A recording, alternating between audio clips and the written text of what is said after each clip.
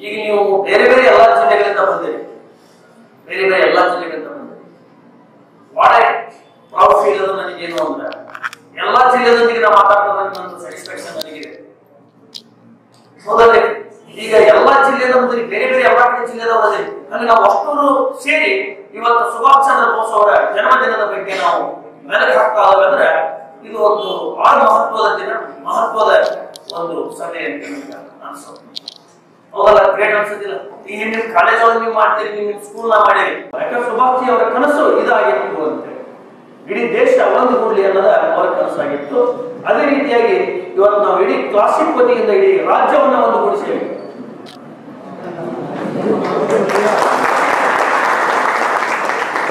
ಹೌದಲ್ಲ?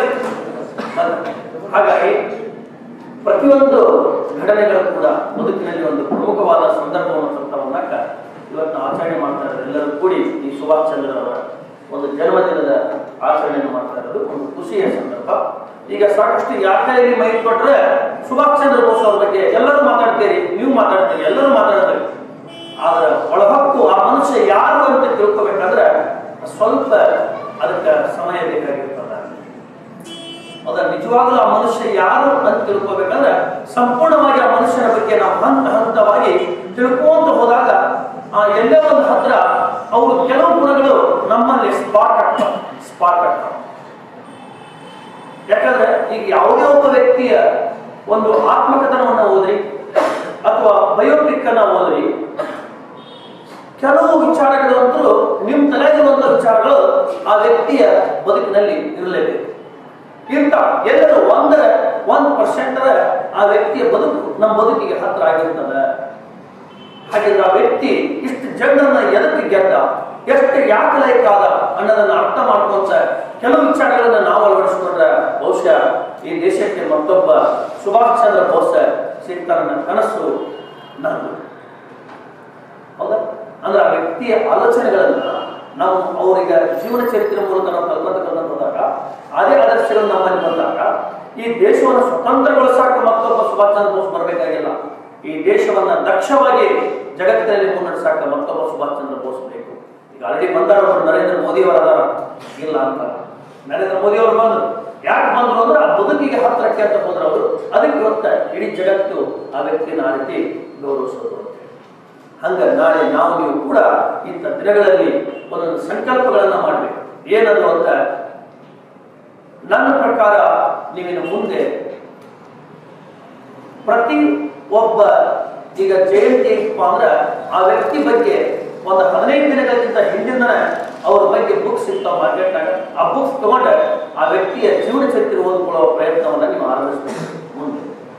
ನಾಳೆ ಅಧಿಕಾರಿಗಳಾದ್ರೂ ಆ ವ್ಯಕ್ತಿ ಬಗ್ಗೆ ನಿಮ್ಮ ಮಾಹಿತಿ ಇರಲೇಬೇಕು ಇರಲೇಬೇಕು. ಜೀವನ ಪರ್ಯಂತ ನಿಮಗೆ ಬೇಕು. ಜೀವನ ಪರ್ಯಂತ ನಿಮಗೆ ಆ ವಿಷಯಗಳು, ಆ ವ್ಯಕ್ತಿ ಬಗ್ಗೆ ಒಂದು ಮಾಹಿತಿ, ಸ್ಪಷ್ಟೀಕರಣ ನಿಮ್ಮಲ್ಲಿ ಇರಲೇಬೇಕಾಗ್ತದೆ. ಯಾಕಂದ್ರೆ ಸಾವಿರಾರು ಜನರ ಮಧ್ಯದಲ್ಲಿ ನೀವು ಮಾತಾಡಕ್ಕಾದ್ರೂ ಎಲ್ಲರಿಗೂ ಈ ವಿಚಾರಗಳು ಆಸಕ್ತಿ. ಯಾಕಂದ್ರೆ ಅಷ್ಟು ಸುಂದರವಾದ ಬದುಕನ್ನ, ಸುಂದರವಾದ ದಿನಗಳನ್ನು ಅರ್ಥಪೂರ್ಣವಾದ ಬದುಕನ್ನ ಅವರು ಈ ದೇಶಕ್ಕಾಗಿ ಅರ್ಪಿಸಿರುತ್ತಾರೆ ಅನ್ನೋದ್ರಲ್ಲಿ ಯಾವುದೇ ಸಮಸ್ಯೆ ಮಾತ್ರ ಇಲ್ಲ. ಹಾಗೆ ಈಗ ಸ್ವಾತಂತ್ರ್ಯ ಹೋರಾಟ ಅಂತ ಹೇಳಿ ನಾವು ಬಂದಾಗ, ವಿಷಯಕ್ಕೆ ಬರೋದು. ಸ್ವಾತಂತ್ರ್ಯ ಹೋರಾಟ ಅಂತ ಬಂದಾಗ, ಯಾರು ಗ್ರೇಟು ಅನ್ನೋಂಥ ಒಂದು ಪ್ರಶ್ನೆಗಳು ಕೂಡ ಕೆಲವು ಅಭ್ಯರ್ಥಿಗಳಲ್ಲಿ ಇರೋದು ಸಹಜ ಸುಭಾಷ್ ಚಂದ್ರ ಬೋಸ್ ಅವರು ಗ್ರೇಟು, ಭಗತ್ ಸಿಂಗ್ ಅವರು ಗ್ರೇಟು, ಗಾಂಧಿ ಗ್ರೇಟು ಯಾರು ಸ್ವತಂತ್ರ ಹೋರಾಟದಲ್ಲಿ ಬಹಳಷ್ಟು ಗ್ರೇಟ್ ಯಾರು ಅನ್ನೋದ್ರ ಬಗ್ಗೆ ಆಲೋಚನೆ ಮಾಡುವ ನಿನ್ನೆ ಆಕ್ಚುಲಿ ಒಂದು ಹುಡುಗ ನನಗೆ ಫೋನ್ ಮಾಡಿದ್ದು. ಅವಳು ನನಗೆಲ್ಲ ಪ್ರಶ್ನೆ ಕೇಳ ಸರ್ ಹಿಂಗೆ ಸುಭಾಷ್ ಚಂದ್ರ ಬೋಸ್ ಅವ್ರ ಬಗ್ಗೆ ನಾವು ನೋಡ್ತಾ ಇದ್ವಿ. ಬಟ್ ಸ್ವಾತಂತ್ರ್ಯ ಹೋರಾಟದಲ್ಲಿ ಸುಭಾಷ್ ಚಂದ್ರ ಬೋಸ್ ಅವರಿಂದ ಸ್ವಾತಂತ್ರ್ಯ ಸಿಕ್ತೋ. ಏನು ಮತ್ತೊಬ್ಬರು ಯಾರಿಂದ ಸಿಕ್ತು? ಮತ್ತೆ ಹೇಗೆ ಸ್ವಾತಂತ್ರ್ಯ ಸಿಕ್ತು ಅನ್ನೋಂಥ ವಿಷಯಗಳನ್ನು ಕಾಣಕತ್ತಾವ ಅಂತ ಬಟ್ ನನ್ನ ಪ್ರಕಾರ ಯಾರು ಗ್ರೇಟು ಅನ್ನೋ ಪ್ರಶ್ನೆ ನಮ್ಮಲ್ಲಿ ಬರಬಾರ್ದು. ಯಾಕಂದ್ರೆ ಇದು ಯಾವುದೇ ಫಿಲ್ಮ್ ಕ್ಷೇತ್ರ ಅಲ್ಲ, ಯಾವುದೇ ಒಂದು ಕ್ರೀಡೆ ಕ್ಷೇತ್ರ ಅಲ್ಲ. ದೇಶಕ್ಕಾಗಿ ತಮ್ಮ ಬದುಕನ್ನು ಅರ್ಪಿಸಿದಂಥ ನಾಯಕರಲ್ಲಿ ನಾವು ಇವ್ರ ಗ್ರೇಟ್, ಅವ್ರ ಗ್ರೇಟ್ ಅಂತ ಮಾತಾಡೋದು ತಪ್ಪಾಗ್ತದೆ. ಈಗ ನೀವು ರಾತ್ರಿ ಹೊತ್ತ ಸ್ವಚ್ಛವಾಗಿ ಮೋಡ ಆಗಲಿ ಇದ್ದಂತ ವಾತಾವರಣದಲ್ಲಿ ಆಕಾಶದತ್ತ ನೋಡಿದಾಗ ಎಲ್ಲಾ ನಕ್ಷತ್ರಗಳು ಆಕಾಶದಲ್ಲಿ ಸುಂದರವಾಗಿ ಕಾಣಿಸ್ತದೋ ಏನು ಕೇವಲ ಒಂದು ನಕ್ಷತ್ರ ಕಂಡ್ರೆ ಆಕಾಶ ಸುಂದರವಾಗಿ ಕಾಣಿಸ್ತದೋ? ಎಷ್ಟು ಬುದ್ಧಿವಂತರು ನಾವು ಹೌದಲ್ಲ? ಎಲ್ಲಾ ನಕ್ಷತ್ರಗಳು ಕಂಡ್ರೆ ಸುಂದರವಾಗಿ ಆಕಾಶ ಕಾಣಿಸ್ತದ ಅದರ ಅರ್ಥ. ಎಲ್ಲ ನಾಯಕರು ಒಂದೊಂದು ನಕ್ಷತ್ರಗಳಂತೆ. ಅವರೆಲ್ಲರೂ ಮಿನಿಗಿದ್ರಿಂದ ಈ ದೇಶ ಸ್ವತಂತ್ರವಾಯಿತು ಈ ದೇಶದ ಸ್ವತಂತ್ರ ಹೋರಾಟ ಅಷ್ಟ ಅರ್ಥಪೂರ್ಣವಾಯಿತು ಅನ್ನೋದರಲ್ಲಿ ಯಾವುದೇ ತಪ್ಪಿಲ್ಲ ಓಕೆ ಹಾಗಿದ್ರೆ ಈಗ ನಮಗೆ ಕೆಲವು ವ್ಯಕ್ತಿಗಳು ಗ್ರೇಟ್ ಅನಿಸ್ತಿರ್ತಾರೆ ಯಾಕೆ ಅನಿಸ್ತಿರ್ತಾರ ಈಗ ಅದೇ ಆಕಾಶದ ತಾವು ನೋಡಿ, ಒಂದು ನಕ್ಷತ್ರ ಬಹಳಷ್ಟು ಬೆಳಿತಿರ್ತದೆ. ಇನ್ನೊಂದು ನಕ್ಷತ್ರ ಸ್ವಲ್ಪ ಡಲ್ ಅನಿಸ್ತಿರ್ತದೆ ಅವಾಗ ನೀವೇನಂತೀರಿ? ಈ ನಕ್ಷತ್ರ ಎಷ್ಟು ಹೊಳಿತಾ ಇದೆ? ಈ ನಕ್ಷತ್ರ ಎಷ್ಟು ಡಲ್ ಆಗಿದೆ ಅಂತೀರಿ? ಹಾಗಿದ್ರೆ ನಿಜವಾಗ್ಲೂ ಆ ನಕ್ಷತ್ರಕ್ಕೆ ಆ ಒಂದು ಹೊಳಪು ಇಲ್ಲ ಅಂತ ಅರ್ಥನೋ, ಅದರಷ್ಟು ದೂರಕ್ಕೆ ನಿಮ್ಮ ದೃಷ್ಟಿ ಹೋಗ್ತಾ ಇಲ್ಲ ಅಂತ ಅರ್ಥನೋ? ಅಷ್ಟು ದೂರದವರೆಗೆ ನಿಮ್ಮ ದೃಷ್ಟಿ ಹೋಗ್ತಾ ಇಲ್ಲ ಅಂತ ಅರ್ಥ. ಅಂದ್ರೆ ಅರ್ಥ, ಆ ನಕ್ಷತ್ರಕ್ಕೆ ಹೊಳಪಿದೆ ಅದು ನೋಡೋ ಸಾಮರ್ಥ್ಯ ನಮಗಿಲ್ಲ. ಅಂದ್ರೆ ಒಬ್ಬರ ಬಗ್ಗೆ ಓದ್ಕೊಂತೀರಿ ಅಷ್ಟೇ ನಿಮ್ಗೆ ಗ್ರೇಟ್ ಅಂತ ಅನಿಸ್ತಾ. ಇನ್ನೊಬ್ಬರ ಬಗ್ಗೆ ನೀವು ಓದ್ಕೊಂಡಿಲ್ಲ, ಕೇಳಿಲ್ಲ, ಅದಕ್ಕೆ ಅವ್ರು ನಿಮ್ಗೆ ಗ್ರೇಟ್ ಅಂತ ಅನ್ಸೋದು.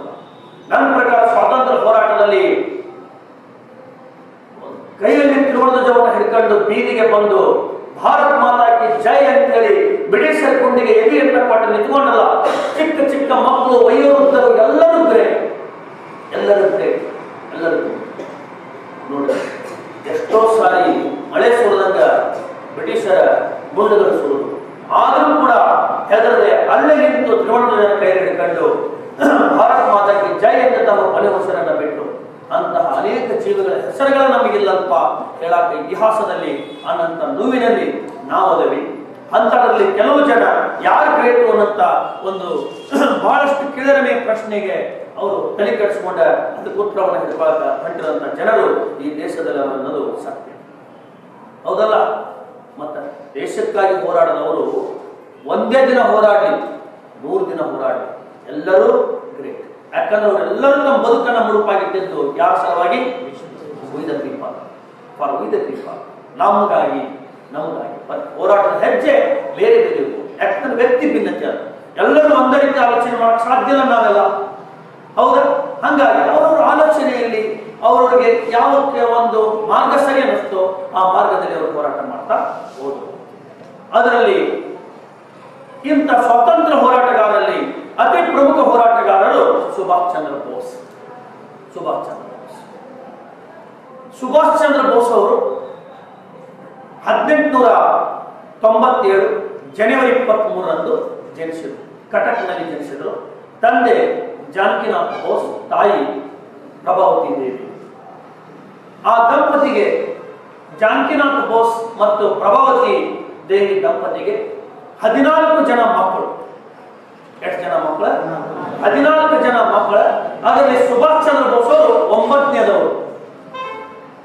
ನೋಡಿ, ಹದಿನಾಲ್ಕು ಜನ ಮಕ್ಕಳು ಸುಭಾಷ್ ಚಂದ್ರ ಬೋಸ್ ಅವರು ಒಂಬತ್ತನೇದವರು. ವಾಟ್ ಬಿಗ್ ಫ್ಯಾಮಿಲಿ ಏನು ಮತ್ತೆ ಧೈರ್ಯ ಹೇಳಿ ಆ ದಂಪತಿಗಳ ಧೈರ್ಯ ಹೇಳಿ ಆರ್ತಿಗೊಂದು, ಕೀರ್ತಿಗೊಂದಂತೆ ಅವ್ರು ಕುತ್ಕೊಂಡಿದ್ರ? ನಮ್ಮ ದೇಶಕ್ಕೊಬ್ಬ ಮಹಾನ್ ನೇತಾಜಿ ಸಿಟ್ಟಿರಲಿಲ್ಲ ಅನ್ನೋದು ನನ್ನ ವಾದ. ಇರ್ಲಿ ಅದ್ರ ಬಹಳ ಸೀರಿಯಸ್ ಅವಾಗ ಹೋಗ್ಬೇಡ್ರಿ ಸ್ಥಿತಿ ಹಂಗಿತ್ತು. ಈಗಿನ ಸ್ಥಿತಿ ಬೇರೆ ಇದೆ ದೇಶದ ಹಂಗಾಗಿ ದೇಶಕ್ಕಾಗಿ ಕೈಯಲ್ಲಿ ಬಂದು ಹಿಡ್ಕೊಂಡು ಹೋಗಿ ಗಡಿ ಭಾಗದಲ್ಲಿ ದೇಶಕ್ಕಾಗಿ ಹೋರಾಡಿದ್ರೆ ದೇಶಭಕ್ತಿ ಅಲ್ಲ. ದೇಶದ ನಿಯಮಗಳು, ಸರ್ಕಾರದ ನೀತಿಗಳನ್ನು ಸ್ವಲ್ಪ ಅರ್ಥ ಮಾಡಿಕೊಂಡು ಯಾಕೆ ಆರ್ತಿಗೊಂದು ಕೀರ್ತಿಗೊಂದು ಮುಗಿಸಿದ್ರು ಸೇವೆ ಅಂತ ನನಗೆ ಅನಿಸ್ತದೆ ಇವತ್ತು ಹೇಳ್ತಾರೆ ಭಾಳ ಸೀರಿಯಸ್ ಆಗಿ ಮತ್ತೆ ಏ, ಮತ್ತು ರಾಷ್ಟ್ರ ನಾಯಕ ಹಿನ್ನೆಲೆ ಬೇಕಲ್ಲ ಅಂತ ಹೋಗಕ್ಕೆ ಆಗಿನ ಕಾಲ ಆಗಿತ್ತು ಆಗಿನ ಪರಿಸ್ಥಿತಿ ಹಾಕಿತ್ತು, ಅವಾಗ ಅವೆಲ್ಲ ಸೂಕ್ತ ಇದ್ವು ಈಗ ಅವೆಲ್ಲ ಸೂಕ್ತ ಇಲ್ಲ. ಆದರೂ ಆ Prabhavati Devi the great woman great woman ಈಗ ಒಬ್ಬ ಮಹಾನ್ ನಾಯಕ ಒಬ್ಬ ಬೆಳೆದು ಬಂದ ಅವರ ಹಿನ್ನೆಲೆ ಅವರ ಪರಿಸರ ನಾವು ಸ್ವಲ್ಪ ನೋಡಲೇಬೇಕಾಗ್ತದೆ. ಮತ್ತು ಪ್ರಭಾವತಿ ದೇವಿಯವರು ಬಹಳಷ್ಟು ಮಾರಲ್ ಆಗಿ, ಆಧ್ಯಾತ್ಮಿಕವಾಗಿ ಸಮರ್ಥವಾದಂತ ಒಬ್ಬ ತಾಯಿ ಪ್ರಭಾವತಿ ದೇವಿಯವರು. ಹಾಗಾಗಿ ಅವರ ಮಗ ಸುಭಾಷ್ ಚಂದ್ರ ಬೋಸ್ ಅವರು ಆ ಮಟ್ಟದಲ್ಲಿ ನೈತಿಕತೆಯನ್ನು ಬೆಳೆಸಿಕೊಂಡು ದೇಶಕ್ಕಾಗಿ ಹೋರಾಟಕ್ಕೆ ನಿಂತುಕೊಂಡರು. ನಾವು ನಿಮ್ಮ ಸುತ್ತಲಿರುವಂತಹ ವಾತಾವರಣಗಳು ಅವ್ರಿಗೆ ಇದ್ದು ಅನ್ನೋದನ್ನು ನಾವು ಮರಿಬಾರದು. ನಮ್ಮ ತಲೆಯಲ್ಲಿ ಬರುವಂತ ಆಲೋಚನೆಗಳು ಅವ್ರ ತಲೆಯಲ್ಲಿಯೂ ಕೂಡ ಬರ್ತಾ ಇತ್ತು ಆದ್ರೆ ಆಲೋಚನೆಗಳಿಗೆ ಅವರು ಅಷ್ಟು ಅವಕಾಶವನ್ನು ಕೊಡಲಿಲ್ಲ. ಆ ಆಲೋಚನೆಗಳನ್ನು ತಮ್ಮ ನಿಯಂತ್ರಣದಲ್ಲಿ ಇಟ್ಕೊಂಡು ಒಳ್ಳೆ ಆಲೋಚನೆಗಳನ್ನ ಅಷ್ಟೇ ತಮ್ಮ ಒಳ್ಳೆ ಮಾರ್ಗಕ್ಕಾಗಿ ಆಯ್ಕೆ ಮಾಡಿಕೊಂಡು. ನೋಡಿ, ಪ್ರಭಾವತಿ ದೇವಿ ಅವರು ಹದಿನಾಲ್ಕು ಬಾರಿ ಐ ಎಸ್ ಪಾಸ್ ಆದ ನನ್ನ ಪ್ರಕಾರ. ಸಾಮಾನ್ಯ ಮತ ಅದು ರೀ ಹದಿನಾಲ್ಕು ಮಕ್ಕಳು, ಮತ್ತೆ ಹೊಳ್ಳಿ ಅವರ ತಂದೆ ಜಾನಕಿನಾಥ ಬೋಸ್ ಅವರು, ಎಲ್ಲ ಮಕ್ಕಳಿಗೆ ಎಜುಕೇಶನ್ ಕೊಡ್ಸೋದು ಹೇಳ್ರಿ. ಎಜುಕೇಶನ್ ಕೊಡ್ಸೋದು ಹೇಳಲ್ಲ.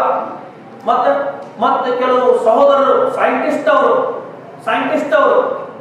ಹೌದಾ? ಜಗದೀಶ್ ಚಂದ್ರ ಬೋಸ್, ಸತ್ಯೇಂದ್ರನಾಥ್ ಬೋಸ್ ಸೈಂಟಿಸ್ಟ್ ಐನ್ಸ್ಟೀನ್ ಕೂಡ ಕೊಲಾಬರೇಷನ್ ಇತ್ತು ಅವರು ಅಂತ ವಿಜ್ಞಾನಿಗಳವರು ಮತ್ತು ಅವ್ರ ಸಿಸ್ಟರ್ಸ್, ಅವರೆಲ್ಲ ಪೊಯಿಟಿಸ್ ಕೆಲವು ಮಂದಿ ಬಹಳ ಒಳ್ಳೆ ಒಂದು ಶಿಕ್ಷಣವನ್ನ ನೀಡಿದಂತಹ ತಂದೆ ತಾಯಿಗಳು, ಮಕ್ಕಳಿಗೆ, ಹದಿನಾಲ್ಕು ಜನ ಮಕ್ಕಳಿಗೆ. ಅದರಲ್ಲಿ ಸ್ವಲ್ಪ ಸುಭಾಷ್ ಚಂದ್ರ ಬೋಸ್ ಅವರು ಭಿನ್ನವಾದಂಥ ವ್ಯಕ್ತಿತ್ವವನ್ನು ಹೊಂದಿದವರು. ಏನದು ಭಿನ್ನತೆಯನ್ನು ಹೊಂದಿದಂಥ ವ್ಯಕ್ತಿತ್ವ ಅಂದ್ರೆ ಸೂಕ್ಷ್ಮ ಸ್ವಭಾವ, ಸೂಕ್ಷ್ಮತೆಯನ್ನು ಬದುಕಿನಲ್ಲಿ ಅಳವಡಿಸಿಕೊಂಡಂತ ವ್ಯಕ್ತಿ ಸುಭಾಷ್ ಚಂದ್ರ ಬೋಸ್. ಬಹಳಷ್ಟು ಭಾವುಕರಾಗುವಂತ ವ್ಯಕ್ತಿತ್ವ ಸುಭಾಷ್ ಚಂದ್ರ ಬೋಸ್ ಅವರು. ನೋಡ್ರಿ ಸುಭಾಷ್ ಚಂದ್ರ ಬೋಸ್ ಅವರಿಗೆ ಸ್ಕೂಲಿಗೆ ಹಾಕಿದ್ರು ಐದು ವರ್ಷದಲ್ಲಿ ಅವರು ಕಾನ್ವೆಂಟ್ ಶಾಲೆಗೆ ಹಾಕಿದ್ರು ಕಟಕ್ನಲ್ಲಿ. ಅವಾಗೆಲ್ಲ ಇಂಗ್ಲಿಷ್ ಆ, ಮಂದಿವ ಶಾಲೆಗಳಿದ್ದು ಬ್ರಿಟಿಷರ ಶಾಲೆಗಳಿದ್ದು ಮತ್ತು ಕ್ರಿಶ್ಚಿಯನ್ ಮಿಷನರಿಗಳ ಶಾಲೆಗಳಿದ್ದು ಆ ಟೈಮ್ನಲ್ಲಿ ಸುಭಾಷ್ ಚಂದ್ರ ಬೋಸ್ ಅವರು ಸ್ಕೂಲಿಗೆ ಹೋದಾಗ ಅವರು ಫ್ರೆಂಚ್ ಮ್ಯೂಸಿಕ್ ಅನ್ನ ಫ್ರೆಂಚರ ಭಾಷೆ, ಭಾಷಾ ಪದ್ಧತಿಯನ್ನ ಇಂಥವನ್ನ ಕಲಿಬೇಕಾಗಿತ್ತು. ಅದರೊಂದಿಗೆ ಫ್ರೆಂಚ್ ಅಂದ್ರೆ ಮ್ಯೂಸಿಕ್ ಒಳಗೆ ಫ್ರೆಂಚರಿಗೆ ಹೆಚ್ಚಿನ ಆದ್ಯತೆಯನ್ನು ನೀಡಿದರು. ಇಂಗ್ಲಿಷ್ ಕೂಡ ಅದನ್ನ ಅಳವಡಿಸಿಕೊಂಡಿದ್ರು.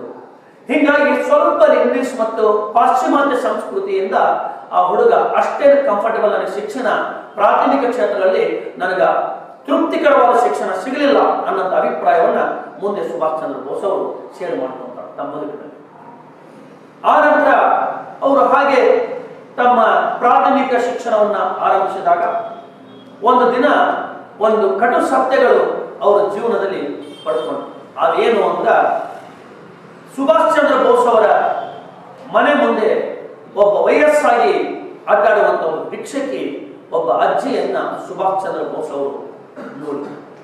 ನೋಡಿ, ಸುಭಾಷ್ ಚಂದ್ರ ಬೋಸ್ ಅವರು ಮುಂದೆ ನನ್ನಲ್ಲಿ ಯಾವ ಕೆಲವು ಸಂದರ್ಭಗಳು ಅವುಗಳನ್ನು ಹೊರತು ತಗೊಂಡ್ಬಂದವು ಆ ಗುಣಗಳನ್ನು ನಾನು ಪೋಷಣೆ ಮಾಡುತ್ತಾ ಹೋದೆ.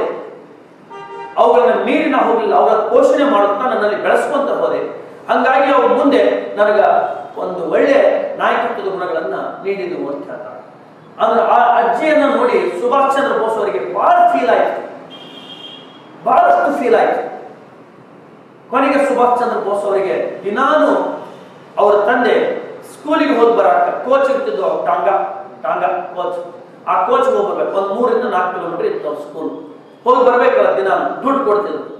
ಬಟ್ ಇವರು ಮೂರಿಂದ ನಾಲ್ಕು ಕಿಲೋಮೀಟರ್ ದಿನ ನಡ್ಕೊಂತ ಹೋಗಿ, ಮೂರಿಂದ ನಾಲ್ಕು ಕಿಲೋಮೀಟರ್ ದಿನ ನಡ್ಕೊಂತ ಬಂದು ರೌಂಡ್ ಅಬೌಟ್ ಒಂದು ಹತ್ತು ಕಿಲೋಮೀಟರ್ ದಿನ ದಿನನಿತ್ಯ ನಡ್ಕೊಂತ ಹೋಗಿ, ನಡ್ಕೊಂತ ಬರ್ತಿದ್ರು. ಟೋಟಲ್ ಆಗಿ ಹತ್ತು ಕಿಲೋಮೀಟರ್ ನಡೆದು ಆ ದುಡ್ಡನ್ನು ಉಳಿಸಿ ಆ ಅಜ್ಜಿಗೆ ದುಡ್ಡನ್ನು ಕೊಡ್ತಿದ್ರು.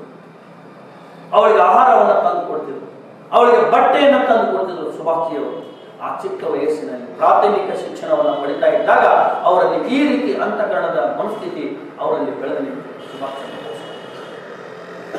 ಮತ್ತೊಂದು ದಿನ ಅವರು ಹೀಗೆ ಸ್ಕೂಲ್ ಒಳಗ ಕೆಲವು ವಿಚಾರಗಳನ್ನ ಮಾತಾಡ್ತಾ ಮಾತಾಡ್ತಾ ಇದ್ದಾಗ ಮತ್ತು ಮನೆಯಲ್ಲಿ ಮಾತಾಡ್ತಾ ಇದ್ದಾಗ ಸಾಧು ಸಂತರ ಬಗ್ಗೆ ಕೇಳೋದಂದ್ರೆ ಅವರಿಗೆ ಬಹಳಷ್ಟು ಆಸಕ್ತಿ.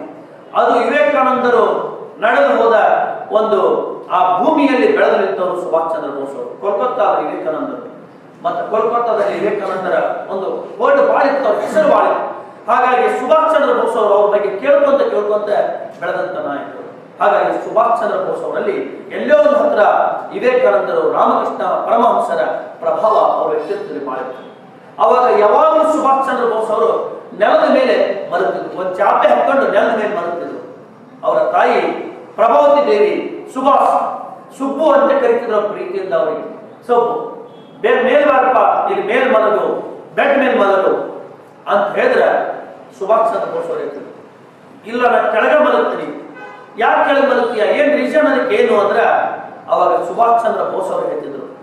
ನನ್ನ ಈ ದೇಶದಲ್ಲಿ ಸಾಧು ಸಂತರು ಯಾರು ಬೆಡ್ ಮೇಲೆ ಮಲಗಿಲ್ಲ.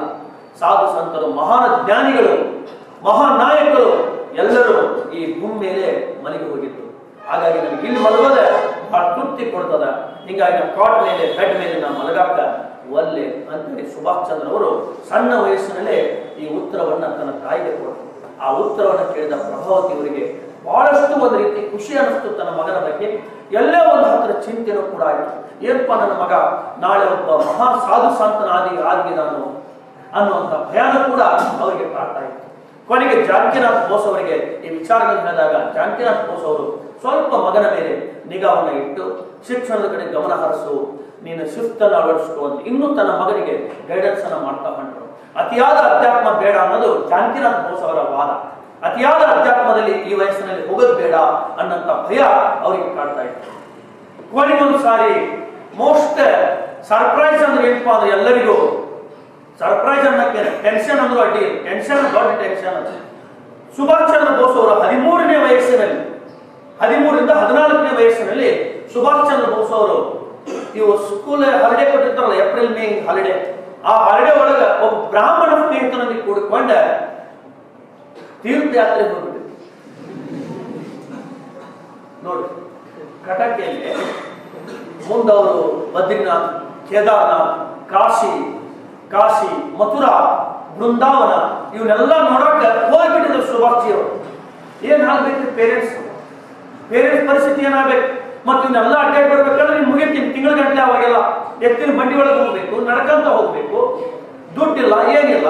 ಎಲ್ಲ ಮಠದಲ್ಲಿ ಕುಂದಿರ್ತಿದ್ರು, ಭಜನೆ ಮಾಡ್ತಿದ್ರು, ಪ್ರಸಾದ ತಿಂತಿದ್ರು. ಅಲ್ಲೇ ಎಲ್ಲರೂ ಸ್ನಾನ ಮಾಡ್ತಿದ್ರು, ಮತ್ತೆ ಹೋಗ್ತಿದ್ರು. ಹಿಂಗೆ ಇಬ್ಬರ ಸ್ನೇಹಿತರು ಕೂತ್ಕೊಂಡು, ಇಡೀ ಉತ್ತರ ಭಾರತದ ಪ್ರವಾಸವನ್ನ ಮಾಡಿದ್ರು ಸುಭಾಷ್ ಚಂದ್ರ ಬೋಸ್ ಅವರು, ಆ ಚಿಕ್ಕ ವಯಸ್ಸಿನಲ್ಲಿ. ನಾವು ಬರೀ ಅಡಿಗೆ ಮನೆಗೆ ಹೋಗಿ ನೀರು ಕುಡಿದು ಬರಾಕ. ಮಮ್ಮಿ, ನೀ. ಹೌದಾ? ಮತ್ರಿ ಅವರು ಸುಭಾಷ್ ಚಂದ್ರ ಬೋಸ್ ಅವರ ಚಿಕ್ಕ ವಯಸ್ಸಿನ ಸ್ನೇಹಿತರನ್ನು ಕೂಡಿಕೊಂಡು ಬದ್ರಿನಾಥ, ಕೇದಾರನಾಥ, ಕಾಶಿ, ವಾರಣಾಸಿಗೆ ಅವರು ಯಾತ್ರೆಯನ್ನು ಮಾಡಿದರು. ಅಲ್ಲೇ ಅವರಿಗೆ ಒಂದು ಸತ್ಯ ಏನ್ ತಿಳಿದಿತ್ತು ಅಂದ್ರೆ ನಮ್ಮ ದೇಶದ ಈ ಅಸ್ಪೃಶ್ಯತೆ ವ್ಯವಸ್ಥೆ ಬಗ್ಗೆ ಅವರಿಗೆ ಅಲ್ಲಿ ಇದೆ ಸುಭಾಷ್ ಅಲ್ಲೇ ಕಾಶಿ ಒಳಗ ಕಾಶಿ ಒಳಗ ಊಟಕ್ಕೆ ಕುಂತಾಗ ಕೆಲವು ಪಂಡಿತರು ಬಂದ, ನೀವು ಯಾವ ಜಾತಿಯವರು? ಕೇಳಿದ್ರು. ಅವಾಗ ಸುಭಾಷಿಯವರಿಗೆ ಅಷ್ಟು ಗಮನದ ಇರಲಿಲ್ಲ ಜಾತಿ ಬಗ್ಗೆ. ಆದ್ರೆ ಅವ್ರ ಸ್ನೇಹಿತ ಹೇಳಿದ ನಾನು ಬ್ರಾಹ್ಮಣ, ಇವನು ಕಾಯಸ್ಥ ಅಂತ ಹೇಳಿ ಕಾಯಸ್ಥ ಅಂತ ಹೇಳಿದ ಅವಾಗ ಕಾಯಸ್ಥ ಅಂದಾಗ ನೀವು ಇಲ್ಲಿ ಕುಂದ್ರಬಾರ್ದಲ್ಲ ನೀವು ಶುದ್ರ ಗುಂಪಿಗೆ ಬರ್ತೀರಿ, ನೀವು ಆ ಕಡೆ ಕುಂತು ಊಟ ಮಾಡಿ ಅಂತ ಹೇಳಿದ್ರು. ಆವಾಗ ಸುಭಾಷಿ ಅವರು ಆ ಕಡೆ ಕುಂತು ಊಟ ಮಾಡುವಾಗ ಅಂಬೇಡ್ಕರ್ಗಾಗಿದ್ದ ಅನುಭವ ಸುಭಾಷಿಯವರಿಗಾಗಿತ್ತು ಅನ್ನೋದನ್ನ ನಾವು ಮರಿಬಾರದು. ಮುಂದೆ ಸುಭಾಕ್ಷಿ ಅವರು ಎಲ್ಲ ನಾಯಕರನ್ನ ಸಮಾನ ದೃಷ್ಟಿಯನ್ನು ಗೌರವಿಸಿದ್ರು. ಯಾಕಂದ್ರೆ ಆ ರೀತಿ ಎಲ್ಲ ಅನುಭವಗಳ ಒಂದು ಇದು ಘಟನೆಗಳ ಅನುಭವ ಆ ವ್ಯಕ್ತಿಗೆ ಇತ್ತು ಸುಭಾಷ್ ಚಂದ್ರ ಬೋಸ್ ಅವರಿಗೆ. ನೋಡ್ರಿ ಅಸ್ಪೃಶ್ಯದ ಅನುಭವ ಅವರು ಕೂಡ ಅನುಭವಿಸ್ಯಾರ ಅನ್ನೋದು ಸತ್ಯ ನಮ್ಗೆ ಗೊತ್ತಿರಬೇಕು. ಆಮೇಲೆ ಸ್ನಾನ ಮಾಡಕ್ ಹೋಗ್ಬೇಕಂದ್ರೆ ಬಾವಿ ನೀರನ್ನ ಮುಟ್ಟಾಕ್ ಹೋದ್ರೆ ಸುಭಾಷ್ ಅವರಿಗೆ ಬಾವಿ ನೀರು ಮುಟ್ಟಾಕ್ ಕೊಡ್ಲಿಲ್ಲ. ಸುಭಾಷ್ ಅವರಿಗೆ ಬಾವಿ ನೀರು ಮುಟ್ಟಾಕ್ ಕೊಡ್ಲಿಲ್ಲ. ಮತ್ತು ಬಾಲ್ಯದಲ್ಲಿ ಆಗಿತ್ತು ಇವ್ರಿಗೆ ಅವಮಾನ ಸುಭಾಷ್ ಚಂದ್ರ ಬೋಸ್ ಅವರಿಗೆ. ದೊಡ್ಡ ಕೋಟ್ಯಾಧೀಶನ ಮಗ. ಎಕರೆ ಗಂಟೆ ಮನಿ ಅದಾವ್ರಿ ಅವರು ಎಕರೆ ಗಂಟೆ ಮನಿ ಅದಾವ. ಕಟಕದಾಗ ಕೋಲ್ಕತ್ತಾದಾಗ. ಜಾನಕಿನಾಥ್ ಬೋಸ್ ಅವರು ಅಡ್ವೊಕೇಟ್ ಅವರು. ಆಮೇಲೆ ಮೇಯರ್ ಅವರು. ಕೋಲ್ಕತ್ತಾ ಮೇಯರ್ ಆಗಿದ್ರು ಅವರು. ಜಾನಕಿನಾಥ್ ಬೋಸ್ ಅವರು. ದೊಡ್ಡ ಶ್ರೀಮಂತ ಕುಟುಂಬ. ಏನ್ ಸಾವಿರಾರು ಎಕರೆ ಜಮೀನ ಅವರು. ಚಿನ್ನದ ತಟ್ಟೆಯಲ್ಲಿ ಊಟ ಮಾಡುವಂತ ವ್ಯಕ್ತಿ ಬೀದಿಗೆ ಬಿದ್ದ. ಬುದ್ಧ ಮಹಾವೀರ ಸಂತರಂತೆ ಅನುಭವ ಗಳಿಸಿದರು ಆಮೇಲೆ ಅಸ್ಪೃಶ್ಯತೆಯ ಒಂದು ಪ್ರಭಾವವನ್ನು ತಾವೇ ಸ್ವತಃ ಅದನ್ನು ಅನುಭವಿಸಿದ್ರು. ಆಮೇಲೆ ಬಾವಿ ನೀರನ್ನು ಮುಟ್ಟಕೊಳ್ಳಿಲ್ಲ. ಅವಾಗ ಅವರ ಸ್ನೇಹಿತ ಬ್ರಾಹ್ಮಣ ಇದ್ದ, ಅವ ಬಾವಿ ನೀರನ್ನು ಸೇದಿ ಕೊಟ್ಟ ಅವಾಗ ಅವರು ಸ್ನಾನವನ್ನ ಮಾಡಿದ್ರು. ಇಂಥ ಸತ್ಯಗಳನ್ನ ದೇಶದ ದರ್ಶನ ಅವರಿಗೆ, ಸುಭಾಷ್ ಅವರಿಗೆ ಆ ಬಾಲ್ಯ ವ್ಯವಸ್ಥೆಯಲ್ಲಿ ಆಗಿತ್ತು. ಕೊನೆಗೆ ಇಲ್ಲಿ ಮನೆಯೊಳಗೆ ಎಲ್ಲ ಟೆನ್ಷನ್ ಮಾಡಿಕೊಂಡೆ, ಸುಭಾಷ್ ಎಲ್ಲಿ ಹೋದ, ಸುಭಾಷ್ ಎಲ್ಲಿ ಹೋದ ಅಂತೇಳಿ ಒಬ್ಬ ಜ್ಯೋತಿಷಿ ಕಡೆ ಹೋಗಿ ಕೇಳಿದ್ರು. ಆ ಹೇಳ್ತಾನ, ಬ ಅನ್ನ ಅಕ್ಷರದೊಳಗಿರುವಂತ ಒಂದು ಊರಿನಲ್ಲಿ ಅದಾನ ನಿಮ್ಮ ಮಗ. ಆರಾಮಾಗದನ ಅವ ಜಾಯ್ಫುಲ್ ಆಗದನ ಅವನ ಬಗ್ಗೆ ಚಿಂತೆ ಮಾಡಬೇಡಿ ಅವ ಬೇಗ ಬರ್ತಾನ ಅಂತ ಹೇಳಿದ್ರು ಆದ್ರೆ ಸುಭಾಷ್ ಚಂದ್ರ ಬೋಸ್ ಅವರು ಮಾತ್ರ ಬನಾರಸ್ ಒಳಗೆ ಇದ್ರಲ್ಲ. ಬ ಅನ್ನೋ ಅಂದ್ರೆ ಬನಾರಸ್, ವಾರಣಾಸಿ, ಕಾಶಿ ಅಂತವಲ್ಲ, ಅಲ್ಲೇ ಇದ್ರು ಅವರು. ಕೊನೆಗೆ ಕೆಲವು ದಿನಗಳ ನಂತರ ಸುಭಾಷ್ ಚಂದ್ರ ಬೋಸ್ ಅವರು ಮನೆಗೆ ಬಂದರು. ಸಹಜ. ಯಾವ ತಂದೆ ತಾಯಿದ್ರು ಕೂಡ, ಹೋ ಬಾಪ್ಪ ವೆಲ್ಕಮ್ ಕೊಡು, ಹೂ ಕೊಡು ಒಳಗೆ ಬಾರಪ್ಪ ಅಂತ ಕರೀತಾರೆ ಹೌದಲ್ಲ, ಮತ್ತೆ ಯಾರಿಗಾದ್ರೂ ಟೆನ್ಷನ್ ಆಗ್ತದೆ? ಅವ್ರ ಅಪ್ಪ ಜಾಡ್ ಜಾಡ್ಸಿ ಓದಿದ್ದ ಇನ್ನೊಂದು ಓದಿದ್ದಾರೆ ಅದ್ರಾಗ ನೀವು ಹಿಂಗ್ ಮಾಡಿ ನೋಡಿ, ಎರಡು ಜನ ಫೋನ್ ಇಶ್ಯೂ ಮಾಡೋದು ಬಿಡ್ರಿ. ನಾ ಸ್ವಿಚ್ ಆಫ್ ಮಾಡಿ ಹುಡುಕಿ ಬಂದು ಹೋಗಿದ್ದಾರೆ ಎಲ್ಲಿದ್ರೆ ಅದೇ ಹೆಂಗೆಲ್ಲ ಬಂದು ಹೋಗಿದ್ದಾರೆ ಡೆಫಿನೆಟ್ಲಿ ಓದಿತಾರೆ ಯಾಕೆ, ಅವ್ರ ಟೆನ್ಷನ್ ಅದು. ಅವ್ರ ಟೆನ್ಷನ್ ಅದು. ಮಕ್ಕಳ ಬಗ್ಗೆ ಸಣ್ಣ ಕಾಳಜಿ. ಬಟ್ ಸುಭಾಷ್ ಚಂದ್ರ ಬೋಸ್ ಅವರು ಕೆಲವು ದಿನ ನಂತರ ಬಂದರು ಅವರಪ್ಪ ಹೊಡೆದ ಮಮ್ಮಿನು ಹೊಡೆದು, ಎಲ್ಲರೂ ಬೈದರು. ಕೊನೆಗೆ ಸುಭಾಷ್ ಚಂದ್ರ ಬೋಸ್ ಅವರು, ನಾ ತಪ್ಪೇ ಮಾಡಿಲ್ಲ ಅನ್ನಂತ ಆತ್ಮತೃಪ್ತಿ ಒಳಗ ಅವ್ರು ಇದ್ರು. ನಾ ತಪ್ಪು ಮಾಡಿಲ್ಲ ಅನ್ನೋ ಸ್ಥಿತಿ ಒಳಗ ಸುಭಾಷ್ ಚಂದ್ರ ಬೋಸ್ ಅವರು ಇದ್ರು.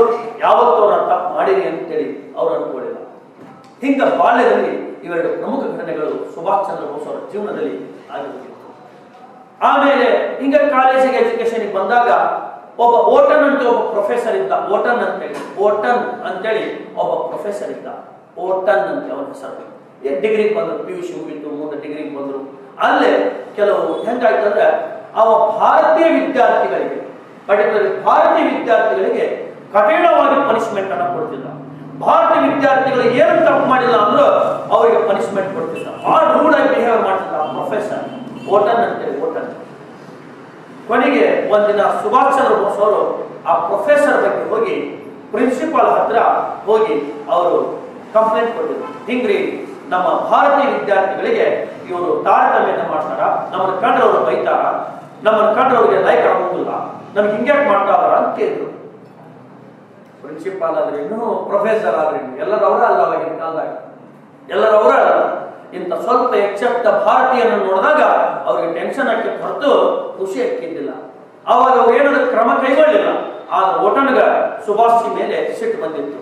ಮತ್ತೆ ಅದಾದ್ರೆ ಪ್ರಿನ್ಸಿಪಾಲ್ಗೆ ಗೊತ್ತಾಗಿತ್ತು ಈ ಹುಡುಗ, ಈ ಪ್ರೊಫೆಸರ್ನ ವಿರೋಧ ಮಾಡಕ್ಕೆ ನನಗೆ ಗೊತ್ತಾಗಿತ್ತು ಇದು ಆಗಿ ಒಂದು ಎರಡು ವಾರದಲ್ಲಿ ಆ ಓಟಣ್ಣವನನ್ನ ಬರಬ್ಬರಿ ಹಾಕಿ ಯಾರ ಹುಡುಗರು ಬಳದ ಬಿಟ್ಟಿದ್ರು ಯಾಕಂದ್ರೆ ವರ್ತನೆಗಳು ಹಾಗೆ ಇತ್ತು. ಎಲ್ಲ ವಿಚಾರಗಳಲ್ಲಿ ಆ ಓಟಣ್ಣ ಶಿಕ್ಷಕನ ವರ್ತನೆಗಳು ಇವರು ಪಡೆದಿದ್ದರು ಅವಾಗ ಸುಭಾಷ್ ಅವರ ಬಗ್ಗೆ ಅದು ಕೇಸ್ ಆಗಿರುತ್ತೆ ಸುಭಾಷನ ಪಡೆದಿರ್ಬೋದು ಅವಾಗ ಸುಭಾಷ್ ಚಂದ್ರ ಬೋಸ್ ಅವ್ರನ್ನ ಈ ಕೆಲಸ ಮಾಡಿಲ್ಲ. ಅವ್ರು ಹೆಂಗೆ ಗುರುಗಳು, ಅವರನ್ನ ಗೌರವಿಸೋದು. ನನ್ನ ಕರ್ತವ್ಯ. ಹೌದಲ್ಲ, ಈಗ ಎಷ್ಟೋ ಟೈಮ್ನಲ್ಲಿ ತಂದೆ ತಾಯಿ ತಪ್ಪು ಮಾಡಿದಾಗ ಮಕ್ಕಳು ಕ್ಷಮೆ ಮಾಡಲೇಬೇಕಾಗ್ತದೆ ತಂದೆ ತಾಯಿನ ಅಲ್ಲ ಅವರು? ಅವ್ರು ಗೌರವಿಸಲೇಬೇಕಲ್ಲ ಹೌದಲ್ಲ, ಏನೋ ಕುಡದಪ್ಪ, ಅದನ್ನು ಮಾಡಿದ್ ಮಾಡಿದ ಆಸ್ತಿ ಹಾಳು ಮಾಡ್ಯಾನ ಅಂತ ಅಪ್ಪನ ಜಾಸ್ತಿ ಹೊರಗೆ ಬರ್ತೇನೆ ಧರ್ಮನ ಅಲ್ಲ ಮನುಷ್ಯತ್ವನ ಅಲ್ಲ ಹಂಗ ಇವ್ರನ್ನ ಹೇಳಿದ್ರು, ನಾ ತಪ್ಪು ಮಾಡಿಲ್ಲ, ನನ್ನ ತಪ್ಪು ಕೇಳಲಿಲ್ಲ. ಮತ್ ಗುರುಗಳ ಮೇಲೆ ಅಂತ ನಂದು ಇಂಥ ಯಾವತ್ತೂ ಆಲೋಚನೆಗಳು ಬಂದಿಲ್ಲ. ಅದು ತಪ್ಪು ಮಾಡ್ತಾ ಅಂತ ಬಂದು ಹೇಳಿದ್ದೆ. ಆದ್ರೆ ಅವ್ರ ಮೇಲೆ ಕೈ ಮಾಡುವಂತ, ಅವ್ರಿಗೆ ಬಂದು ಕೊಡುವಂತ ಮನಸ್ಥಿತಿ ಅಂತ ಸುಭಾಷ್ ಚಂದ್ರ ಅವರು ಪೂಜನೀಯ ಭಾವನೆಯಿಂದ ಹೇಳಿದ್ರು ಕೂಡ ಅವ್ರು ಕೇಳಿಲ್ಲ. ಸುಭಾಷ್ ಚಂದ್ರ ಬೋಸ್ ಅವ್ರನ್ನ ಕಾಲೇಜಿಂದ ಹೊರಗೆ ಹಾಕಿದ್ರು ಕೊನೆಗೆ ಸುಭಾಷ್ ಚಂದ್ರ ಬೋಸ್ ಅವರು ಮನೆಗೆ ಬಂದು ಕೂತ್ಕೊಂಡ್ರು ಮನೆಗೆ ಬಂದು ಕುಂತಾಗ ಮತ್ತೆ ಅವ್ರ ಅಪ್ಪನ ರಿಯಾಕ್ಷನ್ ಹೇಗಿರ್ಬೋದು ನೀವು ಅರ್ಥ ಮಾಡ್ಬೋದು ಹೌದಾ? ಮತ್ತೆ? ಹೌದಾ. ಆ ನಂತರ ಸುಭಾಷ್ ಚಂದ್ರ ಬೋಸ್ ಅವರು ಕೊನೆ ಒಂದು ವರ್ಷ ಕೂತರು. ಆಮೇಲೆ ಅವ್ರ ಅಣ್ಣ ಶರತ್ ಚಂದ್ರ ಅಂತಿದ್ರು ಶರಶ್ಚಂದ್ರ ಅಂತಿದ್ರು ಅದು ದೊಡ್ಡಪ್ಪನ ಮಗ, ಅವರೆಲ್ಲ. ಅವರು ಕೋಲ್ಕತ್ತಾದಾಗಿದ್ರು.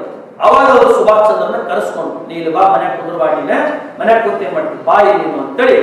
ಮತ್ತೆ ಅವರು ಕರೆಸ್ಕೊಂಡು ಮತ್ತೆ ಒಂದು ಕಾಲೇಜಿಗೆ ಹಚ್ಚಿದ್ರು ಅವ್ರನ್ನ ಸುಭಾಷ್ ಅವ್ರನ್ನ ಆ ಕಾಲೇಜಿನಾಗ ಅವ್ರ ಜೀವನ ಹಣ ಒಂದ್ ವರ್ಷ ವೇಸ್ಟ್ ಆಗಿತ್ತು. ಮತ್ತೊಂದು ವರ್ಷಕ್ಕೆ ಶುರು ಆಯ್ತು ಕಾಲೇಜ್. ಸುಭಾಷ್ ಚಂದ್ರ ಬೋಸ್ ಅವ್ರಿಗೆ ಸೋಲ್ಜರ್ ಆಗ್ಬೇಕನ್ನೋದು ಮಹತ್ವದ ಆಸೆ. ಒಬ್ಬ ಸೇನಾನಿ ಆಗ್ಬೇಕನ್ನೋದು ಮಹತ್ವದ ಆಸೆ. ಸುಭಾಷ್ ಡಿಗ್ರಿ ಒಳಗಾಗಿತ್ತು ಇದು ಘಟನೆ? ಡಿಗ್ರಿ ಫಸ್ಟ್ ಇಯರ್ ಘಟನೆ ಆಗಿತ್ತು ಇದು. ಮತ್ ಪಿ ಯು ಸಿ ಮುಗಿದಿದ್ದ, ಅವಾಗ ಕೂಡ ಪಿ ಯು ಸಿ ಮೇಲೆ ಸೋಲ್ಜರ್ಸ್ ಅನ್ನ ನೇಮಕಾತಿ ಮಾಡ್ಕೊಂತಿದ್ರು. ಬ್ರಿಟಿಷ್ ನೋಡ್ತಿಲ್ಲ ಅವ್ರ ಡ್ರೆಸ್ ಎಲ್ಲ ನೋಡಿದ್ರು ಗೊತ್ತಾಗತ್ತಲ್ಲ ಆರ್ಮಿ ಅಂದ್ರ ಎನ್ ಸಿ ಸಿ ಆರ್ಮಿ ಎಲ್ಲ ಆ ಟೈಪ್ನಾಗ ಒಂದು ವ್ಯವಸ್ಥೆ ನಡೆದಿದೆ ನೇಮಕಾತಿಗಳು. ಅರೆ ಸೇನೆ ಅಂತಿದ್ರು ಅವಾಗ, ಅರೆ ಸೇನೆ ಅಂತ. ಡೈರೆಕ್ಟರ್ ಸೇನೆಗಲ್ಲ, ಅರೆ ಸೇನೆಗೆ ಸೇರಿಸ್ಕೊತಿದ್ರು ಹುಡುಗರನ್ನ. ಆಮೇಲೆ ಅವ್ರನ್ನ ಸೇನಾನಿಯಾಗಿ ಕನ್ವರ್ಟ್ ಮಾಡ್ತಾ ಇದ್ರು ಟ್ರೈನಿಂಗ್ ಮಾಡ್ತಾ ಹಿಂಗಾಗಿ ಅಲ್ಲಿ ಸೆಲೆಕ್ಷನ್ ಹೋಗಿದ್ರು ಅವರು. ಸೆಲೆಕ್ಷನ್ ಹೋದಾಗ ಅವ್ರು ಮೆಡಿಕಲ್ ಒಳಗೆ ತೆಗೆದ್ರು, ಸುಭಾಷ್ ಚಂದ್ರ ಬೋಸ್ ಅವರು. ಅವ್ರ ಕಣ್ಣಿನ ದೋಷ ಇದೆ ಅಂತೇಳಿ ಸುಭಾಷ್ ಚಂದ್ರ ಬೋಸ್ ಅವರು ಡಿಸ್ಕ್ವಾಲಿಫೈಡ್ ಆಗ್ಯಾರ. ಐ ಸೈಟ್ ಸಲುವಾಗಿ ಡಿಸ್ಕ್ವಾಲಿಫೈಡ್ ಆಗ್ಯಾರ. ನಿಮ್ದು ಕಲರ್ ಬ್ಲೈಂಡ್ನೆಸ್ ನೋಡ್ತಿರ್ತಾರೆ ಪಿ ಎಸ್ ಐ ಹೌದಲ್ಲ? ಹಂಗ ಅವರು ಡಿಸ್ಕ್ವಾಲಿಫೈಡ್ ಆದ್ರು ಸುಭಾಷ್ ಚಂದ್ರ ಬೋಸ್ ಅವರು. ಮುಂದೆ ಅವ್ರದ್ದು ಒಂದು ದೊಡ್ಡ ಆಸೆ ಈಡೇರಿಲ್ಲ ಅಂತ ನೋವಿನೊಳಗೆ ಸುಭಾಷ್ ಚಂದ್ರ ಬೋಸ್ ಅವರು ಇದ್ರು. ಆದ್ರೂ ಬೀಳಿಲ್ಲ. ಸತತ ಪ್ರಯತ್ನವನ್ನ ಮಾಡ್ತಾ ಮಾಡ್ರು. ಆಮೇಲೆ ಕಾಲೇಜ್ ಒಳಗ ಕೆಲವು ಶಿಸ್ತನ್ನ ಬೆಳೆಸ್ಕೊಂಡ್ರು. ಅವರ ಕಡೆಯಿಂದ ಒಳ್ಳೆ ಒಳ್ಳೆ ಮೆಚ್ಚುಗೆನ ಕಳಿಸಿದ್ರು. ಕೊನೆಗೆ ಅಂತಿಮವಾಗಿ ಮತ್ತೆ ಶಾಲೆಯೊಳಗಿರುವಂತ ಈ N S S N C C ಇಂತಹ ಒಂದು ಗುಂಪಿಗೆ ಸೇರ್ಕೊಂಡು ಸುಭಾಷ್ ಚಂದ್ರ ಬೋಸ್ ಅವರು. ಮುಂದೆ ಅವರು ಇಂಡಿಯನ್ ಆರ್ಮಿ ಸೇರ್ಬೇಕಂತ ಎತ್ತಲ ಆಲೋಚನೆಗಳು ಆರ್ಮಿ ಸೇರ್ಬೇಕನ್ನೋದು ಅದು ಆಗಲಿಲ್ಲ. ಆದ್ರೆ ಇದರ ನಾಯಕರನ್ನ ಯಾವ ಕಣ್ಣಿನ ದೋಷವನ್ನು ತೆಗೆದ್ರು ಅದೇ ಮನುಷ್ಯ ಮುಂದೆ ಒಂದು ಸೈನ್ಯವನ್ನ ಕಟ್ಟಿ ಭಾರತದ ಹಂಗಾಮಿ ಸರ್ಕಾರದ ಪ್ರಧಾನಿ ಅಂತ ಯಾರಿಗೆ ಕನಸಿತ್ತು ಹೇಳು? ಯಾರಿಗೆ ಕನಸಿತ್ತು ಹೌದಲ್ಲ ಲೈಫ್ ನಾಗೆ ನಮಗೆ ನಿಮಗೆ ಆಗುವಂತ ಫೇಲ್ಯೂರ್ಗಳು ಅವ್ರಿಗಾಗ್ಯಾವ ಅವ್ರು ಅನ್ಕೊಂಡಿದ್ದ ಆ ಟೈಮ್ನಲ್ಲಿ ಆಗಿಲ್ಲ. ಆದ್ರೂ ಕೂಡ ಅವ್ರು ಛಲವನ್ನ ಬಿಡಲಿಲ್ಲ. ಈ ಮನಸ್ಥಿತಿ ನಮ್ಮಲ್ಲಿ ಇರಬೇಕು ಎಷ್ಟೋ ಹುಡುಗರು ನಾ ಇಲ್ಲೇ ನೋಡಿ, ಪೊಲೀಸ್ ಕಾನ್ಸ್ಟೇಬಲ್ ಆಗಲಿಲ್ಲ. ಮೊದಲ ಎಕ್ಸಾಮ್ ಇತ್ತಲ್ಲ ಪೊಲೀಸ್ ಕಾನ್ಸ್ಟೇಬಲ್ ಆಮೇಲೆ ಫಿಸಿಕಲ್ ಇತ್ತಲ್ಲ ಫಿಸಿಕಲ್ ಹೋದಾಗ ಡಿಸ್ಕ್ವಾಲಿಫೈಡ್ ಆದ ಇಡೀ ರಾಜ್ಯಕ್ಕೆ ಸೆಕೆಂಡ್ ರ್ಯಾಂಕ್ ಐದನೇ ರ್ಯಾಂಕ್ ಇದ್ದಂತ ಹುಡುಗರ ಡಿಸ್ಕ್ವಾಲಿಫೈಡ್ ಆದ ಇಲ್ಲೇ ಗಗನ್ದೀಪ್ ಅಂತ ಕಮಿಷನರ್ ಹುಬ್ಳಿದಾವ ಡಿಸ್ಕ್ವಾಲಿಫೈಡ್ ನಾ ಸ್ವತಃ ನೋಡಿದ್ದದು. ಆದ್ರೆ, ಮುಂದೆ ಎರಡ್ ಸಾವಿರದ ಹದಿನೈದರಲ್ಲಿ P S R P S R ಯಾರ ಲೈಫ್ ಹೆಂಗಿತ್ತು ಯಾರಿಗೆ ಗೊತ್ತಿರಿ ಪೊಲೀಸ್ ಆಗಿಲ್ಲ ಅಂತ ಗೊಳ ಅಂತ ಹತ್ಕೊಂತ ಕುಂದ್ರಂತ ವ್ಯಕ್ತಿ P S I P S I ನೋಡಿ, ಅದಕ್ಕೆ ಯಾರ್ಯಾರು ಸ್ಟಾರ್ ಹೆಂಗಿರ್ತಾವ ಅಂತ ಹೇಳಕ್ ಬರುದಿಲ್ಲ. ಬಟ್ ನಮ್ಮ ಬಗ್ಗೆ ನಮಗೆ ಗೌರವ ಹೆಚ್ಚಿರ್ಬೇಕು ಮೊದಲ. ನಮ್ಮ ಬಗ್ಗೆ ನಮಗೆ ಪ್ರೀತಿ ಇರ್ಬೇಕು. ನಾ ಮಾಡಬಲ್ಲೆ ಅಂತ ಹೇಳ್ಬೇಕು. ನಮ್ಮಲ್ಲಿ ಯಾವ ಪಾಠಗಳು ಕೆಟ್ಟದ್ದು ಬರ್ತಾವ, ಒಳ್ಳೇದು ಬರ್ತಾವ ನಮ್ಗೆ ಗೊತ್ತಿರ್ಬೇಕು ಮೊದಲ. ಒಳ್ಳೆ ವಿಚಾರಗಳು ನಮ್ಗೆ ಗೊತ್ತಾಗ್ತಾವ. ಆ ವಿಚಾರಗಳನ್ನ ಬೆಳೆಸ್ಕೊಂತ ಹೋಗ್ಬೇಕು. ಕೆಟ್ಟ ವಿಚಾರಗಳನ್ನ ನಾವು ದೂರ ಮಾಡ್ಕೊಂತ ಹೋಗ್ಬೇಕು. ಅವಾಗ ಒಬ್ಬ ಮನುಷ್ಯ ಸಮರ್ಥ ನಾಯಕನಾಗಿ ಸಮಾಜದಲ್ಲಿ ಬೆಳಕ ಸಾಧ್ಯ. ಹೀಗೆ ಸುಭಾಷ್ ಚಂದ್ರ ಬೋಸ್ ಅವರು ಮುಂದೆ ಎನ್ ಎಸ್ ಎಸ್ ಇಂಥವೆಲ್ಲ ಸೇರಿದ್ರು ಎನ್ ಸಿ ಸಿ ಸೇರಿದ್ರು ಸಮಾಜ ಸೇವೆ ಮಾಡ್ತಾ ಬಂದ್ರು ಡಿಸಿಪ್ಲಿನ್ ಪಡ್ಕೊಂತ ಬಂದ್ರು. ಕೊನೆಗೆ ಸುಭಾಷ್ ಚಂದ್ರ ಬೋಸ್ ಅವರು ಡಿಗ್ರಿ ಫೈನಲ್ ಇಯರ್ ಅವ್ರದ್ದು ನಡೆದಿತ್ತು. ಅವಾಗ ಅವರ ತಂದೆ ಜಾನಕಿನಾಥ್ ಬೋಸ್ ಅವರು ಇವರನ್ನ ಭೇಟಿ ಮಾಡಕ್ ಬಂದ್ರು ಕೋಲ್ಕತ್ತಾ ಕೋಲ್ಕತ್ತಾಕ್ ಬಂದ್ರು. ಬಂದವರ ಸಡನ್ಲಿ ತನ್ನ ಮಗನಿಗೆ ಭೇಟಿ ಮಾಡಿ ಒಂದು ಮಾತನ್ನ ಹೇಳ್ತಾರೆ ಸುಭಾಷ್ ನನ್ನ ಕನಸು ನೀನು I C S exam pass ಮಾಡಬೇಕು ಅಂತ ಹೇಳಿದ್ರು. ಯಾಕಂದ್ರೆ ಸುಭಾಷ್ ಚಂದ್ರ ಬೋಸ್ ಅವರು ಸ್ಲೋಲಿ ಆಗಿ ಕೋಲ್ಕತ್ತಾದಲ್ಲಿ ದೇಶಬಂಧು ಚಿತ್ತರಂಜನ್ ದಾಸ್ ಅವರೊಂದಿಗೆ ಒಡನಾಟ ಹೊಂದಿದ್ರು. ಒಡನಾಟ ಹೊಂದಿದ್ರು. ಆ ಸ್ಲೋಲಿ ನಮ್ಮ ಸ್ವಾತಂತ್ರ್ಯ ಹೋರಾಟದ ಬಗ್ಗೆ ಆರ್ಟಿಕಲ್ಸ್ ಗಳನ್ನ ಓದ್ತಾ ಓದ್ತಾ ಓದ್ತಾ ಸ್ವಲ್ಪ ತನ್ನ ದೇಶಭಕ್ತಿಯನ್ನ ಎಕ್ಸ್ಪೋಸ್ ಮಾಡಕ್ ಬಿಟ್ಟಿದ್ರು ಅವಾಗ ಬ್ರಿಟಿಷರ್ ಕಣ್ ಬಿದ್ದಿತ್ತು ಇವ್ರ ಮೇಲೆ. ಬ್ರಿಟಿಷರ್ ಕಣ್ ಬಿದ್ದಿತ್ತು ಇವ್ರ ಮೇಲೆ. ಅದು ಜಾನಕಿನಾಥ್ ಬೋಸ್ ಅವರಿಗೆ ಸುದ್ದಿ ಗೊತ್ತಾಗ್ತದೆ ಇನ್ನು ನನ್ನ ಮಗನಿಗೆ ಸಮಸ್ಯೆ ಆಗೋದು ಬೇಡ, ಇವನು ಡೈವರ್ಟ್ ಮಾಡಬೇಕು, ಈ ವಾತಾವರಣದಲ್ಲಿ ಇಡೋದು ಬೇಡ ಇವನನ್ನ ಒಯ್ದು ಬಿಡಬೇಕು ಪ್ಲಾನ್ ಮಾಡಿ, ಅವಾಗ ಐ ಸಿ ಎಸ್ ನೀ ಪಾಸ್ ಮಾಡಪ್ಪ ನಾನು ಡ್ರೀಮ್ ಐತಿ, ನೀ ಐ ಸಿ ಎಸ್ ಪಾಸ್ ಮಾಡ್ತೀಯಾ? ಈಗ ಹೆಂಗ ಐ ಎಸ್ ನೋಡ, ಅವಾಗ I C S Indian civil service ಅಂತಿದ್ರು ಅವಾಗ. ಈಗ ಅಡ್ಮಿನಿಸ್ಟ್ರೇಟಿವ್ ಸರ್ವಿಸ್ ಅಂತ ನಾವು ಐ ಎಸ್ ಅಂತೇಳಿ ಅವರು ಐ ಸಿ ಎಸ್ ಅಂತಿದ್ರು ಐ ಸಿ ಎಸ್ ಅಂತ ಅವಾಗ ಸುಭಾಷ್ ಚಂದ್ರ ಬೋಸ್ ಅವ್ರಿಗೆ ಹೇಳಿದಾಗ, ಸುಭಾಷ್ ಚಂದ್ರ ಬೋಸ್ ಅವರಿಗೆ ಯಾವತ್ತೂ ನಮ್ಮ ಬ್ರಿಟಿಷರ ಹುದ್ದೆಗೆ ಸೇರಿ ಬ್ರಿಟಿಷರ ಗುಲಾಮನಾಗಿ ನಾ ಸೇವೆ ಸಲ್ಲಿಸಬಾರದು ಅನ್ನೋಂಥ ವಿಚಾರ ಅವರ ತಲೆಯಲ್ಲಿ ಬಲವಾಗಿತ್ತು ವಿಚಾರ. ಪ್ರತಿ ನರನಾಡಿಗಳಲ್ಲಿ ಅವರಿಗೆ ದೇಶಭಕ್ತಿ, ಅವರಿಗೆ ಸಮುದ್ರದ ಅಲೆಯಂತೆ ಹುಕ್ಕಿ ಬರ್ತಾ ಇತ್ತು. ಹಾಗಾಗಿ ಸುಭಾಷ್ ಚಂದ್ರ ಬೋಸ್ ಅವರಿಗೆ ಅದು ಲೈಕ್ ಇರಲಿಲ್ಲ. ಆದರೂ ಕೂಡ ತಂದೆ ಕನಸಿದೆ ಅಲ್ಲ ಒಬ್ಬ ಮಗನಾಗಿ ತಂದೆಯ ಒಂದು ಕನಸನ್ನ ಈಡೇರಿಸಬೇಕಲ್ಲ. ಅದಕ್ಕಾಗಿ ಸುಭಾಷ್ ಚಂದ್ರ ಬೋಸ್ ಅವರು, ಆಯಿತು, ನಾನು ಐ ಸಿ ಎಸ್ ಪಾಸ್ ಮಾಡ್ತೀನಿ, ನಾ ಹೋಗ್ತೀನಿ. ಅಂತ ಹೇಳಿ ಸುಭಾಷ್ ಚಂದ್ರ ಬೋಸ್ ಅವರು ತನ್ನ ತಂದೆಗೆ ಒಂದು ಸ್ಪಷ್ಟವಾದ ವಿಚಾರವನ್ನು ಹೇಳಿದರು. ಅದೇನು ಅಂದ್ರೆ ಆಯ್ತು ಐ ಸಿ ಎಸ್ ಪಾಸ್ ಮಾಡ್ತೀನಿ ಆದ್ರೆ ನಾನು ಮುಂದೆ ಬ್ರಿಟಿಷರ ಗುಲಾಮನಾಗಿ, ಒಬ್ಬ ಜಿಲ್ಲಾಧಿಕಾರಿಯಾಗಿ, ಒಬ್ಬ ಕಮಿಷನರ್ ಆಗಿ ನಾ ಸೇವೆ ಸಲ್ಲಿಸಕ ರೆಡಿ ಇಲ್ಲ ಸಿದ್ಧನಿಲ್ಲ. ಆದ್ರೆ ನಿನ್ನ ಡ್ರೀಮ್ ಐತಲ್ಲ, ನಾ ಫುಲ್ಫಿಲ್ ಮಾಡ್ತೀನಿ ಅಂತ ಸುಭಾಷ್ ಚಂದ್ರ ಅವರು. ನಾ ಹೋಗ್ತೀನಿ ಅಂತ ಹೇಳಿ ಹತ್ತೊಂಬತ್ ನೂರ ಹತ್ತೊಂಬತ್ತು, ಸೆಪ್ಟೆಂಬರ್ ತಿಂಗಳಲ್ಲಿ ಹೋಗ್ತಾರೆ ಏಪ್ರಿಲ್ ಒಳಗೆ ಜನಿವಾರ ಭಕ್ತನಿಂದಲಿತ್ತು ಸುಭಾಷಿಯವರ ಪ್ರಯಾಣದ ಮಧ್ಯದಲ್ಲಿ ಬರೆಯವರಿಗೆ ನೋವಿತ್ತು ಇತ್ತು. ಜಲಿಯನ್ ಘಟನೆ ಬಗ್ಗೆ ಅವರಿಗೆ ಆ ಆ ಘಟನೆಯ ಪ್ರತಿಧ್ವನಿ ಆಗ್ತಾ ಇತ್ತು ಅವರ ಮನಸ್ಸಿನಲ್ಲಿ, ತಲೆಯಲ್ಲಿ, ವಿಚಾರಗಳಲ್ಲಿ. ಅಂತ ನೋವಿನ ಮಧ್ಯದಲ್ಲಿ ಅವರು ಇಂಗ್ಲೆಂಡಿಗೆ ಹೋದರು ಸುಭಾಷಿಯವರು. ಇಂಗ್ಲೆಂಡಿಗೆ ಹೋದರು ಆಕ್ಸ್ಫರ್ಡ್ ವಿಶ್ವವಿದ್ಯಾಲಯ. ಅಲ್ಲಿ ಐ ಸಿ ಎಸ್ ಕೋಚಿಂಗ್ ಅಲ್ಲಿ ಮಾತ್ರ ಸಿಗ್ತಿತ್ತು. ಆಕ್ಸ್ಫರ್ಡ್ ವಿಶ್ವವಿದ್ಯಾಲಯದಲ್ಲಿ ಐ ಸಿ ಎಸ್ ಕೋಚಿಂಗ್ ಸಿಗ್ತಿತ್ತು.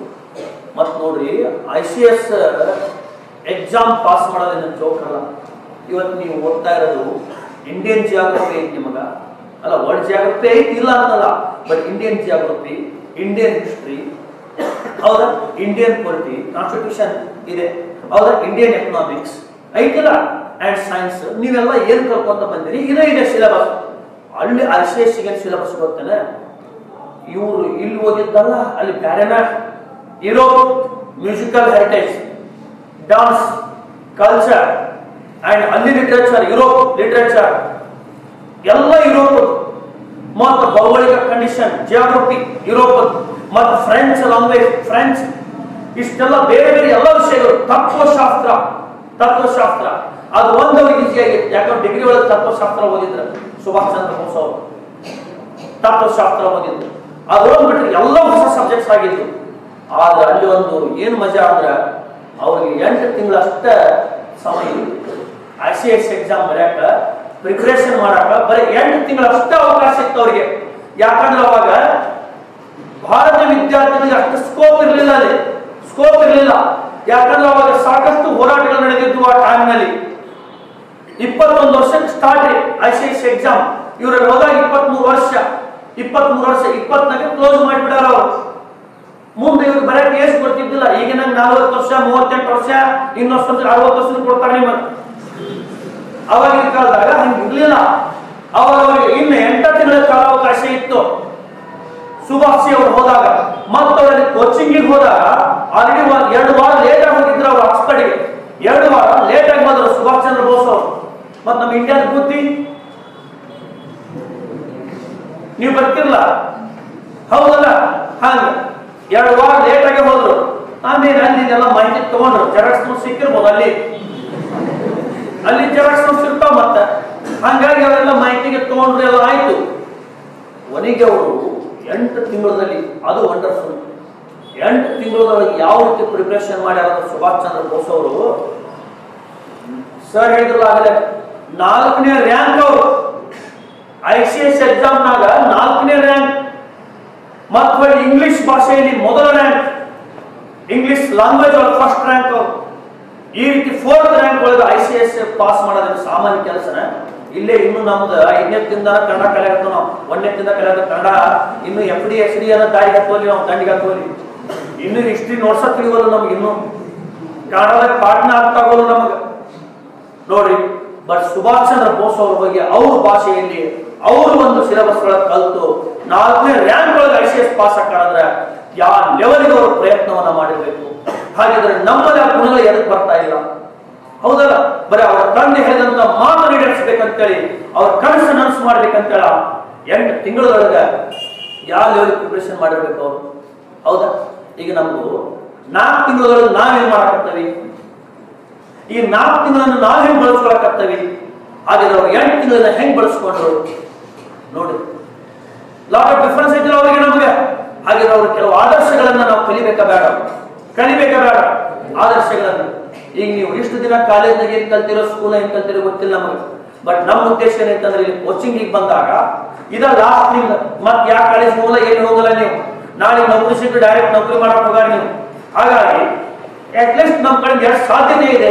ನಾ ತಿಂಗಳೊಳಗೆ ಎಲ್ಲರೂ ಮಾಹಿತಿ ಕೊಡೋಣ ವಿಚಾರದಿಂದ ನಾವು ಈ ವಿಷಯಗಳನ್ನೇ ಬೋಧಿಸೋದು ಇಪ್ಪತ್ತೊಂದು ವರ್ಷ ಶಾಲೆ ಕಲಿಸ್ತು ಯೂನಿವರ್ಸಿಟಿ ಕಾನ್ವರ್ಸೇಷನ್ ಕೊಟ್ರು ಮಾಸ್ಟರ್ ಕೊಟ್ರು, ಮನೆಗೆ ಕಲಿಸಿದ್ರು ನೌಕರಿ ಕೊಟ್ರೆ ಇಲ್ಲ. ಬರೀ ನಾಲ್ಕು ತಿಂಗಳ ಕೋಚಿಂಗ್ ಸೆಂಟರ್ಗಳು ನೌಕರಿ ಕೊಡ್ಸಕತ್ತಾವ ಅಂದ್ರೆ ಎಂತ ಪವರ್ ಪುರುಷ ಇರ್ಬೇಕು ನಾವು? Very proud feel about our work ನಮ್ ಕೆಲಸದ ಮೇಲೆ ನಮ್ ಬಹಳ ಗೌರವ ಯಾವ ಯೂನಿವರ್ಸಿಟಿಗೆ ನಾವು ಕಡಿಮೆ ಇಲ್ಲ. ಒಂದಿನ ನಾವು ಮಾಡ್ತಾ ಇರೋ ಕೆಲಸದ ಬಗ್ಗೆ ನಮ್ಗೆ ಎಲ್ಲಿ ಕನ್ಫ್ಯೂಷನ್ ಇಲ್ಲ. ಸ್ಪಷ್ಟತೆ ಹೆಚ್ಚಿದೆ ನಮ್ ತೃಪ್ತಿ ಹೆಚ್ಚಿದೆ. ಅರ್ಥ ಮಾಡ್ಕೆ, ಇಪ್ಪತ್ತೊಂದು ವರ್ಷ ನಮ್ಗೆ ಎಜುಕೇಶನ್ ಕೊಡ್ತು ಯಾವ ಯೂನಿವರ್ಸಿಟಿ ನಮಗೆ ನೌಕರಿ ಕೊಡ್ತೇನೋ? ಮಾರ್ಕ್ಸ್ ಕಾರ್ಡ್ ಕೊಟ್ಟು ಹೊರಗೆ ಹಾಕಿದ್ರೆ ಮಾರ್ಕ್ಸ್ ಕಾರ್ಡ್ ಕೊಟ್ಟು. ಬಟ್ ನಾಲ್ಕು ದಿನ ಕೋಚಿಂಗ್ ಸೆಂಟರ್ದವರು ನಾವೆಲ್ಲ ಹುಡ್ಕೊಂಡು ನಿಮ್ ನೌಕರಿ ಕೊಡಿಸ್ಬೇಕಂತ ಪ್ರಯತ್ನದಲ್ಲಿ ತೊಡಗಿ it's good job or not ಹೌದಲ್ಲ? You are our dream you are our dream you are your parents dream ನೀವು ನಿಮ್ಮ ತಂದೆ ತಾಯಿಯ ಕನಸು ನಮ್ಮ ಕನಸು. ಹೌದಲ್ಲ and big property also understood ನಾವು ಮತ್ತೆ ಆ ಆ ಮನುಷ್ಯ ಇಂಗ್ಲೆಂಡ್ಗೆ ಹೋಗಿ ಅವ್ರ ಸಿಲೆಬಸ್ ಅನ್ನ ಓದಿ ಎರಡು ತಿಂಗಳೊಳಗೆ ಅದನ್ನು ಸಾಧನೆ ಮಾಡೋಣ ಈಗ ನಮ್ಗೆ ಎಷ್ಟು ಕಾಲ ಅವಕಾಶ ಇದೆ, ನಾವು ಯಾವ ಲೆವೆಲ್ಗೆ ಸಾಧನೆ ಮಾಡಬೇಕು ಅನ್ನೋದನ್ನ ಅರ್ಥ ಮಾಡಿಕೊಳ್ಳೋ ದಿನ- ದಿವಸ ಇದು. ನೋಡಿ, ಹೌದಲ್ಲ? ಮತ್ತ ಆ ನಂತರ ಸುಭಾಷಿ ಅವರು ಅಲ್ಲಿಂದ ಪಕ್ಕ ಬಂದು ತಂದೆಗೆ ಮುಂದೆ, ಇಲ್ಲ, ನಾನು ಐ ಸಿ ಎಸ್ ಮುಂದುವರೆಯಕ್ಕೆ ನನಗೆ ಆಗಂಗಿಲ್ಲ ಅನ್ನೋ ಸ್ಪಷ್ಟತೆ ನಾನು ಕೊಟ್ಟನಿ ಅಂತ ಹೇಳಿ.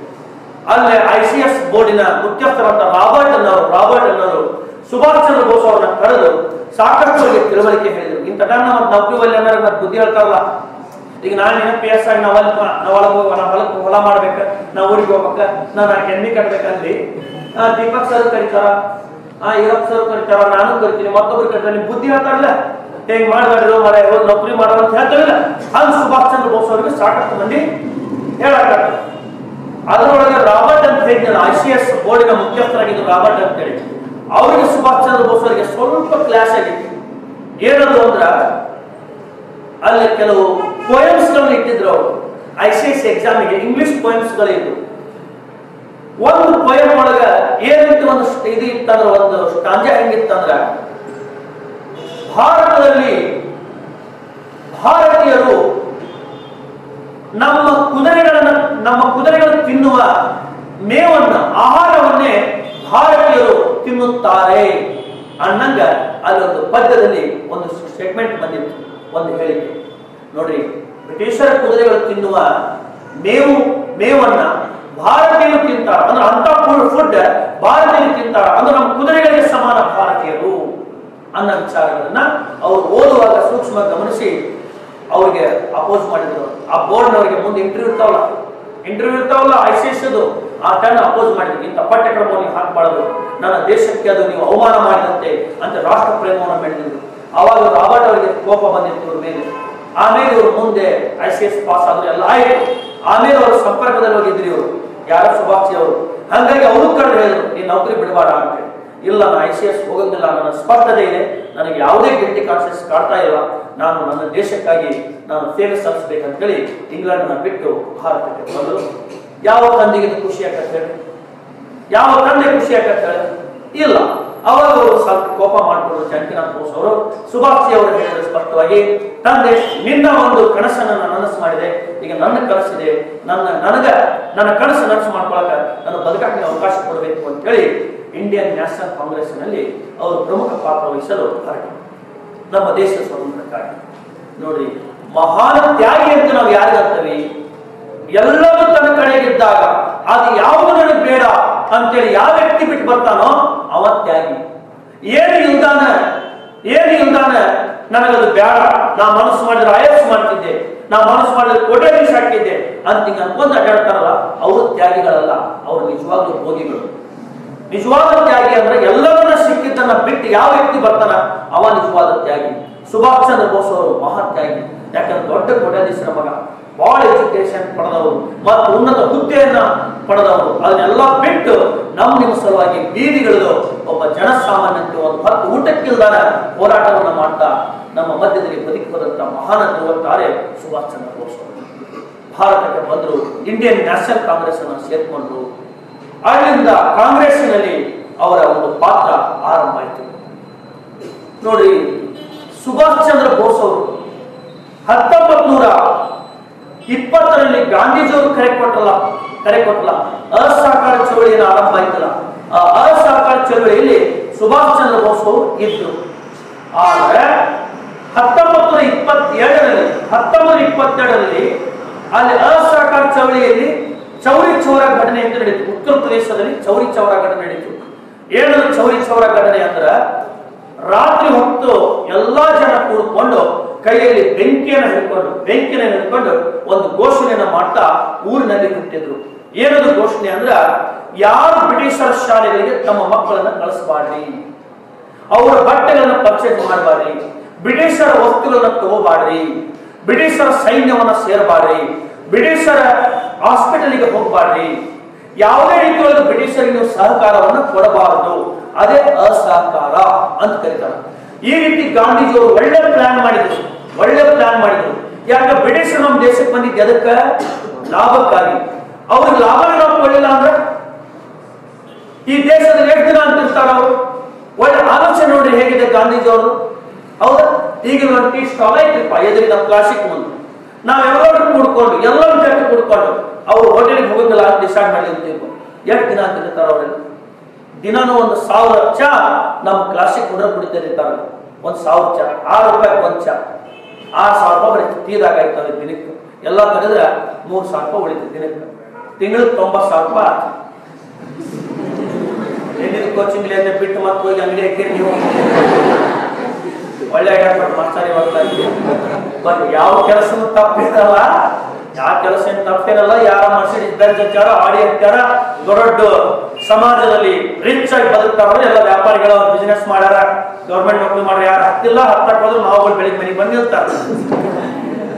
ಹೌದಾ? ಪ್ರಯತ್ನ ಮಾಡಿ. ಹಂಗ.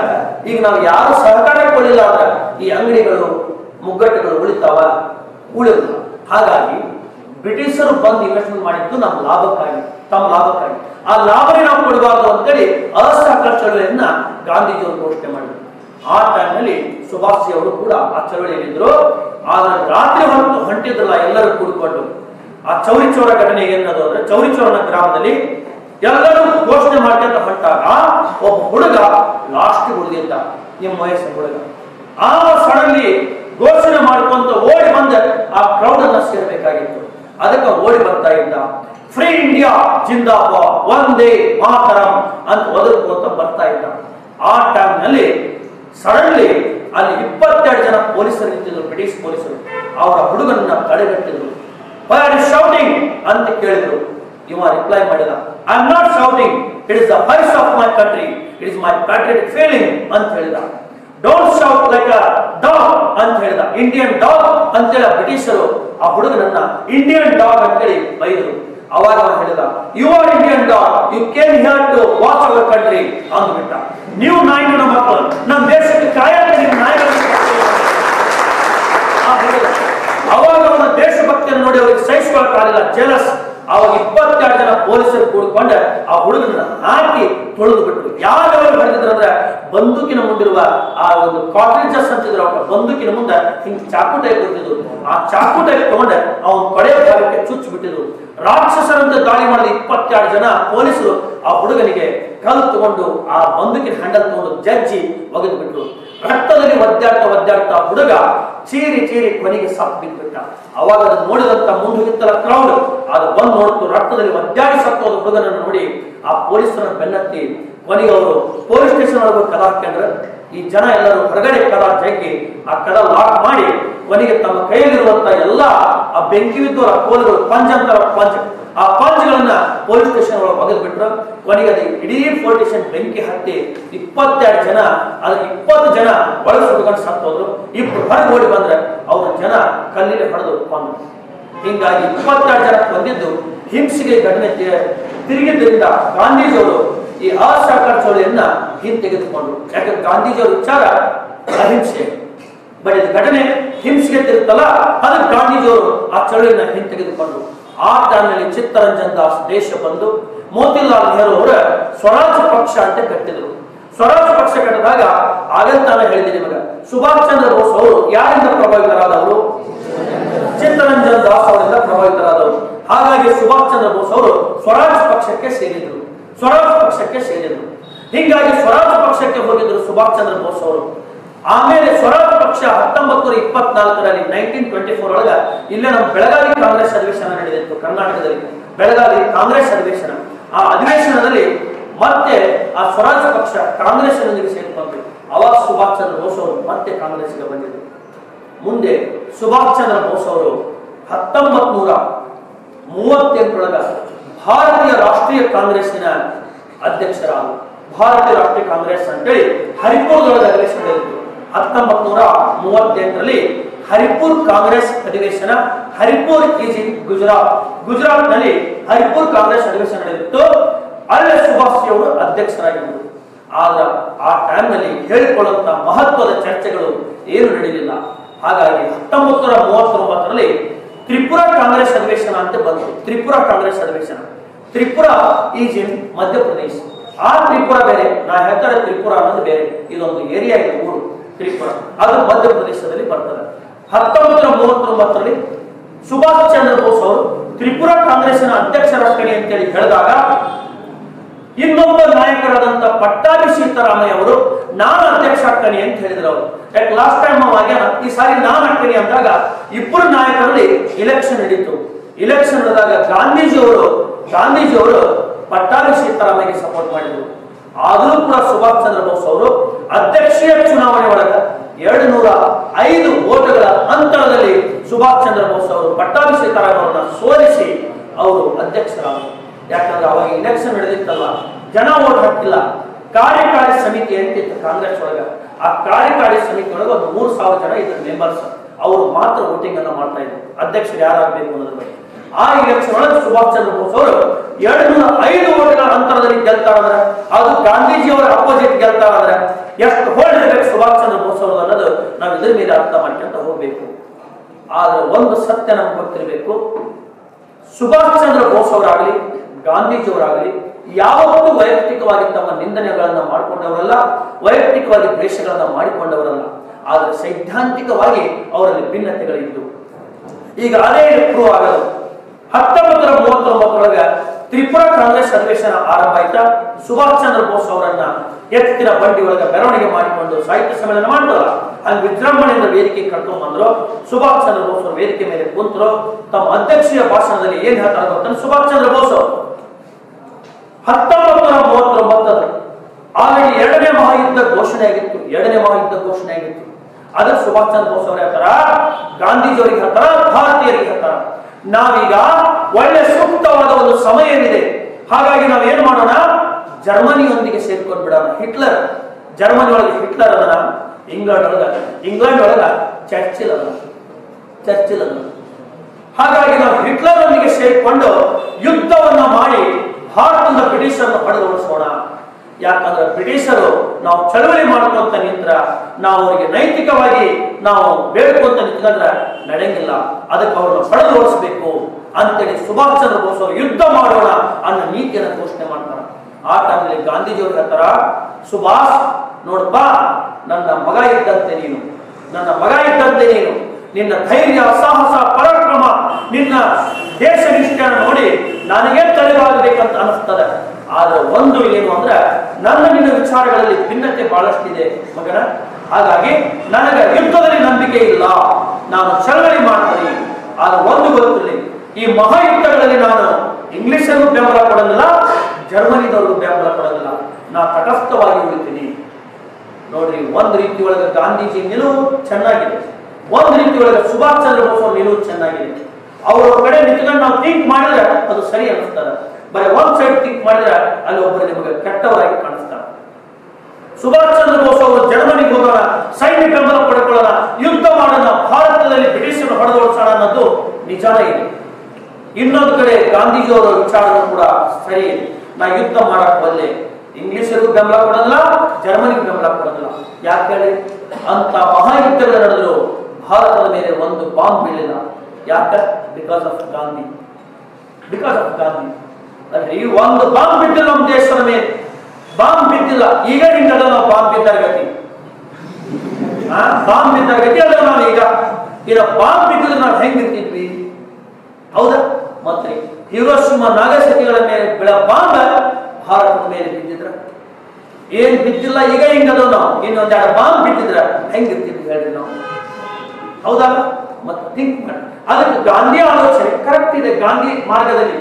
ಸುಭಾಷ್ ಚಂದ್ರ ಬೋಸ್ ಅವರ ವಿಚಾರ ಅವರು ಕಾಣ್ತಿದೆ ಅವಾಗ ಸುಭಾಷ್ ಅವರು ಹೇಳ್ತಾರೆ ಗಾಂಧೀಜಿಗೆ, ನನ್ನ ದಾರಿಗಳು ನನಗೆ ಅಚಲವಾದ ನಿರ್ಧಾರದಲ್ಲಿ ನಂಬಿಕೆ ಇದೆ ಅಂತ ಹೇಳ್ತಾರೆ ಅವಾಗ ಗಾಂಧೀಜಿಯವರು ಹೇಳ್ತಾರೆ, ಅದು ಕಾಂಗ್ರೆಸ್ನಲ್ಲಿ ನಾನು ಅನುಮತಿ ಕೊಡೋದಿಲ್ಲ ಅಂತ.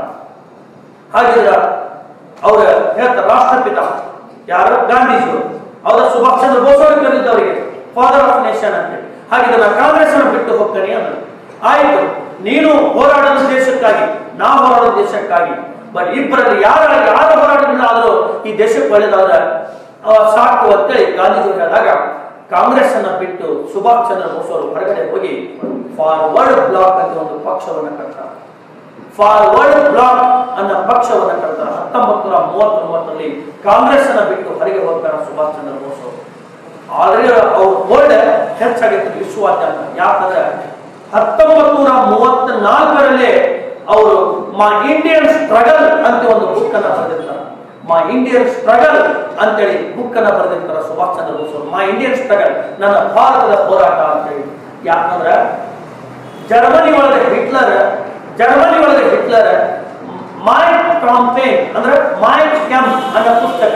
ಮೈ ಕಾಂಪೇನ್ ಅನ್ನೋ ಪುಸ್ತಕವನ್ನು ಬರೆದು ತನ್ನ ವಿಜನ್ ಅನ್ನು ತೋರಿಸಿ, ಇಡೀ ಜರ್ಮನಿ ಜನ ಬೆಂಬಲವನ್ನು ಕಳಿಸಿ ಅಲ್ಲಿ ಚಾನ್ಸಲರ್ ಆಗಿರ್ತಾನ ಅದೇ ರೀತಿ ಸುಭಾಷ್ ಚಂದ್ರ ಬೋಸ್ ಅವರು, ಇವರು ಮೈ ಇಂಡಿಯನ್ ಸ್ಟ್ರಗಲ್ ಅಂತ ಬುಕ್ ಅನ್ನ ಬರೆದು ಒಳ್ಳೆ ಜನರನ್ನ ಗಳಿಸಿರ್ತಾರ ಅಂತಾರಾಷ್ಟ್ರೀಯ ಮಟ್ಟದಲ್ಲಿ. ಆ ಕಾನ್ಫಿಡೆನ್ಸ್ ಸುಭಾಷ್ ಚಂದ್ರ ಅವರಿಗಿರ್ತದೆ ಹಾಗಾಗಿ ಕಾಂಗ್ರೆಸ್ ಅನ್ನ ಬಿಟ್ಟು ಯಾವಾಗ ಸುಭಾಷ್ ಚಂದ್ರ ಬೋಸ್ ಅವರು ಹೊರಗಡೆ ಬಂದು ಫಾರ್ವರ್ಡ್ ಬ್ಲಾಕ್ ಅಂತ ಪಕ್ಷವನ್ನ ಕಟ್ಟಿದ್ರು, ಅವಾಗ ಏನಾಯ್ತು ಅಂದ್ರೆ ಬಂಗಾಳದಲ್ಲಿ ಒಂದಿಲ್ಲ ಒಂದು ಹೋರಾಟ, ಒಂದಿಲ್ಲ ಒಂದು ದಂಗೆ, ಒಂದಿಲ್ಲ ಒಂದು ಪ್ರತಿಭಟನೆಗಳು ಹೆಚ್ಚಾಗ್ತಾ ಹೊರಟು ಫಾರ್ವರ್ಡ್ ಅನ್ನೋ ಒಂದು ಪತ್ರಿಕೆಯನ್ನು ಕೂಡ ಸುಭಾಷ್ ಚಂದ್ರ ಬೋಸ್ ಅವರು ಮಾಡಿಸಿದ್ರು. ಆ ಪತ್ರಿಕೆಯಲ್ಲಿ ಬರುವಂತ ಕೆಲವು ಆರ್ಟಿಕಲ್ಸ್ ಅನ್ನ ಓದಿ ಬ್ರಿಟಿಷರು ದಂಗ್ ಹೊಡೆದ್ಬಿಟ್ರು. ಅಲ್ಲೇ ದುರ್ಗಾ ಫೆಸ್ಟಿವಲ್ ಮಾಡ್ತಾರ.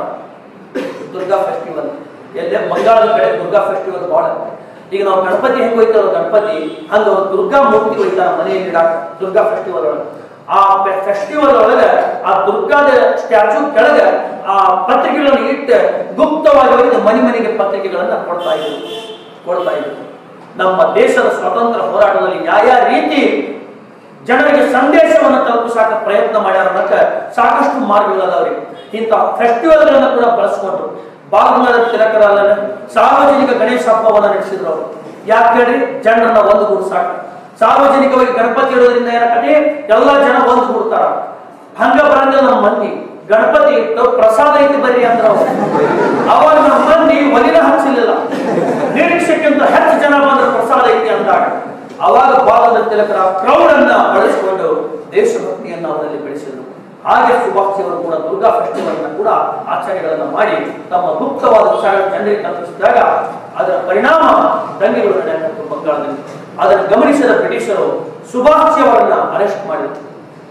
ಸುಭಾಷ್ಯವರನ್ನ ಅರೆಸ್ಟ್ ಮಾಡಿ ಅವರನ್ನ ಬಂಧನದಲ್ಲಿ ಇಟ್ಟು ಸಾಕಷ್ಟು ಅವರನ್ನು ಹೊಡೆದ್ರು ಜೈಲಿನ ಬಹಳ ಹಡೆದರು ಕೊನೆಗೆ ಸುಭಾಷ್ ಚಂದ್ರ ಬೋಸ್ ಅವರು ಊಟ ಮಾಡೋದನ್ನ ಬಿಟ್ಟು, ಊಟ ಮಾಡೋದನ್ನ ಬಿಟ್ಟು ಅಲ್ಲಿ ಸತ್ಯಾಗ್ರಹವನ್ನ ಮಾಡಬೇಕು ರಿಲೀಸ್ ಮೈ ವರ್ಡ್ಸ್ ಈ ಗಾಂಧಿ ಹೌದಾ? ಉಪವಾಸ ಸತ್ಯಾಗ್ರಹವನ್ನ ಮಾಡಕತ್ತರು ಉಪ ಸತ್ಯಾಗ್ರಹವನ್ನ. ಅವಾಗ ನೀನು ಊಟ ಮಾಡಿಸ್ತಾರೆ ಅಂತ ಜೈಲಗಳು ಬಂದು ಬಾಯಿ ಮಾಡಿದರು. ಅವಾಗ ಸುಭಾಷ್ ಅವ್ರನ್ನ ಉಲ್ಲಂಘಿಲ್ಲ ಅಂದರು. ಅವಾಗ ಸುಭಾಷ್ ಅವರ ಕೈ ಕಾಲನ್ನ ಕಟ್ಟಿ ಒಂದು ಕಾಡ್ ಮೇಲೆ ಮಲಗಿಸಿ ದೊಡ್ಡ ದೊಣ್ಣೆ ತಗೊಂಡು ಕಟ್ಟಿಗೆ ಹೊಡಿತಾ ಇದ್ರು. ಅವಾಗ ಅವರು ಬಾಯಿ ಬಿಡ್ತಿದ್ರು ಆ ಬಾಯಿ ಒಳಗೆ ಪೈಪ್ ಅನ್ನ ಇಟ್ಟು ಪೈಪ್ ಒಳಗೆ ಗಂಜಿ ಹಾಕ್ತಿದ್ರು ಗಂಜಿ.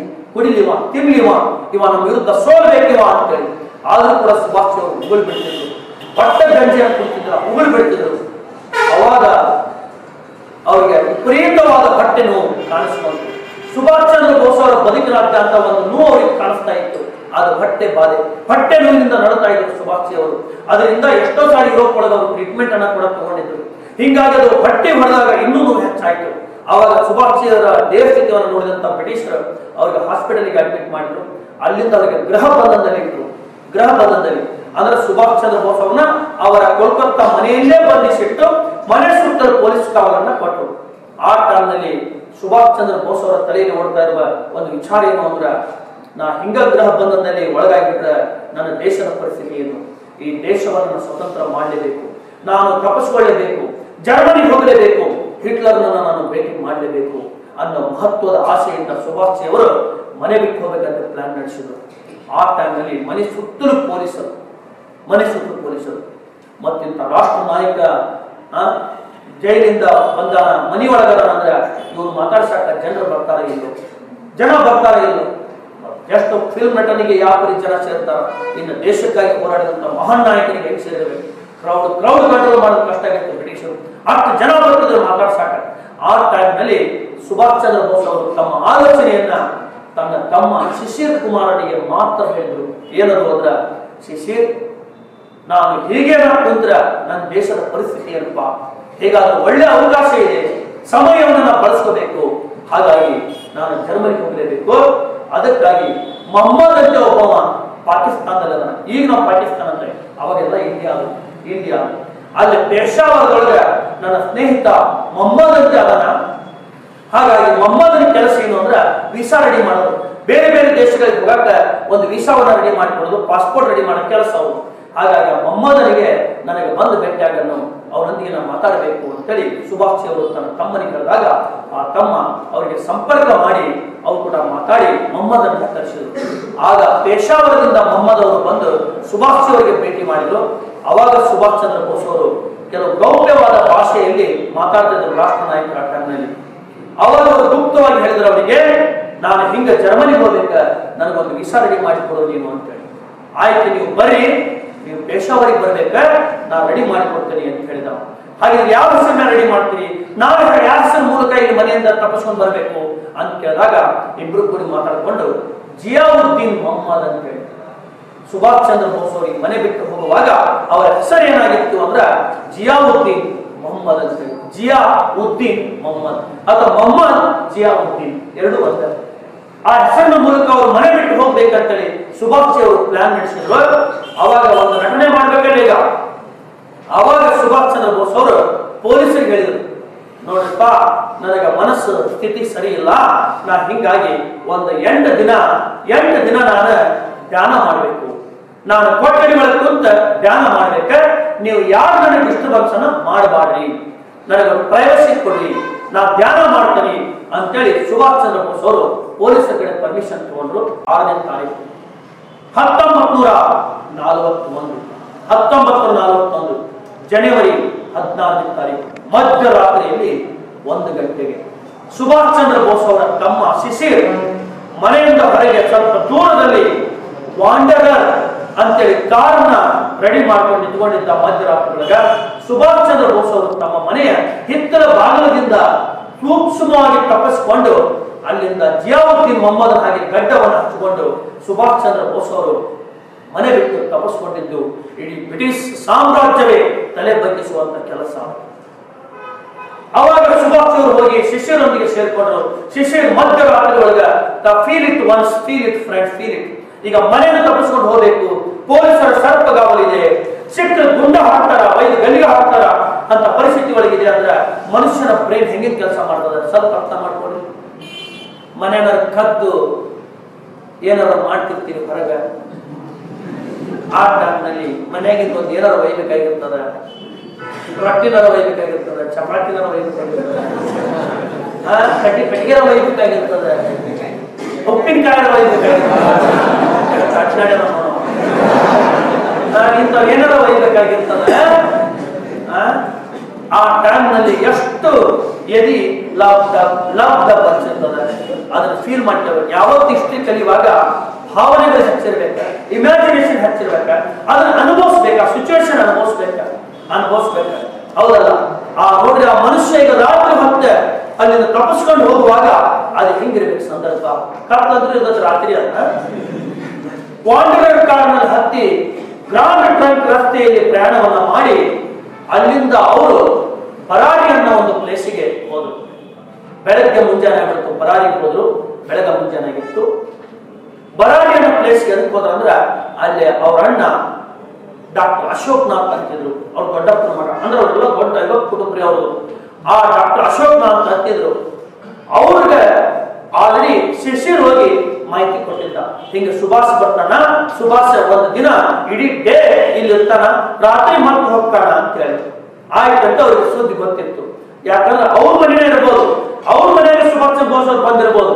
ಆದ್ರೆ ಗಾರ್ಡನ್ ಕೆಲಸ ಮಾಡೋರು ಮನೆಯ ಕೆಲಸ ಮಾಡೋರು, ಮುಸುರಿ ತಿಕ್ಕೋರು ಕೆಲಸ ಗುಡಿಸೋರು, ಎಲ್ಲರೂ ಬ್ರಿಟಿಷರಿಗೆ ಏಜೆಂಟ್ಗಳಿದ್ದಂಗಿದ್ರು ಅವ್ರ ಮಕ್ಕಳು ದುಡ್ಡಿನ ಆಸೆಗಾಗಿ ಹೋಗಿ ಸುದ್ದಿ ಹೇಳೋರಿದ್ರು ಹಾಗಾಗಿ ಸುಭಾಷ್ ಚಂದ್ರ ಬೋಸ್ ಅವರು ಬೆಳಗ ಮುಂಜಾನೆ ಸೀದ ಕಾರ್ ಎಳೆದು ನಡಕೋಂತ ತನ್ನ ಅಣ್ಣ ಡಾಕ್ಟರ್ ಅಶೋಕ್ನಾಥನ ಮನೆಗೆ ಹಿಂಗ್ ಗಡ್ಡ ಗಿಡ ಹಚ್ಕೊಂಡು ಹೋದ್ರು. ಅಶೋಕ್ನಾಥರು ಬಾಕಲ್ದಲ್ಲಿ ಪೇಪರ್ ನಿಂತಿದ್ರು ಯಾರು ನೀವು ಅಂತ ಕೇಳಿದ್ರು? ನಾನು ಹಿಂಗ ಎಂಪರರ್ ಆಫ್ ಲೈಫ್ ಅಶೂರೆನ್ಸ್ ಅನ್ನುವ ಕಂಪನಿಯ ಒಬ್ಬ ಇನ್ಸ್ಪೆಕ್ಟರ್ ಆಗಿ ಆ, ಹಿಂಗಾಗಿ ನನ್ನ ಪಾಲಿಸಿ ಬಗ್ಗೆ ನಾನು ನಿಮ್ಮೊಂದಿಗೆ ಮಾತಾಡಬೇಕಾಗಿತ್ತು. ಅಂತೇಳಿ ಒಬ್ಬ ಇನ್ಶೂರೆನ್ಸ್ ಕಂಪನಿಯ ಒಬ್ಬ ಇನ್ಸ್ಪೆಕ್ಟರ್ ಅಥವಾ ಏಜೆಂಟ್ನ ಹಾಗೆ ವರ್ತಿಸಿ ಅವ್ರ ಅಣ್ಣನ ಕೂಡ ಮಾತಾಡಿದಾಗ ಅವ್ರ ಅಣ್ಣ ಗೊತ್ತಾಯ್ತು. ಅವಾಗ ಬನ್ರಿ ಬಟ್ ನನಗೆ ನಿಮ್ ಕೂಡ ಮಾತಾಡಕ ಕಾಲಾವಕಾಶ ಇಲ್ಲ. ನನಗೆ ಸಮಯ ಇಲ್ಲ. ಐ ಆಮ್ ವೆರಿ ಬ್ಯುಸಿ ನಾನು ಹಿಂಗಾಗಿ ಕೂಡಲೇ ನಾನು ನನ್ನ ಕೆಲಸಕ್ಕೆ ಹೋಗ್ಬೇಕು. ಹಾಗಿದ್ರೆ ನೀವು ಡೋಂಟ್ ಮೈಂಡ್ ನೀವು ತಪ್ಪು ತಿಳ್ಕೊಳ್ಳಲ್ಲ ಅಂದ್ರೆ ನೀವು ಸಾಯಂಕಾಲ ಮಟ್ಟ ನಾನು ಮನೆಯಲ್ಲಿದ್ದು ನೀವು ಕಾಯ್ಬೋದು. ಈ ಕೋಲಿಗಳನ್ನು ನೀವಿದ್ದು ವೇಟ್ ಮಾಡಿ, ನಾ ಸಾಯಂಕಾಲ ಬರ್ತೀನಿ, ಮಾತಾಡೋಣ ಅಂತ ಅಂತ ಹೇಳಿದ್ರು. ಗಾರ್ಡನ್ ಕೆಲಸ ಮಾಡಲು ಕೇಳಿಸುವಂತ ಇದ್ರು ಅವರು. ಅವಾಗ ಅವರು ಇನ್ಶೂರೆನ್ಸ್ ಕಂಪ್ನಿದವ ಅಂತ ತಿಳ್ಕೊಂಡು ಸುಮ್ಮನಾದ್ರೆ ಅವಾಗ ಇವರು ಹೊರಗೆ ಹೋದ್ರು, ಡಾಕ್ಟರ್ ಅಶೋಕ್ನಾಥ್ ಅವರು. ಅವಾಗ ಸುಭಾಷಿ ಅವರು ಆ ಕೋಲಿ ಒಳಗ ಹೋಗಿ ಉಳ್ಕೊಂಡ್ರು ಮಧ್ಯಾಹ್ನ ಅವರ ಅಣ್ಣ ಕರೆಕ್ಟ್ ಆಗಿ ಮನೆಗೆ ಬಂದ. ಆ ಕಂಪ್ನಿನ ಊಟಾಗ ಕುಂತು ಊಟ ಮಾಡಿದ್ರು. ಊಟ ಮಾಡಿದ್ರು. ಸಾಯಂಕಾಲ ಮತ್ ಬಂದ ಒನ್ ಅವರ್ ಕುಂತ ಟೀ, ಕಾಫಿ ಕುಡ್ಕಂತ ಮಾತಾಡಿದ್ರು. ಪಾಲಿಸಿ ಬಗ್ಗೆ ಮಾತಾಡಿದ್ರು. ಪಾಲಿಸಿ ಬಗ್ಗೆ ಮಾತಾಡ್ಕೊಂತ ಹೋದ್ ಹೋದಂಗ ಹೋದಂಗ ಕೊನೆಗೆ ಶಿಷ್ಯರ ಅಪರಿಚಿತರು ಬಂದಂತ ಬಂದ. ಅಪರಿಚಿತರು ಬಂದಂಗೆ ಬಂದ. ಏನ್ರಿ ಅಣ್ಣ, ಏನ್ ಇವ್ರಿ ಅದೇ ಅಶೂರೆನ್ಸ್ ಕಂಪ್ನಿದವರು ಹೌದಾ? ಯಾಟಿಗೆ ನಮ್ದೊಂದು ಪಾಲಿಸಿ ಮಾಡ್ಬೇಕಂತೇಳಿ ಹಿಂಗ ನಾಟಕ ಮಾಡ್ಕೊಂತ ನಾಟಕ ಮಾಡ್ಕೊಂತ ಮೂರ್ ಮಂದಿ ಕೂತು ಮಾತಾಡಿ ಮಾತಾಡಿದಾಗ ಸುಭಾಷ್ ಅವ್ರು ಹೇಳ್ತಾರ, ಇಲ್ಲ ನಂದು ಆಯ್ತು ನಾನು ಬಂದಿದ್ದ ಕೆಲಸ ಆಯ್ತು ನಿಮ್ಗೆ ಮಾಹಿತಿ ಕೊಟ್ಟೆ, ನಾನೀಗ ಕೂಡಲೇ ಹೋಗಕ್ಕೆ ಮತ್ ನನ್ನ ಕಂಪ್ನಿಯಿಂದ ನನಗೆ ಒತ್ತಡಗಳು ಬರ್ತಾವ. ನಾನು ಹೋಗಲೇಬೇಕು. ಅಂತೇಳಿ ಇವ್ರು ಎದ್ದ ಬ್ಯಾಗ್ ತಗೊಂಡ ಸಡನ್ ಮಾಡಿಬಿಟ್ಟು ಸುಮಾರು ಕಿಲೋಮೀಟರ್ ಗಂಟೆ ಮುಂದೆ ಹೋಗ್ಬಿಟ್ಟು ಅವ್ರು ಹೋಗಿದ್ದಾಗ ಕೊನೆಗೆ ಇವರು ಶಿಷ್ಯರ ಅಂಡ್ ಈ ಡಾಕ್ಟರ್ ಅಶೋಕನಾಥ್, ಇವರು ಕೂಡ ಎಲ್ಲಿಗೆ ಹೊರಗಡೆ ಬಂದಾರ ನಂಗೆ ಕಾರ್ ತಗೊಂಡು ಹೋಗಿ ಸೀದಾ ಅವ್ರನ್ನ ಚೇಂಜ್ ಮಾಡಿ ಮುಂದೆ ದೂರದಲ್ಲಿ ಯಾರಿದ್ದಲ್ಲಿ ಹೋಗಿ ಅವ್ರನ್ನ ಕಟ್ಟಿಸ್ಕೊಂಡೆ. ಸೀದಾ ರೈಲ್ವೆ ಸ್ಟೇಷನ್ ಕಡೆಗೆ ಹೋದ್ರು. ಅಲ್ಲಿ ಅದು ಆ ಒಂದು ಗೋಮತಿ ಅನ್ನೋದು ರೈಲ್ವೆ ಸ್ಟೇಷನ್ ಅಥವಾ ಗೋಮರಿ ಅಂತ ಕೂಡ ಆ ಸ್ಟೇಷನ್ ಅನ್ನ ಕರೀತಾರೆ. ಅಲ್ಲೇ ಹೋಗಿ ಸ್ಟೇಷನ್ ಹೋಗಿ ಅವ್ರನ್ನ ಬಿಟ್ಟ ಅವಾಗ ಸುಭಾಷ್ ಚಂದ್ರ ಬೋಸ್ ಅವರು ಆ ರಾತ್ರಿ ಕಾಲ್ಕಿ ಕಾಲ್ಕಿ ಮತ್ತು ದೆಹಲಿ ಟ್ರೈನ್ ಅಂತ ಹೊರಟಿತ್ತಲ್ಲಿಂದ ಕಾಲ್ಕಿ ಮತ್ತು ದೆಹಲಿ ಆ ಟ್ರೈನ್ ಒಳಗೆ ಪ್ರಯಾಣ ಮಾಡಿ ಸೀದಾ ದಿಲ್ಲಿಗೆ ಬಂದರು. ಆದ್ರೆ ದಿಲ್ಲಿ ಸ್ಟೇಷನ್ ಒಳಗೆ ಇಳ್ಕೊಳ್ಳಿಲ್ಲ ಅವರು. ದಿಲ್ಲಿಯಿಂದ ಹಿಂದೆ ಇಳ್ಕೊಂಡು ಅಲ್ಲಿಂದ ಪೇಶಾವರ್ ಟ್ರೈನ್ ಅನ್ನು ಹತ್ತಿ ಪೇಶಾವರಿಗೆ ಸುಭಾಷ್ ಅವರು ಪ್ರಯಾಣ ಮಾಡಿ ಪೇಶಾವರಿಗೆ ತಾಜ್ ಹೋಟೆಲ್ಗೆ ಬಂದರು. ತಾಜ್ ಹೋಟೆಲ್ನಲ್ಲಿ ಮೊಹಮ್ಮದ್ ಭೇಟಿಯಾದ ಮರುದಿನ ಸುಭಾಷಿ ಅವರಿಗೆ ಮತ್ತೊಬ್ಬ ಭೇಟಿಯಾದ ಭಗತ್ ಅಂತ ಭೇಟಿಯಾದ. ಭಗತ್ ಖಾನ್ ಯಾರಂದ್ರೆ ಇವರು ಫಾರ್ವರ್ಡ್ ಬ್ಲಾಕ್ ಅಂತ ಪಕ್ಷ ಕಟ್ಟಿದ್ರಲ್ಲ, ಆ ಪಕ್ಷದ ವಾಯು ಭಾಗದ ವಾಯು ಭಾಗದ ಒಬ್ಬ ನಾಯಕ. ಅಲ್ಲಿ ನೋಡ್ಕೊಳ್ಳುವಂತ ಒಬ್ಬ ನಾಯಕ ಇವರ ಅಸಿಸ್ಟೆಂಟ್ ಆ ಭಾಗದಲ್ಲಿ. ಭಗತ್ ಖಾನ್ ಅಂತೇಳಿ ಮತ್ತು ಮೊಹಮ್ಮದ್ ಸುಭಾಷ್ ಅವರು ಮಾತಾಡಿದರು. ಅವಾಗ ಸುಭಾಷ್ ಅವರಿಗೆ ಒಂದು ದೊಡ್ಡ ಆಘಾತ ಉಂಟಾಗಿರುತ್ತೆ ಏನದು ಅಂದ್ರೆ ಸುಭಾಷ್ ಅವರು ಫುಲ್ ಖುಷಿಯೊಳಗೆ ಹೋಗಿದ್ರು ನನಗೆ ಜರ್ಮನಿ ಹೋಗೋ ಅವಕಾಶ ಸಿಕ್ಕಿರಬಹುದು ಅಂತೇಳಿ ಆದ್ರೆ ಮೊಹಮ್ಮದ್ ಅವರು ಹೇಳಿದ್ರು ಸುಭಾಷಿಯವರೇ ನನ್ನ ಕ್ಷಮೆ ಮಾಡಿ. ಈಗ ಮಹಾಯುದ್ಧ ಘೋಷಣೆ ಆಗಿದ್ದರಿಂದ ಜರ್ಮನಿಗೆ ಯಾವ ಪ್ರಯಾಣಿಕರು ಪ್ರವಾಸ ಮಾಡದಂತೆ ಆಲ್ರೆಡಿ ಅವರು ನಿಷೇಧ ಮಾಡಿಬಿಟ್ಟಾರ. ಅಲ್ಲಿಪ್ಪ ಮೊನ್ನೆ ಕೊರೋನಾದಾಗ ಒಂದ್ ದೇಶಕ್ಕೆ ಕೊಡ್ತಾರೆ ಕೊಡ್ತಾರನೆ ಕೊರೋನಾದಾಗ. ಮತ್ತೆ ಈ ಮಹಾಯುದ್ಧ ಬಿಡ್ಕಂತ ತನ್ನ ಉದ್ದೇಶ ಯಾವನಾರ. ಅದಕ್ಕೆ ಅವರು ನಮಗೆ ಪರ್ಮಿಷನ್ ಕೊಡ್ಲಿಲ್ಲ. ಅಫ್ಘಾನಿಸ್ತಾನ ಮಠ ನಿಮ್ಗೆ ಹೋಗಕ್ಕ ಪರ್ಮಿಷನ್ ಇದೆ. ಅಲ್ಲಿಂದ ನೀವು ಮುಂದೆ ನೀವೇ ವ್ಯವಸ್ಥೆ ಮಾಡಿಕೊಳ್ಬೇಕು ಅಂತೇಳಿ ಮೊಹಮ್ಮದ್ ಅವರು ಹೇಳಿದರು. ಅವಾಗ ಸುಭಾಷಿ ಅವರು ಭಗತ್ನೊಂದಿಗೆ ಸೇರಿಕೊಂಡು ಅಫ್ಘಾನಿಸ್ತಾನ ಕಡೆಗೆ ಹೊರಟರು. ಆ ಟೈಮ್ನಲ್ಲಿ ಆ ಮನುಷ್ಯನಿಗೆ ದುಡ್ಡಿಲ್ಲ ದುಡ್ಡಿಲ್ಲ, ಊಟಕ್ಕಿಲ್ಲ ಊಟಕ್ಕಿಲ್ಲ, ಹೊಟ್ಟೆ ನೋವಿನಿಂದ ಬಳಲ್ತಾ ಇದ್ರು ಸುಭಾಷ್ ಅವರು.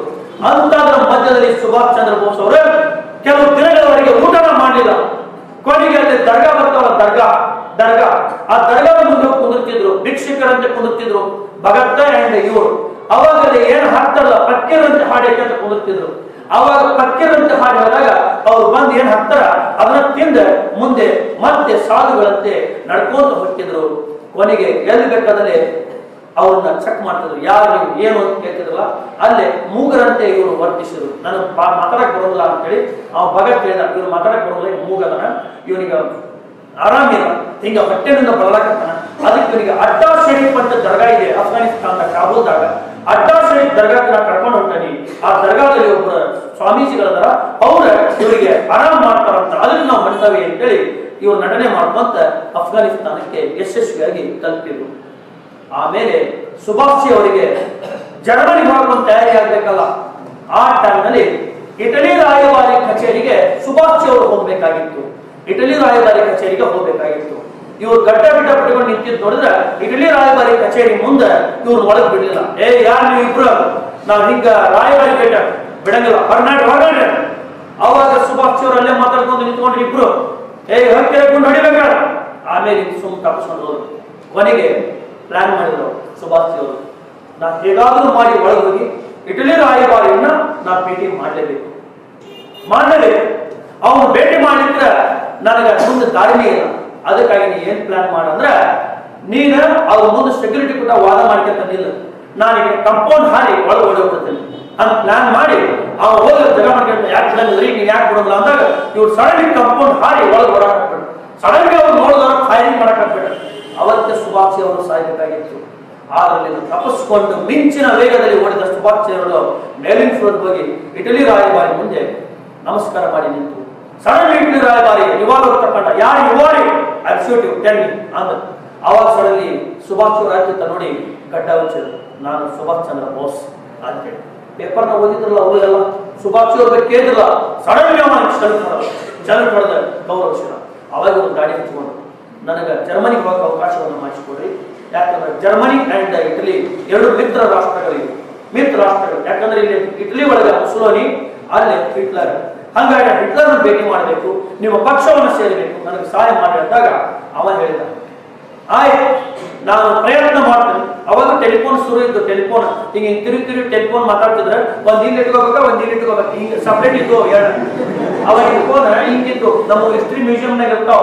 ಮತ್ತೆ ಇಲ್ಲಿ ಇಟ್ಕೋದು ಇಲ್ಲೇ, ಇಲ್ಲಿ ಇಟ್ಕೋದು ಇಲ್ಲಿ ಇಟ್ಕೊಂಡು ನಾನು ಡಮಾರಾಣಿ ಅವಾಗ ಮಾತಾಡಿ, ಅವ್ರನ್ನ ಮಾಹಿತಿ ಕೊಡಿಸ್ತಾರೆ ನಿಮ್ಗೆ.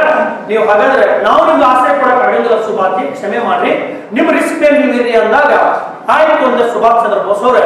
ಆಯ್ತು ನೀವು ನನಗೆ ಬೇಗ, ನಾನು ಎಲ್ಲಿರ್ತೇನೆ ಮಾಹಿತಿ ನಿಮಗೆ ತಿಳಿಸ್ತೇನೆ. ನೀವು ನನಗೆ ಅಲ್ಲಿ ಮಾಹಿತಿ ಕೊಡ್ರಿ ಅಂತ ಆಯ್ತು ಹೋಗ್ರಿ ಅಂದಾಗ ಸುಭಾಷ್ ಚಂದ್ರ ಬೋಸ್ ಅವರು ಅಫ್ಘಾನಿಸ್ತಾನ ಅಡ್ಡಾಡ್ಬೇಕಲ್ಲ ಈಗ. ಒಂದಿನ ಆ ತರಗ ಮುಂದ್ ಕುಂತ್ರು, ಈ ತರಗ ಮುಂದ್ ಕುಂತ್ರು ಟೈಮ್ ಪಾಸ್ ಮಾಡ್ಬೇಕಲ್ಲ ಈಗ. ಅವಾಗ ಹಂಗ ದಾರಿಯೊಳಗೆ ನಡ್ಕೊಂತ ಹೊಂಟಾಗ ಬಹಳಷ್ಟು ಬಿಸಿಲಿತ್ತು, ಅಲ್ಲಿ ಒಂದು ಗಿಡ ಇತ್ತು. ಗಿಡದ ಕೆಲಸ ನಿಲ್ಲಪ್ಪ ಅಂತೇಳಿ ನಿಂತ್ಕೊಂಡಿದ್ರು. ಆ ಟೈಮ್ನಲ್ಲಿ ಪಕ್ಕದಾಗ ಒಂದು ಶೆಡ್ಜಿ ಅಂಗಡಿ ಇತ್ತು. ಉತ್ತಮ್ ಚಂದ್ ಮಲ್ಲೋತ್ರ ಅಂತೇಳಿ ಅಂಗಡಿ ಅದು. ಆವ ಈ ಬಂಗಾಳ ವ್ಯಾಪಾರ, ಬಾಂಡೆ ಸಾಮಾನು ತನ್ನ ಮಾಡ್ತಿದ್ದ, ಮಾರಾಟ ಮಾಡ್ತಿದ್ದ.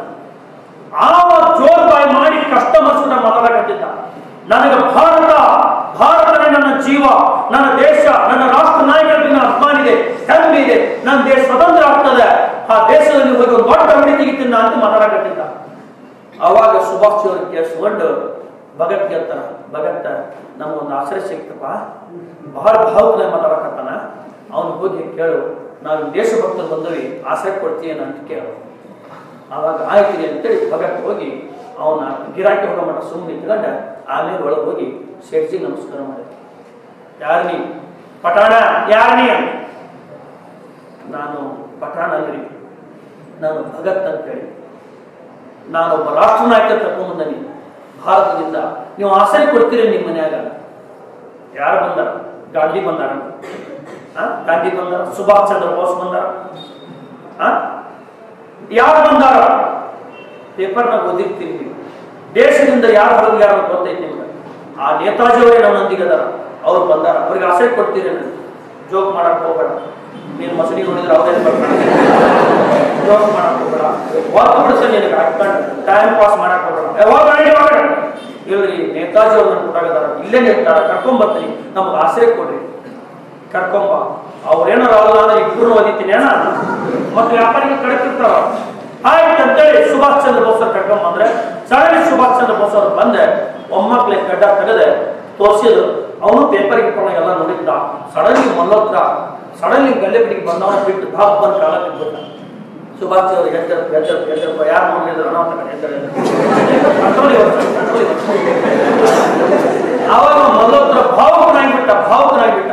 ಹಿಂಗೆ ಇವರು ಗುಸು ಗುಸು ಗುಸು ಮಾತಾಡೋದನ್ನ ಅಲ್ಲೇ ಅಂಗಡಿ ಅಂಗಡಿ ಪಕ್ಕದಾಗ ಮನಿ ಮನಿ ಒಳಗೆ ಅಡಿಗೆ ಮನಿ ಅಡಿಗೆ ಮನಿ ಕಿಡಿಕಿ ಅವನ್ನ ಹೆಂಡತಿ ನೋಡ್ತಾ ಇದ್ರು ಮಲ್ಲೋತ್ರ ಹೆಂಡತಿ ನೋಡ್ತಾ ಇದ್ರು. ಯಾರು ಗಡ್ಡ ಪಡೆದ ಮಂದಾರ ಇವ್ರ ಊಟಾಗ ಏನ್ ಮಾತಾಡ್ತಾರೆ ಅವನ ಗಡ್ಡ ಏನ್ ಯಾರು ಇವ್ರು ಅಂತ ಅಕ್ಕಿಲ್ ನೋಡ್ತಾ ಇದ್ರು ಅಲ್ಲಿ. ಬಂಡೆ ಉಸಿರಿ ತಿಕ್ಕಿ ಅಂತ ಮಾತಾಡ್ತಾರೆ ಆಮೇಲೆ ಸುಭಾಷ್ ಚಂದ್ರ ಬೋಸ್ ಅವರಿಗೆ ಅವ ಬರಿ ಅಂತ ಕಟ್ಕೊಂಡು ತನ್ನ ಮನೆ ಮೇಲೆ ಒಂದು ಕೊಠಡಿಯನ್ನು ಕೊಟ್ಬಿಟ್ಟ. ಕೊಠಡಿ ಕೊಟ್ಬಿಡ್ಲೆ ಸುಭಾಷ್ ಅವ್ರ ಮೇಲೆ ಹೋಗಿ ಅದ್ ರೆಸ್ಟ್ ಮಾಡಕ್ಕೆ ಅವಾಗ ಹೆಂಡತಿ ಬಂದು ಮಲ್ಲೋದ್ರ ಕೇಳಿ ಯಾರಾದ್ರು ಯಾರು ಬಂದವರು ಪಟಾಂಡ್ರ ಬಂದ ಪಟಾಂಡ್ರಿಗೆ ಅವಕಾಶ ಕೊಡ್ತೀನಿ ನಮ್ಮ ಮನ್ಯಾಗ. ನನಗೆ ಆಗಂಗಿಲ್ಲ ನೋಡು.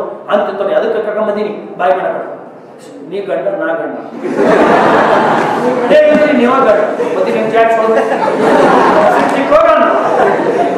ಟೈಮ್ ನಾಗ ಹುಲಿ ಆಗ್ಬೇಕಾಗತ್ತಪ್ಪ. ಎಲ್ಲ ಮಾಡಿದ್ರೆ ಹೆಂಗಾಗತ್ತೆ ಹೇಳ. ಹಂಗಂತೆ ಎಲ್ಲ ಟೈಮ್ನಾಗ ಅನ್ನಕ್ ಹೋಗ್ಬೇಡ. ಕೆಲಸ ಆಗೋಂಗಿಲ್ಲ ಬಟ್ ಈಗ ಡೋಂಟ್ ಹೆಲ್ದಿ ಆಗಬೇಕು ಏನು ನಿಯಮ ಬೇಕಂದ್ರೆ ಸ್ವಲ್ಪ ಜೀವನದಾಗ ಕಲಿಯಬೇಕಾಗ್ತಾವ ಏನ್ ಮಾಡಕ್ ಹೋಗಲ್ಲ ಅವಾಗ ಅವ ಶೆಟ್ಜಿ ಬಾಯಿ ಮಾಡಿ ಒದರಾಡಿದ ಬಾಯಿ ಮಾಡಿ ಒದರಾಡಿದ ಹಾಗೆ ನೀವು ಒದರಾಡಿದ ರಾತ್ರಿ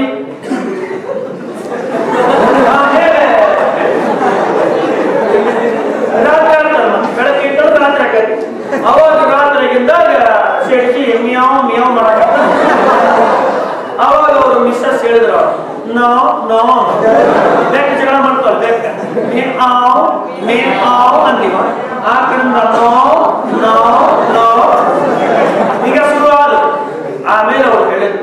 ಅವ ಯಾರೋ ಬಂದ, ನೀ ಹೇಳದೆ, ನೀ ಹೇಳಿಲ್ಲ ಅಂದ್ರೆ ನಾನು ಮತ್ತೆ ಟೌನಿಗೆ ಹೋಗ್ಬಿಡ್ತೀನಿ ಬ್ಯಾಗ್ ಕಡಿಮೆ ಮಾಡ್ಕೊಂತೀನಿ ಅಂತ ಬಾಯಿ ಮಾಡ್ತಾರೆ ಹೇಳತ್ತು.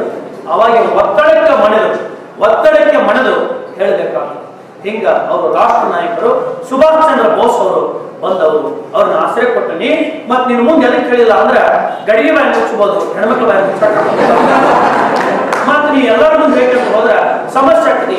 ನನ್ನ ದೇಶದ ಒಂದು ಭವಿಷ್ಯ ಇದ್ದಾದ್ರ ಮೇಲೆ ಅಂತ ಹೇಳಿದಾಗ ಆ ಮಹಿಳೆ ಫುಲ್ ಖುಷಿಯಾಗಿ ಮತ್ತೆ ಸುಭಾಷ್ ಚಂದ್ರ ಬೋಸ್ ಅವರಿಗೆ ಬೆಳಿಗ್ಗೆ ದೋಸೆ, ಇಡ್ಲಿ, ವಡ ಮಾಡಿ ಕೊಡಕಂತಲು ಆಮೇಲೆ ಸುಭಾಷ್ ಅವರೆಲ್ಲ ಆಶ್ರಯ ಪಡ್ಕೊಂಡು ಕೆಲವು ದಿನಗಳ ನಂತರ ಸುಭಾಷ್ ಚಂದ್ರ ಬೋಸ್ ಅವರಿಗೆ ಇಟಲಿ ರಾಯಭಾರಿ ಕಚೇರಿಯಿಂದ ಪತ್ರ ಬಂತು.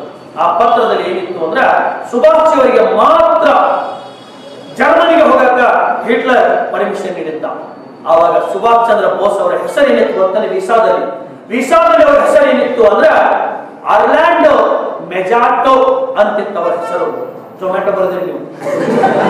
ನಿಮ್ಗೆ ಅವ ಆರ್ಲ್ಯಾಂಡ್ ಆರ್ಲ್ಯಾಂಡ್, ಮೆಜಾಟೋ ಮೆಜಾಟೋ ಎಂಬ ಹೆಸರಿನ ಮೂಲಕ ಸುಭಾಷ್ ಚಂದ್ರ ಬೋಸ್ ಅವರಿಗೆ ವೀಸಾ ಬಂದಿತ್ತು.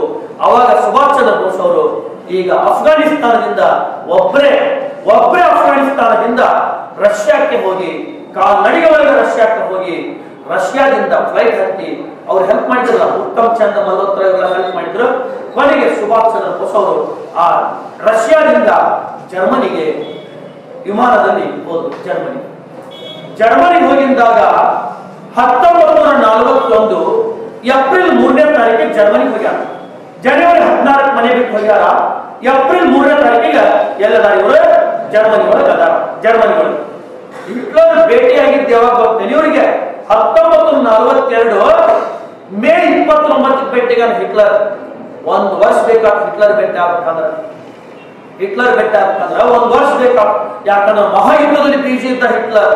ಆದ್ರೆ ಬರೀ ಹಿಟ್ಲರ್ ಬಹಳ ಅಗ್ರೆಸಿವ್ ನೀವು ಬಹಳ ಅಗ್ರೆಸಿವ್ ಹಿಟ್ಲರ್. ಯಾರವರೆಗೆ ಅಗ್ರೆಸಿವ್ ಅಂದ್ರ ಅವನ ಮುಂದೆ ಒಬ್ಬ ಸೈನಿಕ ನಿಂತುಕೊಂಡಾಗ ಪರೇಡ್ ಗ್ರೌಂಡ್ನಲ್ಲಿ ಸ್ವಲ್ಪ ಶೇಕ್ ಆಗಿದ್ದಕ್ಕ ಗುಂಡ ಹೊಡೆದಿದ್ದ ಗುಂಡ ಹೊಡೆದ್ಬಿಟ್ಟ ಇವ ಶೇಕ್ ಆಗೋದು ನನ್ನ ದೇಶದ ಅಭದ್ರತೆಯನ್ನು ತೋರಿಸ್ತದ. ಇಂಥವ್ರು ನನ್ನ ಸೈನ್ಯದಲ್ಲಿ ಇರಬಾರ್ದು ಅಂತೇಳಿ ಗುಂಡು ಹೊಡೆದಿದ್ದ ಅಂತ ಹಿಟ್ಲರ್.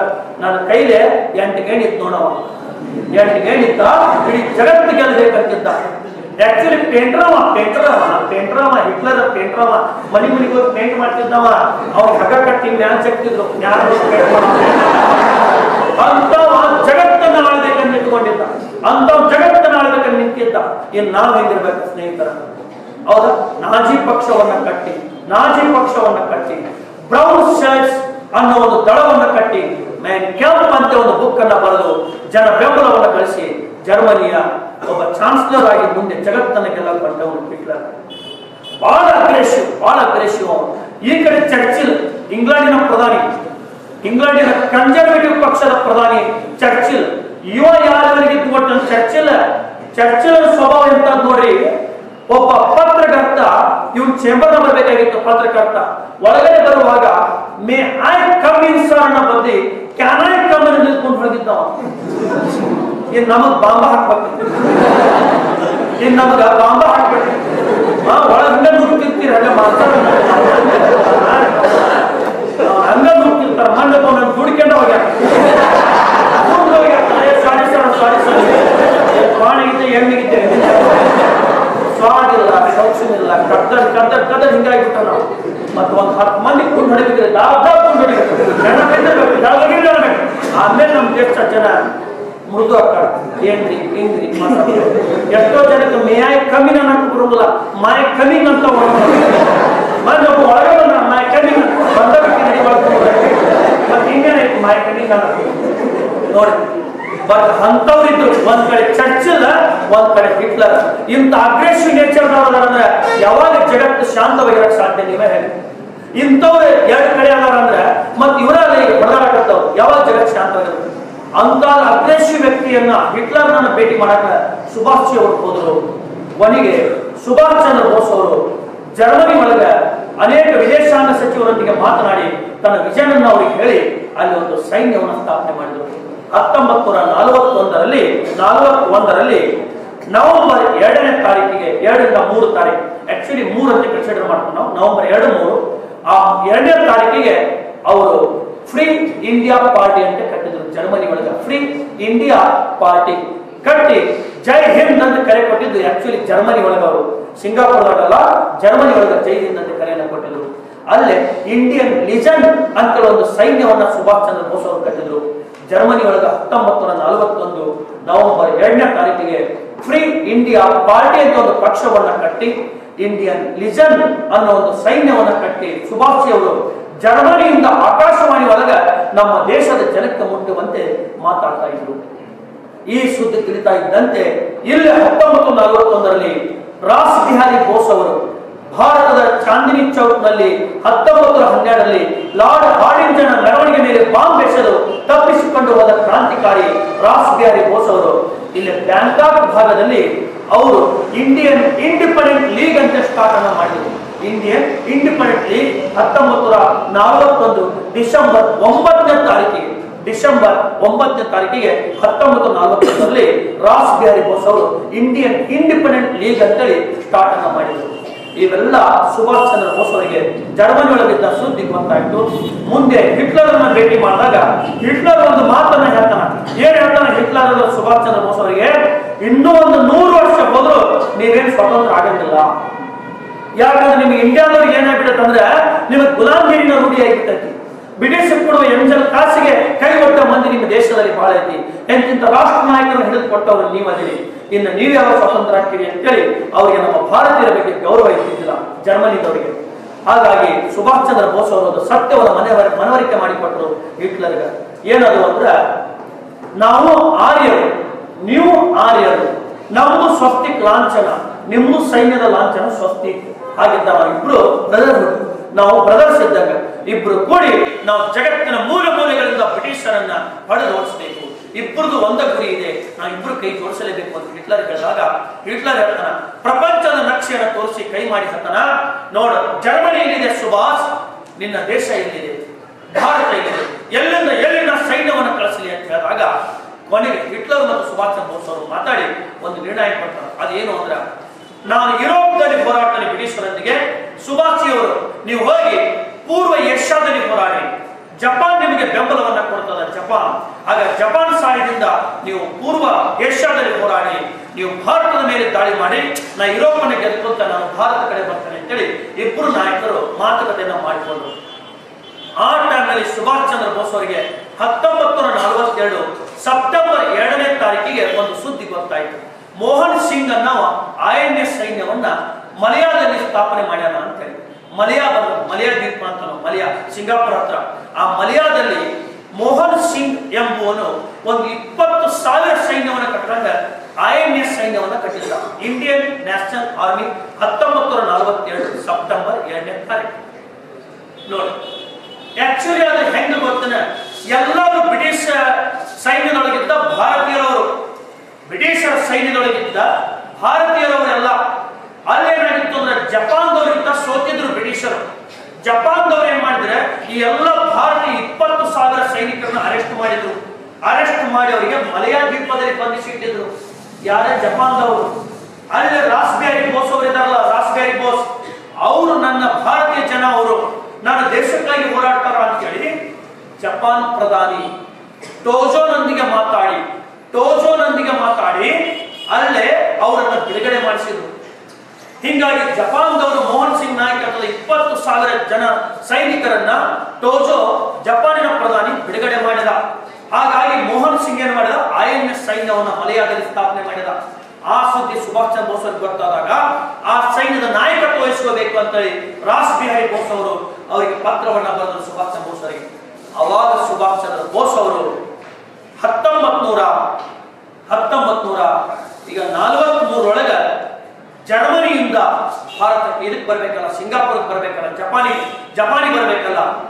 ಅವಾಗ ಅವರ ಹೆಸರು ಏನಾಗಿತ್ತು ಅಂದ್ರೆ ಮಸೂದಾ ಅನ್ನೋದು ಅವರ ಹೆಸರಾಗಿತ್ತು. ಮಸೂದಾ ಅಂತ. ನೋಡಿ ಮೂರು ಹೆಸರು ಚೇಂಜ್ ಮಾಡ್ಯಾರ ಎನಿ ಎಕ್ಸಾಮ್ನ ಕೇಳಬಹುದು ಇವರು ಕಾಂಪಿಟ್ ಎಕ್ಸಾಮ್ಸ್ ಅಲ್ಲಿ. ಸ್ವಲ್ಪ ಬಯೋಟಿಕ್ ಮೇಲೆ ಹೊಂಟಾರೆ ಕ್ವಶನ್ ಪತ್ರಿಕೆ ಅವರು. ಸ್ವಲ್ಪ ಇದ್ರ ಬಗ್ಗೆ ಪರಿಪೂರ್ಣತೆ ನಿಮ್ಮಲ್ಲಿ ಇದ್ರಷ್ಟೇ ನೀವು ಎಕ್ಸಾಮ್ ಅಲ್ಲಿ ಸರ್ವಾಗಕ್ಕೆ ಸಾಧ್ಯತೆ ಇದೆ ಅನ್ನೋದು. ಮಸೂದಾ ಅನ್ನೋ ಹೆಸರಿನ ಮೂಲಕ ಸುಭಾಷ್ ಚಂದ್ರ ಬೋಸ್ ಅವರು ಜರ್ಮನಿಯಿಂದ ಯು ಬೋಟ್ ಯು ಬೋಟ್ ಅನ್ನುವಂತ ಜಲಾಂತರ್ಗಾಮಿ ನೌಕೆ ಒಳಗ ಪ್ರಯಾಣವನ್ನು ಮಾಡ್ತಾ ಜರ್ಮನಿ ಒಳಗ ಹತ್ತೊಂಬತ್ತು ನಲವತ್ಮೂರು ಏಪ್ರಿಲ್ ತಿಂಗಳೊಳಗ ಅಲ್ಲಿಂದ ಇವರು ಭೂಗತರಾದರು. ಅಲ್ಲಿಂದ ಅವರು ಬರಕಟ್ಟರು ಅವಾಗ ಹಿಟ್ಲರ್ ಅವರಿಗೆ ಎಲ್ಲಾ ವ್ಯವಸ್ಥೆಯನ್ನ ಮಾಡಿ ಕಳಿಸಿಕೊಟ್ಟ. ಆದ್ರೆ ಅಲ್ಲೇನು ಸಮಸ್ಯೆ ಅಂದ್ರ ಅಟ್ಲಾಂಟಿಕ್ ಸಾಗರದಲ್ಲಿ ಈ ಸಬ್ಮರೀನ್ ಬರ್ತಾ ಇದ್ದಾಗ ಸಡನ್ ಬ್ರಿಟಿಷರನ್ನ ಫೈಂಡ್ ಔಟ್ ಮಾಡಿಬಿಟ್ರು. ಫೈಂಡ್ ಔಟ್ ಮಾಡಿ ಅಟ್ಯಾಕ್ ಮಾಡಕ್ ಅವಾಗ ಸುಭಾಷ್ ಚಂದ್ರ ಬೋಸ್ ಅವರ ಒಂದು ಸಬ್ಮರೀನ್ ಯು ಬೋಟ್ಗೂ ಬ್ರಿಟಿಷರ ಸಬ್ಮರೀನ್ಗಳಿಗೂ ಇಡೀ ರಾತ್ರಿ ಫೈಟ್ ನಡೀತಾರೆ ಫೈಟ್ ನಡೀತು. ಮಹಾಯುದ್ಧ ಏನು ಭೂಮಿ ಮೇಲೆ ನಡೆದಲ್ಲ. ಅದಕ್ಕಿಂತ ಭಯಂಕರವಾಗಿ ಯುದ್ಧ ನಡೆದಿರೋದು ವೇಪನ್ಸ್ ಅನ್ನು ಬಳಸಿರೋದು ಸಮುದ್ರದಲ್ಲಿ ಅನ್ನೋದು ಗೊತ್ತಿರಲಿ ಸ್ನೇಹಿತರೆ ನಿಮ್ಗೆ. ಸಮುದ್ರದಲ್ಲಿ ನಡೆದಂತ ಭಯಾನಕ ಯುದ್ಧ ನಡೆದಂತ ಸಮುದ್ರದಲ್ಲಿ. ಅವಾಗ ಸಬ್ಮರಿನ್ ಮತ್ತು ಫೈಟ್ ನಡೆದಾಗ ಒಂದು ಮಿಸೈಲ್ ಅನ್ನು ಕಾಯಂ ಸೆಟ್ ಮಾಡಿ ಸುಭಾಷ್ ಚಂದ್ರ ಬೋಸ್ ಅವರು ಬಿಟ್ಟು ಸಡನ್ ಸಬ್ಮರಿನ್ ತಗೊಂಡು ಕೆಳಗೆ ಹೋಗ್ಬಿಟ್ರು ಅವಾಗ ಈ ಬ್ರಿಟಿಷ್ ಒಂದು ಸಬ್ಮರಿನ್ ಮೇಲೆ ಬಂದ್ರು. ಅದಕ್ಕೆ ಅದು ಹಿಟ್ ಆಗಿಬಿಡ್ತು, ಬ್ಲಾಸ್ಟ್ ಆಗಿಬಿಡ್ತು. ಅವಾಗ ಸುಭಾಷ್ ಅವರು ಅಲ್ಲಿ ಗೆದ್ದು, ಆ ಹೋರಾಟದಲ್ಲಿ ಗೆದ್ದು ಮಡಗಾಸ್ಕರ್ ಕಡೆಗೆ ಬಂದರು ಮಡಗಾಸ್ಕರ್ ಅಷ್ಟೊಳಗೆ ಆಲ್ರೆಡಿ ಜಪಾನದ ಒಂದು ನೌಕೆ ಆಲ್ರೆಡಿ ಮಡಗಾಸ್ಕರ್ ಕಡೆಗೆ ಬರಾಕಿತ್ತು ಜಪಾನ್ದಿಂದ. ಜಪಾನ್ದಿಂದ ಅವ್ರು ಕಳಿಸ್ಕೊಟ್ಟಿದ್ರು ಸುಭಾಷ್ ಬೋಸ್ ಅವರಿಗೆ, ಏನು ತೊಂದರೆ ಆಗ್ಬೋದಲ್ಲ ಅಂತೇಳಿ. ಹಂಗಾಗಿ ಜಪಾನದ ಹಡಗನ್ನು ಕೂಡ ಬರಾಕತ್ತಿತ್ತು ಇವರು ಮಡಗಾಸ್ಕರ್ ಬಂದರು. ಮಡಗಾಸ್ಕರ್ ಬಂದ ಕೂಡಲೇ ಸಮುದ್ರದ ಅಲೆಗಳು, ಅತಿ ಹೆಚ್ಚು ಅಲೆಗಳು ಬರಕತ್ತು, ಬಿರುಗಾಳಿ ಬಿಸಾಕಟ್ಬಿಡುತ್ತೆ ಹಡಗ ಅವರು ಸಬ್ಬರಿನ್ ಶೇಕ್ ಆದವರಿಗೆ ಸಮುದ್ರದ ಅಲೆಗಳು ಹುಟ್ಟಿ ಬರಕತ್ತು. ಅವಾಗ ಕಠಿಣ ಮುಗಿಸ್ಬಿಡು ಅಂತ ಅನ್ಕೊಂಡಿದ್ರು ಸಮುದ್ರ ಮಧ್ಯದಲ್ಲಿ. ಅದೇ ರೈಟ್ ಟೈಮಿಗೆ ಇಂಧನ ಖಾಲಿ ಬಿಡುತ್ತೆ. ಸಬ್ಬರಿನಲ್ಲಿ ಇಂಧನ ಖಾಲಿ ಬಿಡುತ್ತೆ. ಅವಾಗ ಸುಭಾಷ್ ಅವರೊಂದಿಗೆ ಇದ್ದ ಒಂದೆರಡು ಜಪಾನಿನ, ಆ ನಾವಿಕರು, ಜಪಾನಿನ ಸೋಲ್ಜರ್ಸ್ ಅಡ್ಮಿರಲ್ಸ್ ಅವ್ರೇನ್ ಮಾಡಿದ್ರು ಸಮುದ್ರದಲ್ಲಿ ಹಾರಿದರು ಜೀವವನ್ನ ಕೊಟ್ಟು ಹಾರಿದರು. ಸಮುದ್ರದಲ್ಲಿ ಹಾರಿ ಜಪಾನ್ ಹಡಗ ಕಡೆಗೆ ಈಜಿದ್ರು. ಅಂತಹ ಸಮುದ್ರದಲ್ಲಿ ಆ ಟೈಮ್ನಲ್ಲಿ ತಿಮಿಂಗಲಗಳ ಹಾವಳಿ ಬಾಳಿತ್ತಾರೆ ಮಡಗಾಸ್ಕರ್ ತಿಮಿಂಗಲ ಹಾವಳಿ ಬಾಳಿತ್ತು ಆ ಟೈಮ್ನಲ್ಲಿ ಭಾಳ ರಿಸ್ಕ್ ಅವಾಗ ಏನ್ ಮಾಡಿದ್ರು? ಜಪಾನ್ ಹಡಗಕ್ಕೆ ಅವರು ಸಿಗ್ನಲ್ ಕೊಟ್ಕೊಂಡ್ರು ಅವಾಗ ಜಪಾನ್ ಹಡಗದಿಂದ ಈ ಸುಭಾಷ್ ಚಂದ್ರ ಬೋಸ್ ಅವರ ಹಡಗಕ್ಕೆ ಹಗ್ಗವನ್ನ ಕಟ್ಟಿದ್ರು, ರೂಪನ್ನ ಕಟ್ಟಿ. ಅಲ್ಲಿಂದ ಆ ಹಗ್ಗದ ಮೂಲಕ ಈ ಹಡಗದಿಂದ ಈ ಹಡಗಕ್ಕೆ ಹೋಗಬೇಕು. ಸ್ವಲ್ಪ ಕೈ ಜಾತು ಕೆಳಗೆ ಬಿದ್ರೆ ತಿನಿಂಗ್ಲ ಬಾಯಿಗೆ ಹತ್ತಿದ್ರು ಅಂತ ರಿಸ್ಕ್ನಲ್ಲಿ ಸುಭಾಷ್ ಚಂದ್ರ ಬೋಸ್ ಅವರು ಯಶಸ್ವಿಯಾಗಿ ಜಪಾನ್ ಹಡಗವನ್ನು ಹತ್ತಿ, ಒಂದು ಕಡೆ ಬ್ರಿಟಿಷರ ಭಯ, ಮತ್ತೊಂದು ಕಡೆ ತಿಮಿಂಗಲ ಭಯ, ಇನ್ನೊಂದು ಕಡೆ ಬಿರುಗಾಳಿ ಭಯ, ಸಮುದ್ರದ ಅಲೆಗಳ ಭಯ. ಇದರ ಮಧ್ಯದಲ್ಲಿ ಸುಭಾಷ್ ಅವರು ಸುರಕ್ಷಿತವಾಗಿ ಮಸೂದಾ ಹೆಸರ ಮೂಲಕ ಜಪಾನಿಗೆ ಬಂದರು. ಜಪಾನಿಗೆ ಸುಭಾಷ್ ಚಂದ್ರ ಬೋಸ್ ಅವರು ಬಂದ ನಂತರ ತೋಜೋನೊಂದಿಗೆ, ರಾಸ್ ಬ್ಯಾರಿ ಬೋಸ್ ಅವರೊಂದಿಗೆ ಮಾತನಾಡಿದರು. ಮಾತಾಡಿದಾಗ ಸುಭಾಷ್ ಚಂದ್ರ ಬೋಸ್ ಅವರು ಸಿಂಗಾಪುರಕ್ಕೆ ಮಲಯಾಳ ಸೈನಿಕರನ್ನ ಕರೆಸಿಕೊಂಡು ಸಿಂಗಾಪುರದಲ್ಲಿ ಐಎನ್ಎಸ್ ಸೈನ್ಯಕ್ಕೆ ಐಎನ್ಎಸ್ ಸೈನ್ಯಕ್ಕೆ ಆಜಾದ್ ಹಿಂದ್ ಫೌಜ್ ಅಂತೇಳಿ ಹೆಸರನ್ನ ಚೇಂಜ್ ಮಾಡಿದ್ರು. ಆಜಾದ್ ಹಿಂದ್ ಫೌಜ್ ಅಂತೇಳಿ ಮರುನಾಮಕರಣವನ್ನು ಮಾಡಿದ್ರು ಸುಭಾಷ್ ಚಂದ್ರ ಬೋಸ್ ಅವರು. ಅಲ್ಲಿ ಮತ್ತೊಂದು ಬಾರಿ ದಿಲ್ಲಿ ಚಲೋ ಎಂದು ಕರೆಯನ್ನು ಪಟ್ಟು ಜೈ ಹಿಂದ್ ಎಂದು ಘೋಷಣೆಯನ್ನು ಮಾಡಿದ್ರು. ಅದೇ ಜೈ ಹಿಂದ್ ಇವತ್ತು ನಮ್ಮ ಇಂಡಿಯನ್ ಆರ್ಮಿ ಘೋಷಣೆಯಾಗಿದೆ. ಜೈ ಹಿಂದ್ ಅನ್ನೋದು. ಜೈ ಹಿಂದನ ಘೋಷಣೆ. ದಿಲ್ಲಿ ಚಲೋ ಎಂದು ಕರೆ ಕೊಟ್ಟಂತ ಸುಭಾಷ್ ಚಂದ್ರ ಬೋಸ್ ಅವರು ಆ ಐಎನ್ಎಸ್ ಸೈನ್ಯದೊಳಗ ಪ್ರಪ್ರಥಮವಾಗಿ ಇಡೀ ಏಷ್ಯಾದಲ್ಲಿ ಪ್ರಪ್ರಥಮ ಬಾರಿಗೆ ಹೆಣ್ಮಕ್ಕಳಿಗೆ ಅವಕಾಶವನ್ನು ಸೈನ್ಯ ನೀಡಿದ ಮಹಾನ್ ನಾಯಕ ಸುಭಾಷ್ ಚಂದ್ರ ಬೋಸ್ ಅವರು. ಯಾಕಂದ್ರ ಲಕ್ಷ್ಮೀ ಸೆಹಗಲ್ ನಾಯಕತ್ವದಲ್ಲಿ ಒಂದು ಜಾನ್ಸಿ ಪಡೆ ಅಂತ ಹೇಳಿ ಆ ಐಎನ್ಎಸ್ ಸೈನ್ಯದ ಒಂದು ಪಡೆ ಆಗಿತ್ತು. ಹೆಣ್ಮಕ್ಳಿಗೆ ಕೂಡ ಅವಕಾಶವನ್ನು ಪಟ್ಟಿದ್ರು ಅವಾಗ ಅನೇಕ ವಿದೇಶಿಗರು ಸುಭಾಷ್ ಚಂದ್ರ ಬೋಸ್ ಅವರನ್ನ ನಿಂದಿಸಿದ್ರು.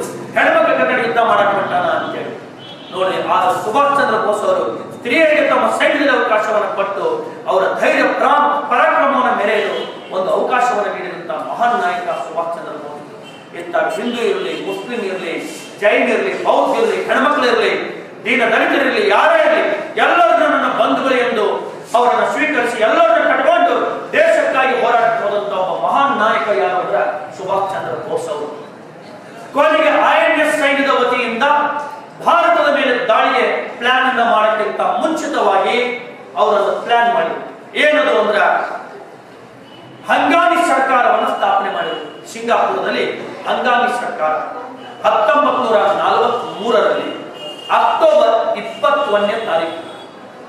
ಅಕ್ಟೋಬರ್ ಇಪ್ಪತ್ತೊಂದನೇ ತಾರೀಕು ಹಂಗಾಮಿ ಸರ್ಕಾರವನ್ನು ಸ್ಥಾಪನೆ ಮಾಡಿ ಹಂಗಾಮಿ ಸರ್ಕಾರದ ಪ್ರಧಾನಮಂತ್ರಿಯಾಗಿ ಅವರು ಅಧಿಕಾರವನ್ನ ಪಡ್ಕೊಂಡು ಅಲ್ಲಿ ಸಿನಿಮಾ ಥಿಯೇಟರ್ ಹಾಲ್ ಅಂತಿದೆ ಎಲ್ಲೇ ಸಿಂಗಾಪುರದವರು ಅಲ್ಲಿ ಕಾರ್ಯಕ್ರಮವನ್ನ ನಡೆಸಿ ತಾನು ಪ್ರಧಾನಿಯಾಗಿ ಅಧಿಕಾರ ಸ್ವೀಕಾರ ಮಾಡಿಕೊಂಡು, ಅನೇಕ ಒಂದು ಸಚಿವ ಸಂಪುಟವನ್ನ ಮಾಡಿಕೊಂಡು, ಕೆಲವು ರಾಷ್ಟ್ರದವರನ್ನ ಅಲ್ಲಿ ಇನ್ವೈಟ್ ಮಾಡಿದ್ರು. ಬರ್ಮಾದವರಿದ್ರು, ಜಪಾನ್ದವರಿದ್ರು, ಕಾಂಬೋಡಿಯಾ, ಮಲೇಷ್ಯಾ, ವಿಯೆಟ್ನಾಂ, ಎಲ್ಲ ಪ್ರಧಾನಿಗಳನ್ನ ಕರೆದು ಹಂಗಾಮಿ ಸರ್ಕಾರ ಅಂತೇಳಿ ಘೋಷಣೆಯನ್ನು ಮಾಡಿಕೊಂಡು, ಭಾರತದ ಮೇಲೆ ದಾಳಿ ಮಾಡಕ್ಕೆ ಪ್ಲಾನ್ ಮಾಡಿ ಪ್ಲಾನ್ ಮಾಡಿ ಫಸ್ಟ್ ಟೈಮ್ ಅಂಡಮಾನ್ ನಿಕೋಬಾರ್ ದ್ವೀಪಗಳ ಮೇಲೆ ದಾಳಿ ಮಾಡಿ ಜಪಾನ್ ಬೆಂಬಲದೊಂದಿಗೆ ದಾಳಿ ಮಾಡಿ ಅಂಡಮಾನ್ ನಿಕೋಬಾರ್ ದ್ವೀಪಗಳನ್ನು ಗೆದ್ದು ಅಂಡಮಾನ್ ದ್ವೀಪಕ್ಕೆ ಶಾಹೀದ್ ಅಂಡ್ ನಿಕೋಬಾರ್ ದ್ವೀಪಕ್ಕೆ ಸ್ವರಾಜ್ ಅಂತ ಹೆಸರನ್ನು ಇಟ್ಟು ಫಸ್ಟ್ ಟೈಮ್ ಹತ್ತೊಂಬತ್ತು ನೂರ ನಲವತ್ಮೂರು ಡಿಸೆಂಬರ್ ಮೂವತ್ತೊಂದನೇ ತಾರೀಕಿಗೆ ಅಂಡಮಾನ್ನಲ್ಲಿ ತ್ರಿವರ್ಣ ಧ್ವಜವನ್ನು ಹಾರಿಸಿದರು. ಸುಭಾಷಿಯವರು. ಡಿಸೆಂಬರ್ ಮೂವತ್ತೊಂದು ಹತ್ತೊಂಬತ್ತು ನೂರ ನಲವತ್ಮೂರು ಅಂಡಮಾನ್ನಲ್ಲಿ ತ್ರಿವರ್ಣ ಧ್ವಜವನ್ನು ಹಾರಿಸುವ ಮೂಲಕ ಅವರ ತ್ರಿವರ್ಣ ಧ್ವಜದಲ್ಲಿ ಏನಿತ್ತು ಅಂದ್ರೆ ಕೇಸರಿ ಬಿಳಿ ಹಸಿರು ಒಂದು ಹಾರುವ ಹುಲಿ ಇತ್ತು, ಹುಲಿ. ಆ ಚಿತ್ರ ಇತ್ತು. ಚರಕವಾಗಿರಲಿಲ್ಲ ಚರಕ ಇರಲಿಲ್ಲ. ಹೀಗೆ ಅಂಡಮಾನ್ ನಿಕೋಬಾರ್ನ ಗೆದ್ದ ಸುಭಾಷ್ ಚಂದ್ರ ಬೋಸ್ ಅವರು ಬರ್ಮಾ, ರಂಗೂನ್.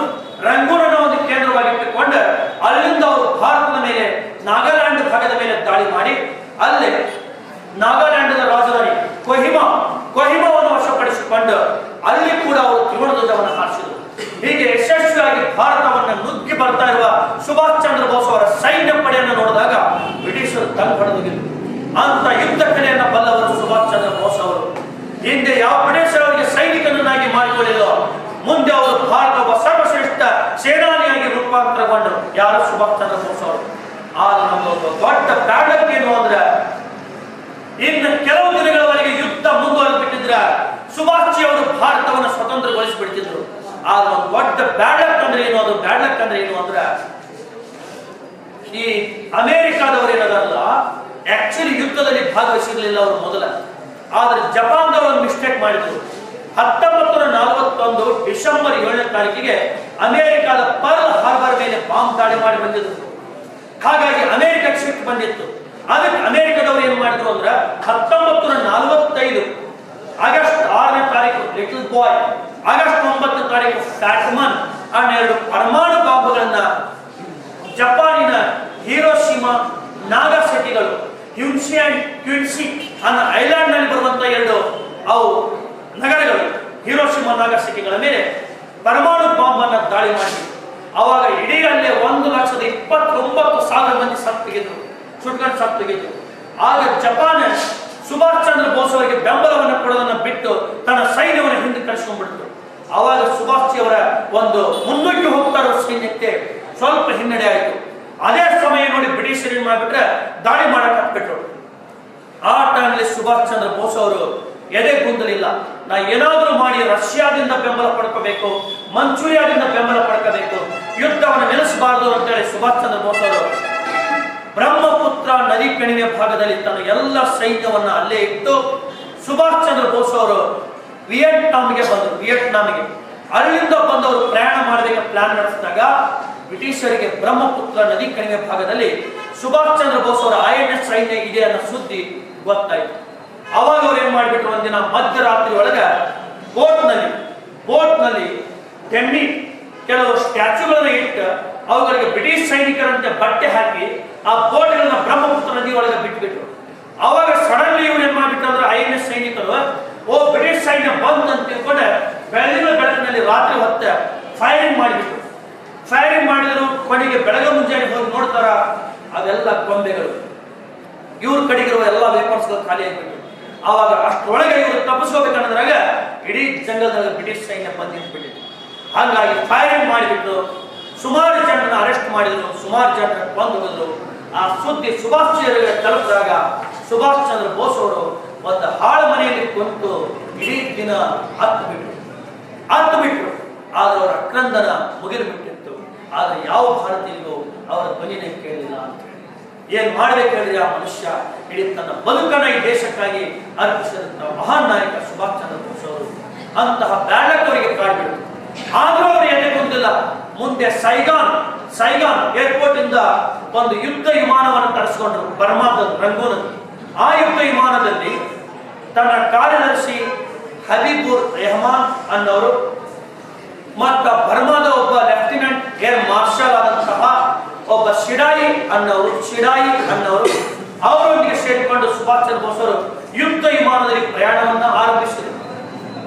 ಆದರೆ ಮಾಡಿದ ಮಿಸ್ಟೇಕ್ ಏನು ಗೊತ್ತೇನೋ ಅವತ್ತು ಮಿಸ್ಟೇಕ್ ಅಂದ್ರೆ ಸುಭಾಷ್ ಚಂದ್ರ ಬೋಸ್ ಅವರು ಪ್ರಯಾಣ ಮಾಡ್ತಾ ಇರುವಂತಹ ವಿಮಾನ. ಒಂಬತ್ತು ಜನರನ್ನ ಹೊತ್ತೊಯ್ಯುವ ಎಬಿಲಿಟಿ ಹೊಂದಿದ ವಿಮಾನ ಅದು. ಆದ್ರೆ ಇವರು ಅವತ್ತಲ್ಲಿ ಕುಂತವ್ರು ಎಷ್ಟು ಜನ ಅಂದ್ರೆ ಹದಿಮೂರು ಜನ ಕುಂತಿದ್ರು. ನಮ್ಮ ಇಂಡಿಯಾದ ಕುಂತ ಏನು ಹೋದ್ರು ಬಿಟ್ಟಿಲ್ಲ ನಾವು. ಮೂರು ಗಾಡಿ ಟಮ್ ಮ್ಯಾಗ ಮೂವತ್ತು ಮಂದಿ ಕುಂತಿರ್ತೇವೆ ನಾವು. ಹೊಸ ನಮಗಿದ ಡ್ರೈವರ್ ಹಿಂಗ್ ಕುಂತಿರ್ತಾನೆ ಡ್ರೈವರ್ ರೋಡ್ ಹಂಸ್ ಬಂದ್ರೆ ಹೊರಗೆ ಹೋಗಿರ್ತಾನೆ. ಇವ ಆಗಿ ಕುಂತಿರ್ತಾನೆ ಹೌದಲ್ಲ ಇಂಥ ಸಾಮಾನ್ಯವಾಗಿ ನಮ್ಮ ದೇಶದಲ್ಲಿ ಕಂಡು ಬರ್ತದ ಹಾಗಾಗಿ ರಾಷ್ಟ್ರ ಮಟ್ಟದಲ್ಲಿ ಇದು ಕಂಡು ಬರ್ತದ ಹದಿಮೂರು ಜನ ಹತ್ತಿದ್ದವರು ಮೊದಲು ಮಾಡಿ ತಪ್ಪು. ಆಮೇಲೆ ಪ್ರಯಾಣ ಆರಂಭಿಸಿದ್ರು. ಆ ಫ್ಲೈಟ್ ಒಳಗೆ ಹಿಂದೆ ಲಗೇಜ್ ಅನ್ನ ಒಟ್ಟಿದ್ರು ಲಗೇಜ್ ಹೊಟ್ಟಿದ್ರು ಮತ್ತು ದುಡ್ಡು ಇಟ್ಟಿದ್ರು ಗೋಲ್ಡ್ ಇಟ್ಟಿದ್ರು ಗೋಲ್ಡ್ ಇಟ್ಟಿದ್ರು. ಅಲ್ಲೆಲ್ಲ. ಆಮೇಲೆ ಆ ವಿಮಾನ ಅವತ್ತ ಬೆಳಗ ಮುಂಜಾನೆ ಐದೂವರೆಗೆ ವಿಯೆಟ್ನಾಂನಲ್ಲಿ ಸೈಗಾನ್ ಅನ್ನೋ ಪ್ಲೇಸ್ ಇಂದ ಯುದ್ಧ ವಿಮಾನ, ಸುಭಾಷ್ ಚಂದ್ರ ಬೋಸ್ ಅವರ ಹೊತ್ತ ಯುದ್ಧ ವಿಮಾನ ಬೆಳಗ್ಗೆ ಐದುವರೆಯಲ್ಲಿಂದ ಫ್ಲೈಟ್ ಟೇಕಪ್ ಆಯ್ತು. ಸೀದಾ ಟುರೇನ್ ಅನ್ನೋ ಪ್ಲೇಸ್ ಬಂತು. ಟುರೇನ್ ಅಂತೆ ಟುರೇನ್ ಅಂತೆ. ಟುರೇನಿಗೆ ಬರ್ತಾ ಇದ್ದಂತೆ ರಾತ್ರಿ ಆಯ್ತು. ಟುರೇನ್, ಟುರೇನಿಗೆ ಬಂದ್ರೆ ಟುರೇನ್ ಒಳಗೆ ಹಾಲ್ಟ್ ಮಾಡಿದ್ರು. ಟುರೇನ್ನಲ್ಲಿ ಹಾಲ್ಟ್ ಮಾಡಿದ್ರು. ಬೆಳಗ ಮುಂಜಾನೆ ಐದು ಗಂಟೆ ಆಗಿತ್ತು. ಬೆಳಗ ಮುಂಜಾನೆ. ಆ ಯುದ್ಧ ವಿಮಾನದಲ್ಲಿ ಮತ್ತೆ ಪ್ರಯಾಣವನ್ನು ಆರಂಭಿಸಿದ ಸುಭಾಷ್ ಚಂದ್ರ ಬೋಸ್ ಅವರು ಮಧ್ಯಾಹ್ನ ಒಂದೂವರಿಂದ ಎರಡು ಗಂಟೆ ಹೊತ್ತಿಗೆ ತೈಪೆ ಅನ್ನೋ ಪ್ಲೇಸ್ಗೆ ಬಂದರು. ಈಗ ತೈವಾನ್ ಅಂತ ತೈವಾನ್. ಅಲ್ಲಿ ತೈಪೆ ಅನ್ನೋ ಸ್ಥಳಕ್ಕೆ ಬಂದರು. ಅಲ್ಲಿ ಆ ವಿಮಾನ ಎದಕ್ಕೆ ಇಳಿತು ಅಂದ್ರೆ ಒಂದು ಇಂಧನ ಹಾಕಿಸಬೇಕಾಗಿತ್ತು ಎರಡೆರಡು ಊಟ ಮಾಡಬೇಕಾಗಿತ್ತು. ಅಲ್ಲಿ ಫ್ಲೈಟ್ ಅಲ್ಲಿ ಲ್ಯಾಂಡ್ ಆಯ್ತು. ಲ್ಯಾಂಡ್ ಆಗಿದ್ದಾಗ ಇವ್ರು ಹೋಗಿ ಊಟ ಮಾಡಿ ಬಂದ್ರು. ಅವಾಗ ಆ ವಿಮಾನಕ್ಕೆ ಯಾವುದೇ ವಿಮಾನ ಆದರೂ ಎರಡು ಎಂಜಿನ್ಗಳು ಇರ್ತಾವ. ಒಂದು ಲೆಫ್ಟ್ ಎಂಜಿನ್ ಒಂದು ರೈಟ್ ಎಂಜಿನ್ ಅಂತ ಇರ್ತಾವ. ಅದು ಲೆಫ್ಟ್ ಇಂಜಿನ್ ಏನೈತಲ್ಲ? ಬಂದ್ ಬಿದ್ದಿತ್ತು. ಬಂದ್ ಬಿದ್ದಿತ್ತು. ಅದನ್ನ ಕೋನೋ ಕೋನೋ ಅನ್ನುವಂತ ಪೈಲಟ್ ಪೈಲಟ್ ಹೇಳಿದ ಲೆಫ್ಟ್ ಇಂಜಿನ್ ವರ್ಕ್ ಆಗ್ತಾ ಇಲ್ಲ ಅಂತ ಹೇಳಿದ. ಅವಾಗ ಇನ್ನೊಬ್ಬ ಇದ್ನಲ್ಲ ತಕಜಾವ ಅಂತಿದ್ದ, ತಕಜಾವ ಅಂತ. ಆ ತಕಜಾವ ನಾನು ಹೇಳ್ತಾನ, ಇಲ್ಲ ಲೆಫ್ಟ್ ಎಂಜಿನ್ ಬಂದ್ ಬಿದ್ರು ಏನಾಗಂಗಿಲ್ಲ, ಒಂದ್ ಎಂಜಿನ್ ಮೇಲೆ ನಾವು ಹೋಗ್ಬೋದು. ಏನ್ ಬಹಳ ದೂರ ಇಲ್ಲ ಮಂಚೂರಿಯ. ಮಂಚೂರಿಯಾಗಿ ಹೋಗ್ಬಿಡ್ತೇವೆ. ನಾವು ಹೋಗೋಣ ಅಂತೇಳಿ ಕಾನ್ಫಿಡೆಂಟ್ ಆಗಿ ಹೇಳಿದ. ಆಯ್ತು ಅಂತೇಳಿ ಎಲ್ಲರೂ ಒಪ್ಪಿಕೊಂಡ್ರು. ಆದ್ರೆ ಸುಭಾಷ್ ಅವರಿಗೆ ಸುದ್ದಿ ಗೊತ್ತಿಲ್ಲ. ಯಾಕೆ ಅವ್ರ ತಲೆಯಲ್ಲಿ ಓಡ್ತಾ ಇರೋ ಆಲೋಚನೆಗಳ ಬೇರೆ. ಹಿಂಗಾಗಿತ್ತು ಅವಾಗ ಬದುಕು. ಅವಾಗ ಸುಭಾಷ್ ಚಂದ್ರ ಬೋಸ್ ಅವರ ತಲೆಯಲ್ಲಿ ಏನ್ ವಿಚಾರ ನೋಡ್ತಾ ಹೇಳ ನಾನ್ ದೇಶ ಸ್ವತಂತ್ರ ಮಾಡಬೇಕು, ಯುದ್ಧ ಮಾಡಬೇಕು, ಸೈನ್ಯ ಪಡ್ಕೋಬೇಕು ಇಲ್ಲ. ಅವಾಗ ಬಂದವ್ರು ಸ್ನೇಹ ಹತ್ತಿದ್ರು ಎಲ್ಲ ಓಕೆ ಅಂತ ಹೇಳಿದ್ರು ಇವರು ಪೈಲಟ್ಗಳು ಅವಾಗ ಇನ್ನು ಹಾರಾಟ ಶುರು ಮಾಡ್ಬೇಕಲ್ಲ. ಎಂಟು ನೂರ ಐವತ್ತು ಮೀಟರ್ ರನ್ವೇ ಇತ್ತು. ಎಂಟು ನೂರ ಐವತ್ತ ಮೀಟರ್ ರನ್ವೇ ಇತ್ತು. ಫ್ಲೈಟ್ ಯಾವತ್ತೂ ಈಗ ಹಾರಂಗಿಲ್ಲ ಮೇಡಮ್ ಹಾರದು ಫ್ಲೈಟ್ ರನ್ವೇದಲ್ಲಿ ಹೋಗಿ ಸ್ಲೋ ಟೇಕಪ್ ಆಗಬೇಕು. ಅದರ ಮೇಲೆ ವೇಟ್ ಹೆಚ್ಚಾಗಿದೆ ಈಗ? ಲಿಮಿಟ್ ಮೀರಿ ಆಗಿದೆ. ಆ ಟರ್ನಲ್ಲಿ ಎಂಟುನೂರ ಐವತ್ತೇನಿತ್ತಲ್ಲ ಇದು ಏನು ರನ್ವೇ ಇತ್ತಲ್ಲ ರನ್ವೇ ಎಂಟುನೂರ ಐವತ್ತು ಮೀಟರ್ ರನ್ವೇ ಆ ರನ್ವೇ ಏನಿತ್ತಲ್ಲ, ಆ ವೇಟಿನ ಫ್ಲೈಟ್ ಹಾರಾಟ ಮಾಡಕ್ಕ ಸಣ್ಣದಾಗಿತ್ತು ರನ್ವೇ ಹೌದು ಅಟ್ಲೀಸ್ಟ್ ಒಂದು ಕಿಲೋಮೀಟರ್ ಇರಬೇಕಾಗಿತ್ತು ಅದು. ಬಟ್ ಎಂಟುನೂರ ಐವತ್ತು ಮೀಟರ್ ಇತ್ತು ಶಾರ್ಟ್ ಇತ್ತು. ಅದ್ರಾಗ ಏನ್ ಕೋನ ಕೋನನ್ನು ಫ್ಲೈಟ್ ಹೋಗ್ತಾ ಹೋಗ್ತಾ ಹೋಗ್ತಾ ಇದ್ದಂತೆ ಅಟ್ಲೀಸ್ಟ್ ಎಂಟುನೂರ ಐವತ್ತು ಮೀಟರ್ ಹೋಗಿಲ್ಲವ ಸಡನ್ ಏನ್ ಮಾಡ್ಬಿಟ್ಟ ಅಂದ್ರೆ ಒಂದು ಏಳ್ನೂರ ಐವತ್ತು ಮೀಟರ್ ಹೋಗಿದ್ದ ಸಡನ್ ರೇಸ್ ಮಾಡ್ಬಿಟ್ಟ ಫ್ಲೈಟ್ ರೇಸ್ ಮಾಡಿದಾಗ ಏನಾಯ್ತಂದ್ರೆ ಒಬ್ಬೊಬ್ಬರಲ್ಲಿ ಹಿಂಗ ಇಂಬ್ಯಾಲೆನ್ಸ್ ಆಗಿತ್ತು ಈಗ ಒಂದು ಕ್ಯಾರಿ ಬ್ಯಾಗ್ನಾಗ ಏನೋ ವಸ್ತು ತಗೊಂತೀವಿ. ಸ್ಲೋಲಿ ತಗೊಂಡ್ರೆ ನೀವು ತಗೊಂಡು ಹೋಗ್ಬೋದು. ಹಿಂಗ್ ಗೆಟ್ ಬಿಟ್ಟೆ ಹರಿದಿಲ್ಲ ಹಂಗಾಗಿ ಇಂಬ್ಯಾಲೆನ್ಸ್ ಆಗಿದೆ ಇಂಬ್ಯಾಲೆನ್ಸ್ ಆಗಿದಾಗ ಕೆಲವೇ ಕ್ಷಣಗಳಲ್ಲಿ ಫ್ಲೈಟ್ ಹಾರಾಟ ಆಯ್ತು ಅಂತ ಅನ್ಕೊಂಡು ಮಣ್ಣಾಯ್ತಲ್ಲ ರಾವತ್ ಥಿಂಗ್ ಅದೇ ರೀತಿಯಾಗಿ ಮುಂದೆ ಇತ್ತ ಊರು ಅಲ್ಲ ಏನಲ್ಲ, ಊರು ಅಲ್ಲ ಏನಲ್ಲ ಕೊನೆಗೆ ಮುಂದೆ ತೈಪೆಯಿಂದ ಸುಮಾರು ದೂರದಲ್ಲಿ ಹೋಗಿ ಒಂದು ಗುಡ್ಡಕ್ಕೆ ಫ್ಲೈಟ್ ಹೊಡೆದು ಹೊಡೆದು ಫ್ಲೈಟ್ ಅವಾಗ ಅದು ಬ್ಲಾಸ್ಟ್ ಆಗ್ಬಿಡುತ್ತೆ ಮುಂದಿನ ಭಾಗ. ಆದ ಪುಣ್ಯರಿ ಆದ ಏನು ಎಂಜಿನ್ ಏನದವಲ್ಲ ಲೆಫ್ಟ್ ಎಂಜಿನ್ ಅದು ಹೊರಗೆ ಬಂದ ಇಂಧನ ಸೋರ್ಬಿಡ್ತು ಅಲ್ಲದ ಬ್ಲಾಸ್ಟ್ ಆಯ್ತು. ಒಳಗ ಬ್ಲಾಸ್ಟ್ ಆಗಿದ್ರೆ ಮುಗಿದ ಅವಾಗ ಅದು ಅರ್ಧ ಅಲ್ಲಿ ಬೆಂಕಿ ಹತ್ಬಿಟ್ಟಿದೆ ಇನ್ನು ಅರ್ಧ ಇಂಜಿನ್ ಹೊರಗೆ ಬಿಟ್ಬಿಡ್ತು ಅವಾಗ ಫ್ಲೈಟ್ ಬಿದ್ದುಬಿಟ್ರೆ ಒಳಗೆಲ್ಲ ಪೂರ್ತಿ ಏನಾಗ್ಬಿಡ್ತಂದ್ರೆ ಎಲ್ಲ ಹೊಗೆ ಬಿಡ್ತು ಫ್ಲೈಟ್ನಲ್ಲಿ ಅವಾಗ ಹಬೀಬುರ್ ರೆಹಮಾನ್ ಹೇಳಿದ, ಸುಭಾಷಿ, ನಮಗೆ ಹಿಂದಿಂದ ಹೋಗಕ್ಕೆ ಅವಕಾಶನೇ ಇಲ್ಲ. ನಾವು ಮುಂದಿನ ತಪ್ಪಿಸಬೇಕು ಇಲ್ಲ, ಒಬ್ರು ಬದುಕೊಳ್ಳಿಲ್ಲ ಅಂದಾಗ ಸುಭಾಷ್ ಚಂದ್ರ ಬೋಸ್ ಅವರು, ಎಲ್ಲ ತನ್ನ ಸ್ನೇಹಿತರನ್ನ ಹಿಂದಕ್ಕೆ ಸರಿಸಿ ಹಿಂದಕ್ಕೆ ಸರಿಸಿ. ಯಾರಿಗೇನಾಗಬಾರ್ದು ಅಂತ ಸುಭಾಷ್ ಅವರು ಆ ಬೆಂಕಿ ಹತ್ತಿ ಉರಿತಾ ಇರುವಂತ ಫ್ಲೈಟ್ನಲ್ಲಿ ಎಲ್ಲ ಕಬ್ಬಿಣ ಕಾಲು ಮಳೆ ಹನಿ ಬಿದ್ದಂಗೆ ಬೀಳ್ತಾ ಇತ್ತು. ಅದರ ಮಧ್ಯದಲ್ಲಿ ಬಂದ ಸುಭಾಷ್ ಚಂದ್ರ ಬೋಸ್ ಅವರು ಆ ಬಾಗಿಲನ್ನು ಒಡ್ಯಾಕ್ ಹೋದ್ರು ಬಾಗ್ಲ ಒಡೆ ಹೋದ್ರು ಕೊನೆಗೆ ಅಷ್ಟೊಳಗೆ ಆ ಕಬ್ಬಣ ಕಾದಿದ್ದೆಲ್ಲ ಅವ್ರ ಎದೆ ಮೇಲೆ ಬಿದ್ದು ಆ ಎದೆ ಮೇಲೆ ಬಿದ್ದು ಬೆಂಕಿ ಹತ್ಬಿಡ್ತು.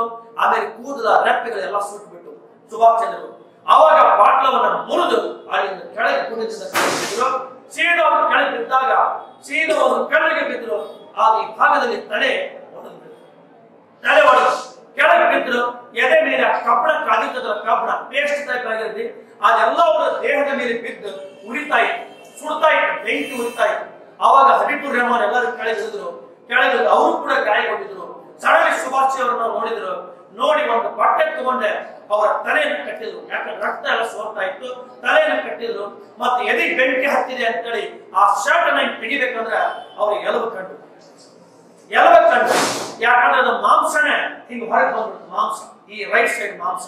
ಆ ನರಗಳಿಗೆ ಎಲುಬು ಕಾಣ್ತಾ ಇತ್ತು ಬೆಳೆ ಆ ಟೈಮ್ಲಿ ಸಡನ್ಲಿ ಹರಿಬೂರ್ ರೆಹಮಾನ್ ಅದೇ ಶರ್ಟ್ ಅನ್ನು ತಗೊಂಡು ಅವ್ರಿಗೆ ಕಟ್ಟಿದ ಕಟ್ಟಿದಾಗ ಸುಭಾಷ್ ಅವರು ಹೇಳ್ತಾರ ಹಬಿಬೂರ್ ಹಬಿಬೂರ್ ಉಳಿದವ್ರು ಹೇಗಾರ ನನ್ನ ಸ್ನೇಹಿತರು? ಯಾರಿಗೇನಾಗಿಲ್ಲ ಹೋದಲ್ಲ? ಏನಾಗಿಲ್ಲ? ನನ್ನ ಜನರಿಗೆ ನಾನು ನನ್ನ ಬಗ್ಗೆ ಹೇಳು, ನನ್ನ ಜನರಿಗೆ ಹೋಗಿ ಹೇಳು. ನಾನು ಪ್ರಾಮಾಣಿಕವಾಗಿ ನನ್ನ ಕಣ್ಣ ಉಸಿರ ತನಕ ಈ ದೇಶಕ್ಕಾಗಿ ಹೋರಾಡಿನಿ ಅಂತೇಳಿ ಆ ಸತ್ಯವನ್ನು ನನ್ನ ಮುಗ್ಧ ಭಾರತೀಯರಿಗೆ ತಿಳಿಸು ಅಂತ ಹೇಳಿದ್ರು.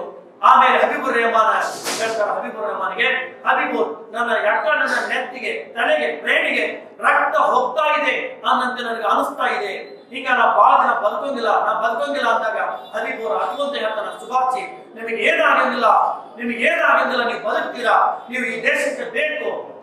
ಅಂತ ಹೇಳಿದಾಗ ದೇವರನ್ನ ನೀವು ಬದುಕ್ತೀರಾ ಅಂದಾಗ, ಇಲ್ಲ ಹಬೀಬುರ್ ನೀವು ಎಲ್ಲ ಚೆನ್ನಾಗಿರ್ಬೇಕು. ನೀವು ಹೋಗ್ರಿ ಟ್ರೀಟ್ಮೆಂಟ್ ತಗೋರಿ ನಾ ಬದುಕಂಗಿಲ್ಲ. ನನಗೆ ಅನಿಸ್ತಾ ಇದೆ. ಬಟ್ ನಮ್ಮ ಜನಕ್ಕೆ ಹೋಗಿ ಹೇಳಿ, ಆ, ಈ ದೇಶ ಸ್ವತಂತ್ರ ಆಗ್ತದ. ನಾವು ಬಹಳ ನಮ್ಮ ದೇಶ ಗುಲಾಮಗಿರಿಯಿಂದ ಮುಕ್ತವಾಗ್ತದೆ. ಗುಲಾಮಗಿರಿವರೆಗೆ ಇರಂಗಿಲ್ಲ. ನಮ್ಮ ದೇಶ ಸ್ವತಂತ್ರ ಆಗಲೇಬೇಕು ನಮ್ಮ ಭಾರತೀಯ ಮುಂದೆ ಯಾವ ದಾಕ್ಷಣ್ಯ ಮಾಡ್ಕೊಳಕ ಸಾಧ್ಯ ಇಲ್ಲ. ಆ ಭವಿಷ್ಯ ನನ್ನ ಕಣ್ಣು ಮುಂದಿದೆ ಅಂತ ಹೇಳ್ತಾ ಇದ್ದಂತೆ ಸುಭಾಷ್ ಚಂದ್ರ ಬೋಸರ ಕಣ್ಣಲ್ಲಿ ರಕ್ತಗಳ ಬರಕ ರಕ್ತ ಬರಕತ್ತು ಕಣ್ಣುಗಳು ಊದ್ಕೊಂಡು ಕಣ್ಣುಗಳು ಊದ್ಕೊಂಡು ಕೊನೆಗೆ ಅವರಿಗೆ ನೋಡಕ್ ಆಗಲಿಲ್ಲ ಕೊನೆಗೆ ಸ್ಲೋಲಿ ಅವರು ಕಣ್ಣು ಮುಚ್ಚಿ ಶಾಂತ ಆಗಿದ್ರು ಆ ಟೈಮ್ನಲ್ಲಿ ಅಷ್ಟೊಳಗೆ ಟೋಕಿಯೋದ ಆಂಬುಲೆನ್ಸ್ಗಳು ಬಂದು ಸಡನ್ಲಿ ಇವರನ್ನ ಹಾಸ್ಪಿಟಲ್ಗೆ ಒಯ್ದು ಕೊನೆಗೆ ಸಾಯಂಕಾಲದ ಹೊತ್ತಿಗೆ ಎಂಟು ಮೂವತ್ತಕ್ಕ ಎಂಟು ಮೂವತ್ತಕ್ಕ ರಾತ್ರಿ ಬಿಳಿ ಬಟ್ಟೆನ ಸುತ್ತಿ ಒಂದು ಶವನ್ನ ಹೊರಗೆ ತಂದು ಆ ಶವನ್ನ ಹಬಿಬುರ್ ಹೋಗಿ ಅಂತ್ಯ ಸಂಸ್ಕಾರವನ್ನ ಮಾಡಿದ. ಆವಾಗ ಟೋಕಿಯೋ ರೇಡಿಯೋ ರೇಡಿಯೋದಾಗ ಜಪಾನ್ದವರು ಒಂದು ಹೇಳಿಕೆಯನ್ನು ಕೊಟ್ಟರು Subhash Chandra Bose is no more ಅಂತೇಳಿ ಅವರು ರಿಪೋರ್ಟ್ ಅನ್ನು ಕೊಟ್ಟರು ಸುಭಾಷ್ ಚಂದ್ರ ಬೋಸ್ ಅವರು ಸತ್ತು ಅಂತೇಳಿ ವರದಿಯನ್ನು ಕೊಟ್ಟರು. ಆದ್ರೆ ನಿಜವಾಗ್ಲೂ ಅವತ್ತು ಸುಭಾಷ್ ಚಂದ್ರ ಬೋಸ್ ಅವರು ಸತ್ಯ ಇಲ್ಲ ಸತ್ಯ ಇಲ್ಲ ಅಂತೇಳಿ ನಮ್ಮ ಭಾರತೀಯರು ಸಾಕಷ್ಟು ವಾದವನ್ನು ಮಾಡಕತ್ತರು ಆಮೇಲೆ ಕೆಲವಷ್ಟು ಆಯೋಗಗಳು ನೇಮಕಗೊಂಡು ಅವ್ರ ಬಗ್ಗೆ ಅಧ್ಯಯನವನ್ನು ಮಾಡಕ ಆಯೋಗಗಳು ನೇಮಕಗೊಂಡು ಸುರೇಶ್ ಚಂದ್ರ ಬೋಸ್ ಅಂತೇಳಿ ಅವರ ಸಹೋದರ ಅವ್ರ ನಾಯಕತ್ವದಲ್ಲಿ ಒಂದು ಆಯೋಗ ಹೋಯಿತು. ಆ ಟೈಪಿಂಗ್ ಹೋಯ್ತು, ಟೋಕಿಯೋ ಹೋಯ್ತು. ಅವ್ರಿಗೆ ಯಾರ ಟ್ರೀಟ್ಮೆಂಟ್ ಕೊಟ್ಟಿದ್ರಲ್ಲ, ಆ ಎಲ್ಲ ಡಾಕ್ಟರ್ ಕೂಡ ಮಾತಾಡಿದ್ರು. ಆ ನರ್ಸ್ ಕೂಡ ಮಾತಾಡಿದ್ರು, ಅವರಿಗೆ ಬ್ಲಡ್ ಕೊಟ್ಟಿದ್ರು ಕೆಲವು ವಿದ್ಯಾರ್ಥಿಗಳು ಬ್ಲಡ್ ಆ ವಿದ್ಯಾರ್ಥಿಗಳು ಕೂಡ ಮಾತಾಡಿದ್ರು. ಮತ್ತಲ್ಲೆಲ್ಲ ಅವರ ಡೆತ್ ಎಲ್ಲಿ ರಿಜಿಸ್ಟರ್ ಆಗದಲ್ಲ, ಅಲ್ಲಿ ಹೋಗಿ ನೋಡಿದ್ರು. ಎಲ್ಲ ಕಡೆ ಹೋಗಿ ನೋಡಿದ್ರು, ಒಂದು ಸತ್ಯ ಗೊತ್ತಾಯ್ತು. ಎಲ್ಲಿ ಕೂಡ ಸುಭಾಷ್ ಚಂದ್ರ ಬೋಸ್ ಮಾಹಿತಿ ದೃಢಪಡಿದೆ ಇಲ್ಲ. ದೃಢಪಡಲಿಲ್ಲ ಮತ್ತು ಸುಭಾಷ್ ಚಂದ್ರ ಬೋಸ್ ಅವರು ಸತ್ತನ್ನು ವರದಿನ ಜಪಾನ್ ತಂದುಕೊಟ್ರು ಎದಕ್ ಕೊಟ್ಟರು ಅಂದ್ರೆ, ಸುಭಾಷ್ ಚಂದ್ರ ಬೋಸ್ ಅವರು ಶೀಘ್ರ ಅವರನ್ನ ಬ್ರಿಟಿಷರು ಸುಮ್ಮನೆ ಬಿಡ್ತಾರೆ ಬ್ರಿಟಿಷರು ಸುಮ್ಮನೆ ಬಿಡ್ತಿದ್ದಿಲ್ಲ. ಹಾಗಾಗಿ ಸುಭಾಷ್ ಚಂದ್ರ ಬೋಸ್ ಅವರು ಅಂತ ಹೇಳಿ ಬ್ರಿಟಿಷರ ಮೈಂಡ್ ಅನ್ನು ಡೈವರ್ಟ್ ಮಾಡಬೇಕಾಗಿತ್ತು ಜಪಾನ್ದವರು. ಅದಕ್ಕೆ ಡೈವರ್ಟ್ ಮಾಡಿದ್ರು. ಆದ್ರೆ ಮುಂದೆ ಗಾಂಧೀಜಿಯವರು ಸುಭಾಷ್ ಚಂದ್ರ ಬೋಸ್ ಅವರು ಸರ್ಕಾರ ಅಂತ ಒಪ್ಪಿಗೆಳಿಲ್ಲ ಒಪ್ಪಿಗೆಳಿಲ್ಲ ಆಮೇಲೆ ಏನಾಯ್ತು ಅಂದ್ರ ಮುಂದೆ ಸುಭಾಷ್ ಚಂದ್ರ ಬೋಸ್ ಅವರು ಚೈನಾದ ಗಡಿ ಭಾಗದಲ್ಲಿ, ಚೈನಾದ ಗಡಿ ಭಾಗದಲ್ಲಿ ಗುನ್ನಾ ಬಾಬಾ ಅವರ ಹೆಸರಿನಲ್ಲಿ ಕೆಲವು ವರ್ಷಗಳ ಕಾಲ ಬದುಕಿದ್ರು. ಕೊನೆಗೆ ಜವಾಹರ್ಲಾಲ್ ನೆಹರು ಅವರಿಗೆ ಒಂದು ಪತ್ರವನ್ನು ಬರೆದಿದ್ರು. ಆ ಪತ್ರ ಇವತ್ತಿಗೂ ನಮ್ಮ ಗುಪ್ತಚರದ ಕೇಂದ್ರ ಸರ್ಕಾರದ ನಿಯಂತ್ರಣದಲ್ಲಿ ದಿಲ್ಲಿ ಮತ್ತು ಮತ್ತೆ ಹೆಂಗ್ ಒಪ್ಪಿರ್ತೀರಿ ಸುಭಾಷ್ ಬೋಸ್ ಸರ್ಕಾರ ಅಂತೇಳಿ ಹತ್ತೊಂಬತ್ತು ನೂರ ನಲವತ್ತೈದು ಆಗಸ್ಟ್ ಹದಿನೆಂಟನೇ ತಾರೀಕು ಸಾತು ಅಂತ ಐತಲ್ಲ, ಆಗಸ್ಟ್ ಹದಿನೆಂಟು ನಂತರ ಬಂದಿದ್ದ ಐತಿ. ಮತ್ತು ಮೋದಿಯವರ ಟೇಬಲ್ ಎಲ್ಲ ಕಡತಗಳದಾವ ಸುಭಾಷ್ ಚಂದ್ರ ಬೋಸ್ ಅವರ ಅವರು ಧೈರ್ಯ ಬಹಿರಂಗಗೊಳಿಸಿದ್ರೆ ಒಂದು ಸತ್ಯ ಅದೇನು ಅಂದ್ರೆ ನೆಹರು ಅವರು ಸುಭಾಷ್ ಚಂದ್ರ ಬೋಸ್ ಅವ್ರನ್ನ ಹೆಂಗ ಹತ್ತಿದ್ರು ಅನ್ನೋದು ಗೊತ್ತಾಗ ಅದಕ್ಕಾಗಿ ಆ ಕಡತಗಳನ್ನ ರಿಲೀಸ್ ಮಾಡ್ತಾ ಇಲ್ಲ ಸರ್ಕಾರ. ಅಷ್ಟೇ ಕಾಲ. ಪೊಲಿಟಿಕಲ್ ಗಿಮಿಕ್ ಯಾಕಂದ್ರೆ ಸುಭಾಷ್ ಚಂದ್ರ ಬೋಸ್ ಅವ್ರನ್ನ ಭಾರತಕ್ಕೆ ಬರಬೇಕು ಅಂತ ಪತ್ರವನ್ನು ಬರೆದಾಗ ಅದಕ್ಕೆ ಪ್ರತಿಯಾಗಿ ನೆಹರು ಅವರ ಇಂಗ್ಲೆಂಡ್ಗೆ ಪತ್ರವನ್ನು ಬರೆದಿದ್ರು ಏನಂತೆ ಪತ್ರ ಬರೆದಿದ್ರು ಇಂಗ್ಲೆಂಡ್ಗೆ ಅಂದ್ರೆ ಸುಭಾಷ್ ಜೀವಂತವಾಗಿ ಅದನ್ನ ಭಾರತಕ್ಕೆ ಬರ್ತಾನೆ ಅಂತ ಹೇಳಕತ್ತಾನ. ರಷ್ಯಾದೊಂದಿಗೆ ರಷ್ಯಾ ಹೋಗ್ತಾನೆ ಅಂತ ಹೇಳಕತ್ತಾನ. ರಷ್ಯಾದೊಂದಿಗೆ ಬರ್ತಾನೆ ಅಂತ ಹೇಳಕತ್ತಾನ. ಅದಕ್ಕೆ ಅವನನ್ನ ನೀವು ಬೇಗ ನೀವು ಕ್ರಮ ಕೈಗೊಳ್ಬೇಕು ಅಂತೇಳಿ ಇಂಗ್ಲೆಂಡ್ಗೆ ನೆಹರು ಅವರು ಕೂಡ ಇದೆ ಬ್ರಿಟನ್ ಒಳಗೆ ಪತ್ರ ಇದೆ.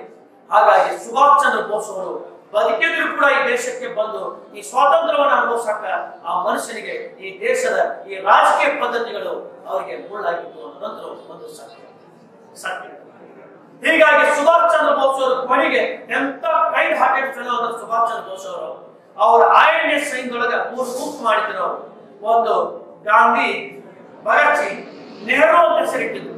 ಇಷ್ಟ ರಾಷ್ಟ್ರನಾಯಕರಿಗೆ ಗೌರವಿಸಿದಂತ ನಾಯಕ ಸುಭಾಷ್ ಚಂದ್ರ ಬೋಸ್ ಅವರು. ಆತ ಒಳಗಿದ್ದವರಿಗೆ ಅಷ್ಟು ಸ್ಕೋಪ್ ಕೊಡಲಿಲ್ಲ.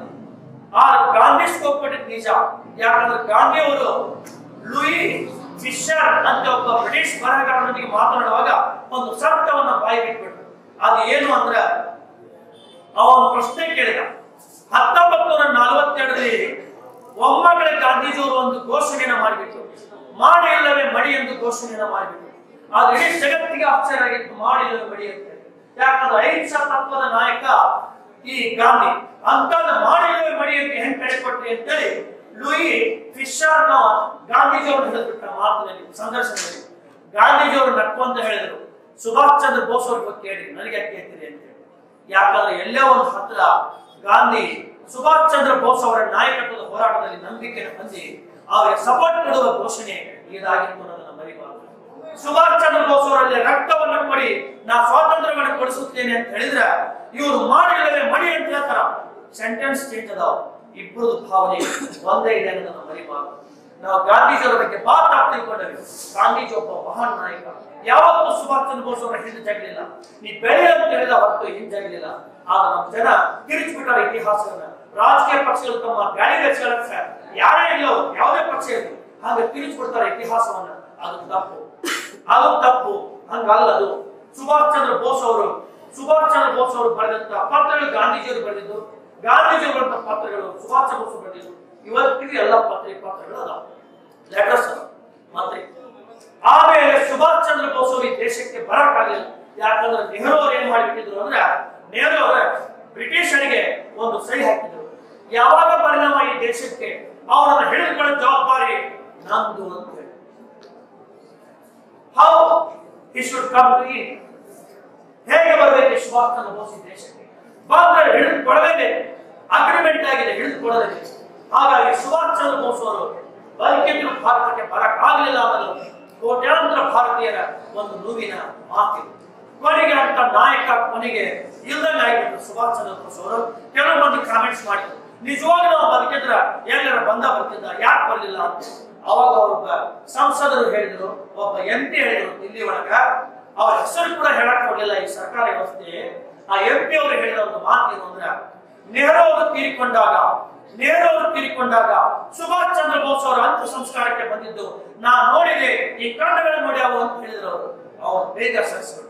ಅವ್ರು ಯಾರು ಅಂತ ಹೇಳಕ್ ಕೂಡ ಮುಂದೆ ಕೊಡಲಿ ಅಷ್ಟೊಳಗೆ ಕೆಲವು ಪತ್ರಿಕೆಗಳಲ್ಲಿ ಸ್ಟೇಟ್ಮೆಂಟ್ ಬಂದಿದ್ದಷ್ಟೇ ನಿಜವಾಗಿ ಹಾಗಾಗಿ ಹತ್ತೊಂಬತ್ತು ನೂರ ತೊಂಬತ್ತೆರಡರಲ್ಲಿ ಸುಭಾಷ್ ಚಂದ್ರ ಬೋಸ್ ಅವರಿಗೆ ಭಾರತ ರತ್ನ ಎಂಬ ಪ್ರಶಸ್ತಿಯನ್ನು ಘೋಷಣೆ ಮಾಡಿದಾಗ ಅನಿತಾ ಬೋಸ್, ಸುಭಾಷ್ ಚಂದ್ರ ಬೋಸ್ ಅವರ ಮಗಳು ಅನಿತಾ ಬೋಸ್ ಅನಿತಾ ಬೋಸ್ ಅವರು ಜರ್ಮನಿ ಅಂಡ್ ಹಂಗೇರಿ ಅಲ್ಲಿ ರಾಷ್ಟ್ರೀಯತೆ ಇದೆ ಅವರಿಗೆ. ಯಾಕಂದ್ರೆ ಅವರು ಹುಟ್ಟಿದ್ದ ಆ ಭಾಗದಲ್ಲಿ ವಿಯೆನ್ನಾ ಭಾಗದಲ್ಲಿ ಆ ಎಲ್ಲ ಬರ್ಲಿನ್ ಹಾಗೆ ಹುಟ್ಟಿದ್ರು. ಹತ್ತೊಂಬತ್ತು ನಲವತ್ತೆರಡರೊಳಗೆ ಅನಿತಾ ಬೋಸ್ ಅಂತ ಹೇಳಿ, ಸುಭಾಷ್ ಚಂದ್ರ ಬೋಸ್ ಅವರ ಪತ್ನಿ ಎಮಿನಿ ಶಂಕೆಲ್ ಅಂತೇಳಿ ಎಮಿನಿ ಶಂಕೆಲ್ ಅಂತೇಳಿ ಅವರ ಮಗಳು ಅನಿತಾ ಬೋಸ್ ಅಂತೇಳಿ ಅನಿತಾ ಬೋಸ್ ಅಂತ ಕರೀತಾರ. ಅವ್ರು ಹೇಳಿದ್ರು, ನನ್ನ ತಂದೆಯ ಸಾವಿನ ಬಗ್ಗೆ ಸ್ಪಷ್ಟವಾದ ದಾಖಲೆಗಳು ಕೂಡ ತನಕ ಈ ಒಂದು ನನಗೆ, ಈ ನನ್ನ ತಂದೆಗೆ ಆದಂತ ಹನ್ನೆರಡು ತನ್ನ ಸ್ಪಷ್ಟತೆ ಸಿಗೋ ತನಕ ಈ ಭಾರತ ರತ್ನ ಇಲ್ಲ ಅಂತ ಹೇಳಿ ಹೀಗಾಗಿ ಅದು ನಾವು ಹತ್ತೊಂಬತ್ತು ನೂರ ತೊಂಬತ್ತೇಳಕ್ಕೆ ಆದ್ರೆ ಬ್ಯಾಡ ಅಂದ್ಬಿಟ್ಟು ಸ್ಪಷ್ಟವಾಗಿ ಹತ್ತೊಂಬತ್ತು ನಾ, ತೊಂಬತ್ತೆರಡಕ್ಕೆ ಅದು ಘೋಷಣೆ ಆಗಿತ್ತು ಭಾರತ ರತ್ನ. ಬೇಡ ಅಂತ ತೊಂಬತ್ತೇಳಕ್ಕೆ ಮತ್ತೆ ಹೈಲೈಟ್ ಮಾಡಿದ್ರು. ಬೇಡ ಅಂತ ಡಿಸಿಷನ್ ಅಂತ ಬೋಸ್. ನಮ್ಮ ಅಪ್ಪನ ಬಗ್ಗೆ ಸ್ಪಷ್ಟವಾದ ಮಾಹಿತಿ ಕೊಡಬೇಕು, ಭಾರತ ವ್ಯವಸ್ಥೆ ಕೊಡಬೇಕು. ನನ್ನ ತಂದೆ ಪಾತ್ರ ಏನು ಭಾರತದ ಮಟ್ಟದಲ್ಲಿ ಏನದು ಸ್ಪಷ್ಟವಾಗಿ ಜನರು ತಿಳಿಬೇಕು. ಅವಾಗ ಅವಾರ್ಡ್ ಅನ್ನು ತಗೊಂತೀವಿ ಅಲ್ಲಿ ಮಟ್ಟ ನಮ್ಗೆ ಅವಾರ್ಡ್ ಬೇಡ ಅಂತೇಳಿ ಸ್ಪಷ್ಟವಾಗಿ ಹೇಳಿದ್ರು. ಈಗ ಈಗ ಪ್ರಸ್ತುತವಾಗಿ ಭಾರತದಲ್ಲಿ ಒಂದು ಕರೆಂಟ್ ಇವೆಂಟ್ ಏನು ಅನ್ನೋದನ್ನ ನಾವು ನಿನ್ನೆ ಗಮನಿಸಿವಿ ನಿನ್ನೆ ಮೊನ್ನೆ ಗಮನಿಸಿವಿ ನರೇಂದ್ರ ಮೋದಿಯವರು ಜನವರಿ ಇಪ್ಪತ್ತ್ ಮೂರನೇ ತಾರೀಕನ್ನ ಪರಾಕ್ರಮ ದಿನ ಎಂದು ಘೋಷಣೆಯನ್ನ ಮಾಡಿ ಸುಭಾಷ್ ಚಂದ್ರ ಬೋಸ್ ಅವರ ಒಂದು ಪುತ್ಥಳಿಯನ್ನ ಇಪ್ಪತ್ತೆಂಟು ಅಡಿ ಎತ್ತರ ಇರುವಂತಹ ಜಡೆ ಬ್ಲಾಕ್ ಸ್ಟೋನ್, ಜಡೆ ಕಲ್ಲಿನಲ್ಲಿ ಮಾಡಿದಂತ, ಕಪ್ಪು ಕಲ್ಲಿನಲ್ಲಿ ಮಾಡಿದಂತ, ಕಪ್ಪು ಗಣಚು ಕಲ್ಲಿನಲ್ಲಿ ಮಾಡಿದಂತ ಒಂದು ಇಪ್ಪತ್ತೆಂಟು ಅಡಿ ಎತ್ತರ ಇರುವಂತಹ ಆರು ಅಡಿ ಅಗಲ ಇರುವಂತಹ ಒಂದು ಪುತ್ಥಳಿಯನ್ನ ಇಂಡಿಯಾ ಗೇಟ್ ಭಾಗದಲ್ಲಿ ಪ್ರತಿಷ್ಠಾಪನೆಯನ್ನ ಮಾಡುವ ಮೂಲಕ ಮತ್ತೆ ಆ ರಾಷ್ಟ್ರ ನಾಯಕರಿಗೆ ನಮನವನ್ನು ಸಲ್ಲಿಸಿ ಇನ್ನು ಮುಂದೆ ಗಣರಾಜ್ಯೋತ್ಸವ ನಾವೇನು ಮಾಡ್ತಾವಲ್ಲ? ಜನವರಿ ಇಪ್ಪತ್ತಾರು ಗಣರಾಜ್ಯೋತ್ಸವ. ಆದರೆ ಸೆಲೆಬ್ರೇಷನ್ ಡೇ ಜನವರಿ ಇಪ್ಪತ್ತ್ ಮೂರನೇ ತಾರೀಕಿನಿಂದ ಆರಂಭವಾಗಲಿ ಜನವರಿ ಇಪ್ಪತ್ತ್ ಮೂರು ಇಪ್ಪತ್ನಾಲ್ಕು, ಇಪ್ಪತ್ತೈದು, ಇಪ್ಪತ್ತಾರು ಅಂತ್ಯ ಮಾಡೋಣ ಅಂತೇಳಿ ಇವರು ಘೋಷಣೆಯನ್ನು ಮಾಡಿದ್ದು ಒಂದು ಆ ಮಹಾನ್ ನಾಯಕನಿಗೆ ಕೊಟ್ಟಂತ ಒಂದು ಅದ್ಭುತವಾದ ಗೌರವ ಅನ್ನೋದ್ರಲ್ಲಿ ಯಾವುದೇ ತಪ್ಪಣೆ ಆ ಸುಭಾಷ್ ಚಂದ್ರ ಬೋಸ್ ಅವರ ಪುತ್ಥಳಿಯನ್ನು. ರೆಡಿ ಮಾಡಿದವರು ಅದ್ವೈತ್. ಅದ್ವೈತ್ ನಾಯಕ್ ಅಂತೇಳಿ. ಅದ್ವೈತ್ ಗಡ ನಾಯಕ್ ಅಂತ ಬರ್ತಾರ. ಆ ಅದ್ವೈತ್ ಗಡ ನಾಯಕ್ ಅವರು ಆ ಪುತ್ಥಳಿಯನ್ನು ಮಾಡಿದವರು ಅವರು ಒಡಿಶಾದವರು ಆ ಪುತ್ಥಳಿ ರೆಡಿಯಾಗಿದ್ದು ತೆಲಂಗಾಣದಲ್ಲಿ. ತೆಲಂಗಾಣದಲ್ಲಿ ಪುತ್ಥಳಿ ರೆಡಿ ಆಯಿತು. ಇಲ್ಲಿವರೆಗೆ ಸುಭಾಷ್ ಚಂದ್ರ ಬೋಸ್ ಅವರ ಬದುಕು ಈ ಜನವರಿ ಇಪ್ಪತ್ತ್ ಮೂರನೇ ತಾರೀಕುವರೆಗೆ ನಿಮಗೆ ಸಾಧ್ಯ ಆದಷ್ಟು ಇರುವಂತಹ ಒಂದು ಸಮಯದಲ್ಲಿ ಇವತ್ತು ಉಪನ್ಯಾಸ ಕಾರ್ಯಕ್ರಮದಲ್ಲಿ ನಿಮ್ಮ ಗಮನಕ್ಕೆ ಸುಭಾಷ್ ಚಂದ್ರ ಬೋಸ್ ಅವರು ಮಾನಸಿಕವಾಗಿ, ಸೈದ್ಧಾಂತಿಕವಾಗಿ, ಹೋರಾಟದಲ್ಲಿ ಹೋರಾಟದಲ್ಲಿ ಬಾಹ್ಯವಾಗಿ, ಆಂತರಿಕವಾಗಿ ಯಾರು ಅವರು ಅನ್ನೋದನ್ನ ತಿಳಿಸ್ಕೊಡಕ ನಾನು ಸಾಕಷ್ಟು ಪ್ರಯತ್ನವನ್ನ ಮಾಡಿನಿ. ಆದ್ರೆ ಯಾವುದೇ ರಾಷ್ಟ್ರ ನಾಯಕರಾಗಲಿ ಆ ದೇಶಗಳಲ್ಲಿ ಹಿಸ್ಟ್ರಿ ಬುಕ್ ಆಗಿರ್ಬೋದು ಮತ್ತೊಬ್ಬರ ಹೇಳಿಕೆಗಳಲ್ಲಿ ಇರ್ಬೋದು ಅವರು ಅವಾಗ ಹೋಗಿರಬಹುದು ಹೋಗಿರ್ಬೋದು. ಆ ನನ್ನ ಪ್ರಕಾರ ನಮ್ಮ ಹೃದಯದಲ್ಲಿ ಭಾರತೀಯರ ಹೃದಯದಲ್ಲಿ ಅವ್ರು ಯಾವತ್ತೂ ಸಾಯಂಗಿಲ್ಲ. ಯಾವತ್ತೂ ಸಾಯಂಗಿಲ್ಲ. ಅವ್ರು ಯಾವತ್ತೂ ಅಮರರಾಗಿ ಇರ್ತಾರ, ಇದ್ದೇ ಇರ್ತಾರ. ಅವರ ನಡೆದು ಹೋದಂತ ಅವರ ಬದುಕಿನ ಹೆಜ್ಜೆ, ಗುರುತುಗಳು ಸಾವಿರಾರು ಪೀಳಿಗೆಗಳಿಗೆ ಅವು ಮಾರ್ಗದರ್ಶನಕ್ಕೆ ಅದು ನಿಜವಾದ ಸಾಧನೆ. ಒಬ್ಬ ವ್ಯಕ್ತಿ ಹುಟ್ಟಿದಾಗ ಅಥವಾ ಹುಡುತಾನ ಕೊನೆಗೆ ಮಹಾನ್ ನಾಯಕ ಸತ್ತು ಹೋದಾಗ ಈ ಜಗತ್ತು ಅಳಬೇಕು ಅದು ನಿಜವಾದ ಸಾಧನೆ ಅಂತ ಹಂತವನ್ನ ಸಹ ತಲುಪಿದಂತ ನಾಯಕ ಸುಭಾಷ್ ಚಂದ್ರ ಬೋಸ್ ಅವರು. ಯಾವುದೇ ವ್ಯಕ್ತಿತ್ವವನ್ನ ಅವ್ರ ಹಿಂದಿರುವ ಅವಾರ್ಡ್ನ ಮೂಲಕ ನೀವು ಅಳಿಬಾರದು. ಭಾರತ ರತ್ನ ಕೊಟ್ಟರಷ್ಟೇ ಮಹಾನ್ ನಾಯಕರು ಅನ್ನೋದು ಅದು ಮೂರ್ಖತನದ ಒಂದು ಪ್ರಶ್ನೆ ಆಗ್ತದೆ. ಯಾಕಂದ್ರೆ ನಿಮ್ಮ ಯಾವುದೇ ನಿಮ್ಮ ಮನೆ ದೇವರಿಗೆ ಭಾರತ ರತ್ನ ಕೊಟ್ಟಿಲ್ಲ ತಿರುಪತಿ ತಿಮ್ಮಪ್ಪ ಭಾರತ ರತ್ನ ಕೊಟ್ಟಿಲ್ಲ ನೋಬಲ್ ಕೊಟ್ಟಿಲ್ಲ ಸಾಯಿಬಾಬಾ ಕೊಟ್ಟಿಲ್ಲ ಹೌದಾ? ಭಾರತ ರತ್ನ ಕೊಟ್ಟವರಷ್ಟೇ ಮಹಾನ್ ಅಂತ ಬಿಂಬಿಸೋದು ನಮ್ಮ ಯುವ ಪೀಳಿಗೆಯಲ್ಲಿ ಕಂಡುಬರುವಂತ ಒಂದು ಪ್ರಶ್ನೆ ನೋಡಿ ನಾನು. ಅದಕ್ಕೆ ಹೇಳ್ತಾ ಇದೀನಿ ಭಾರತ ರತ್ನ ವರ್ಷಕ್ಕೆ ನಾಲ್ಕು ಮಂದಿ ಕೊಡಬಹುದು ನಾಲ್ಕು ಮಂದಿ ಕೊಡ್ಬೋದು. ಬಟ್ ಹೃದಯದಲ್ಲಿ ಸ್ಥಾನ ಜನ ಎಲ್ಲರಿಗೂ ಕೊಡಕ್ ಸಾಧ್ಯ ಇಲ್ಲ. ಎಲ್ಲರಿಗೂ ಕೊಡಕ್ ಸಾಧ್ಯ ಇಲ್ಲ. ಇಂಥ ಮಹನೀಯರ ಬಗ್ಗೆ ಕೇಳುವಾಗ, ಹಿಂದೆ, ಮುಂದೆ, ಯಾವಾಗಲೂ ಕೇಳುವಾಗ ಎಲ್ಲೋ ಒಂದು ಹತ್ರ ಮೈಯಲ್ಲಿ ಕೂದ ನೆಟ್ಗಾಗ್ತಾವೆ ಹೃದಯ ಭಾರ ಅಂತ ಅನಿಸ್ತದೆ.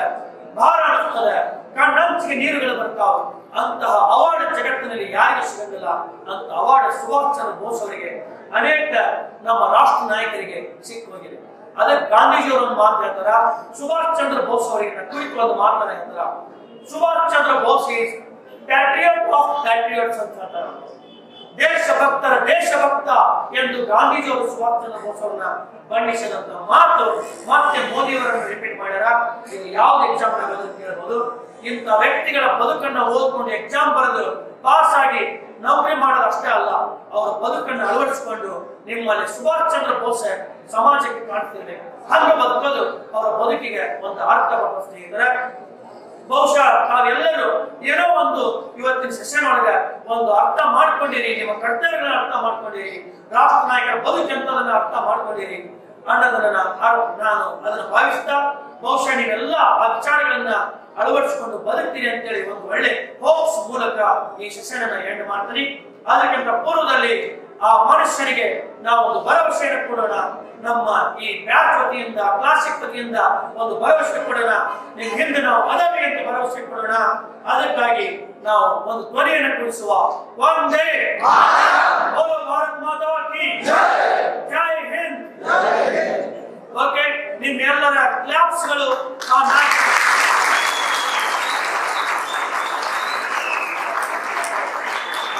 Thank.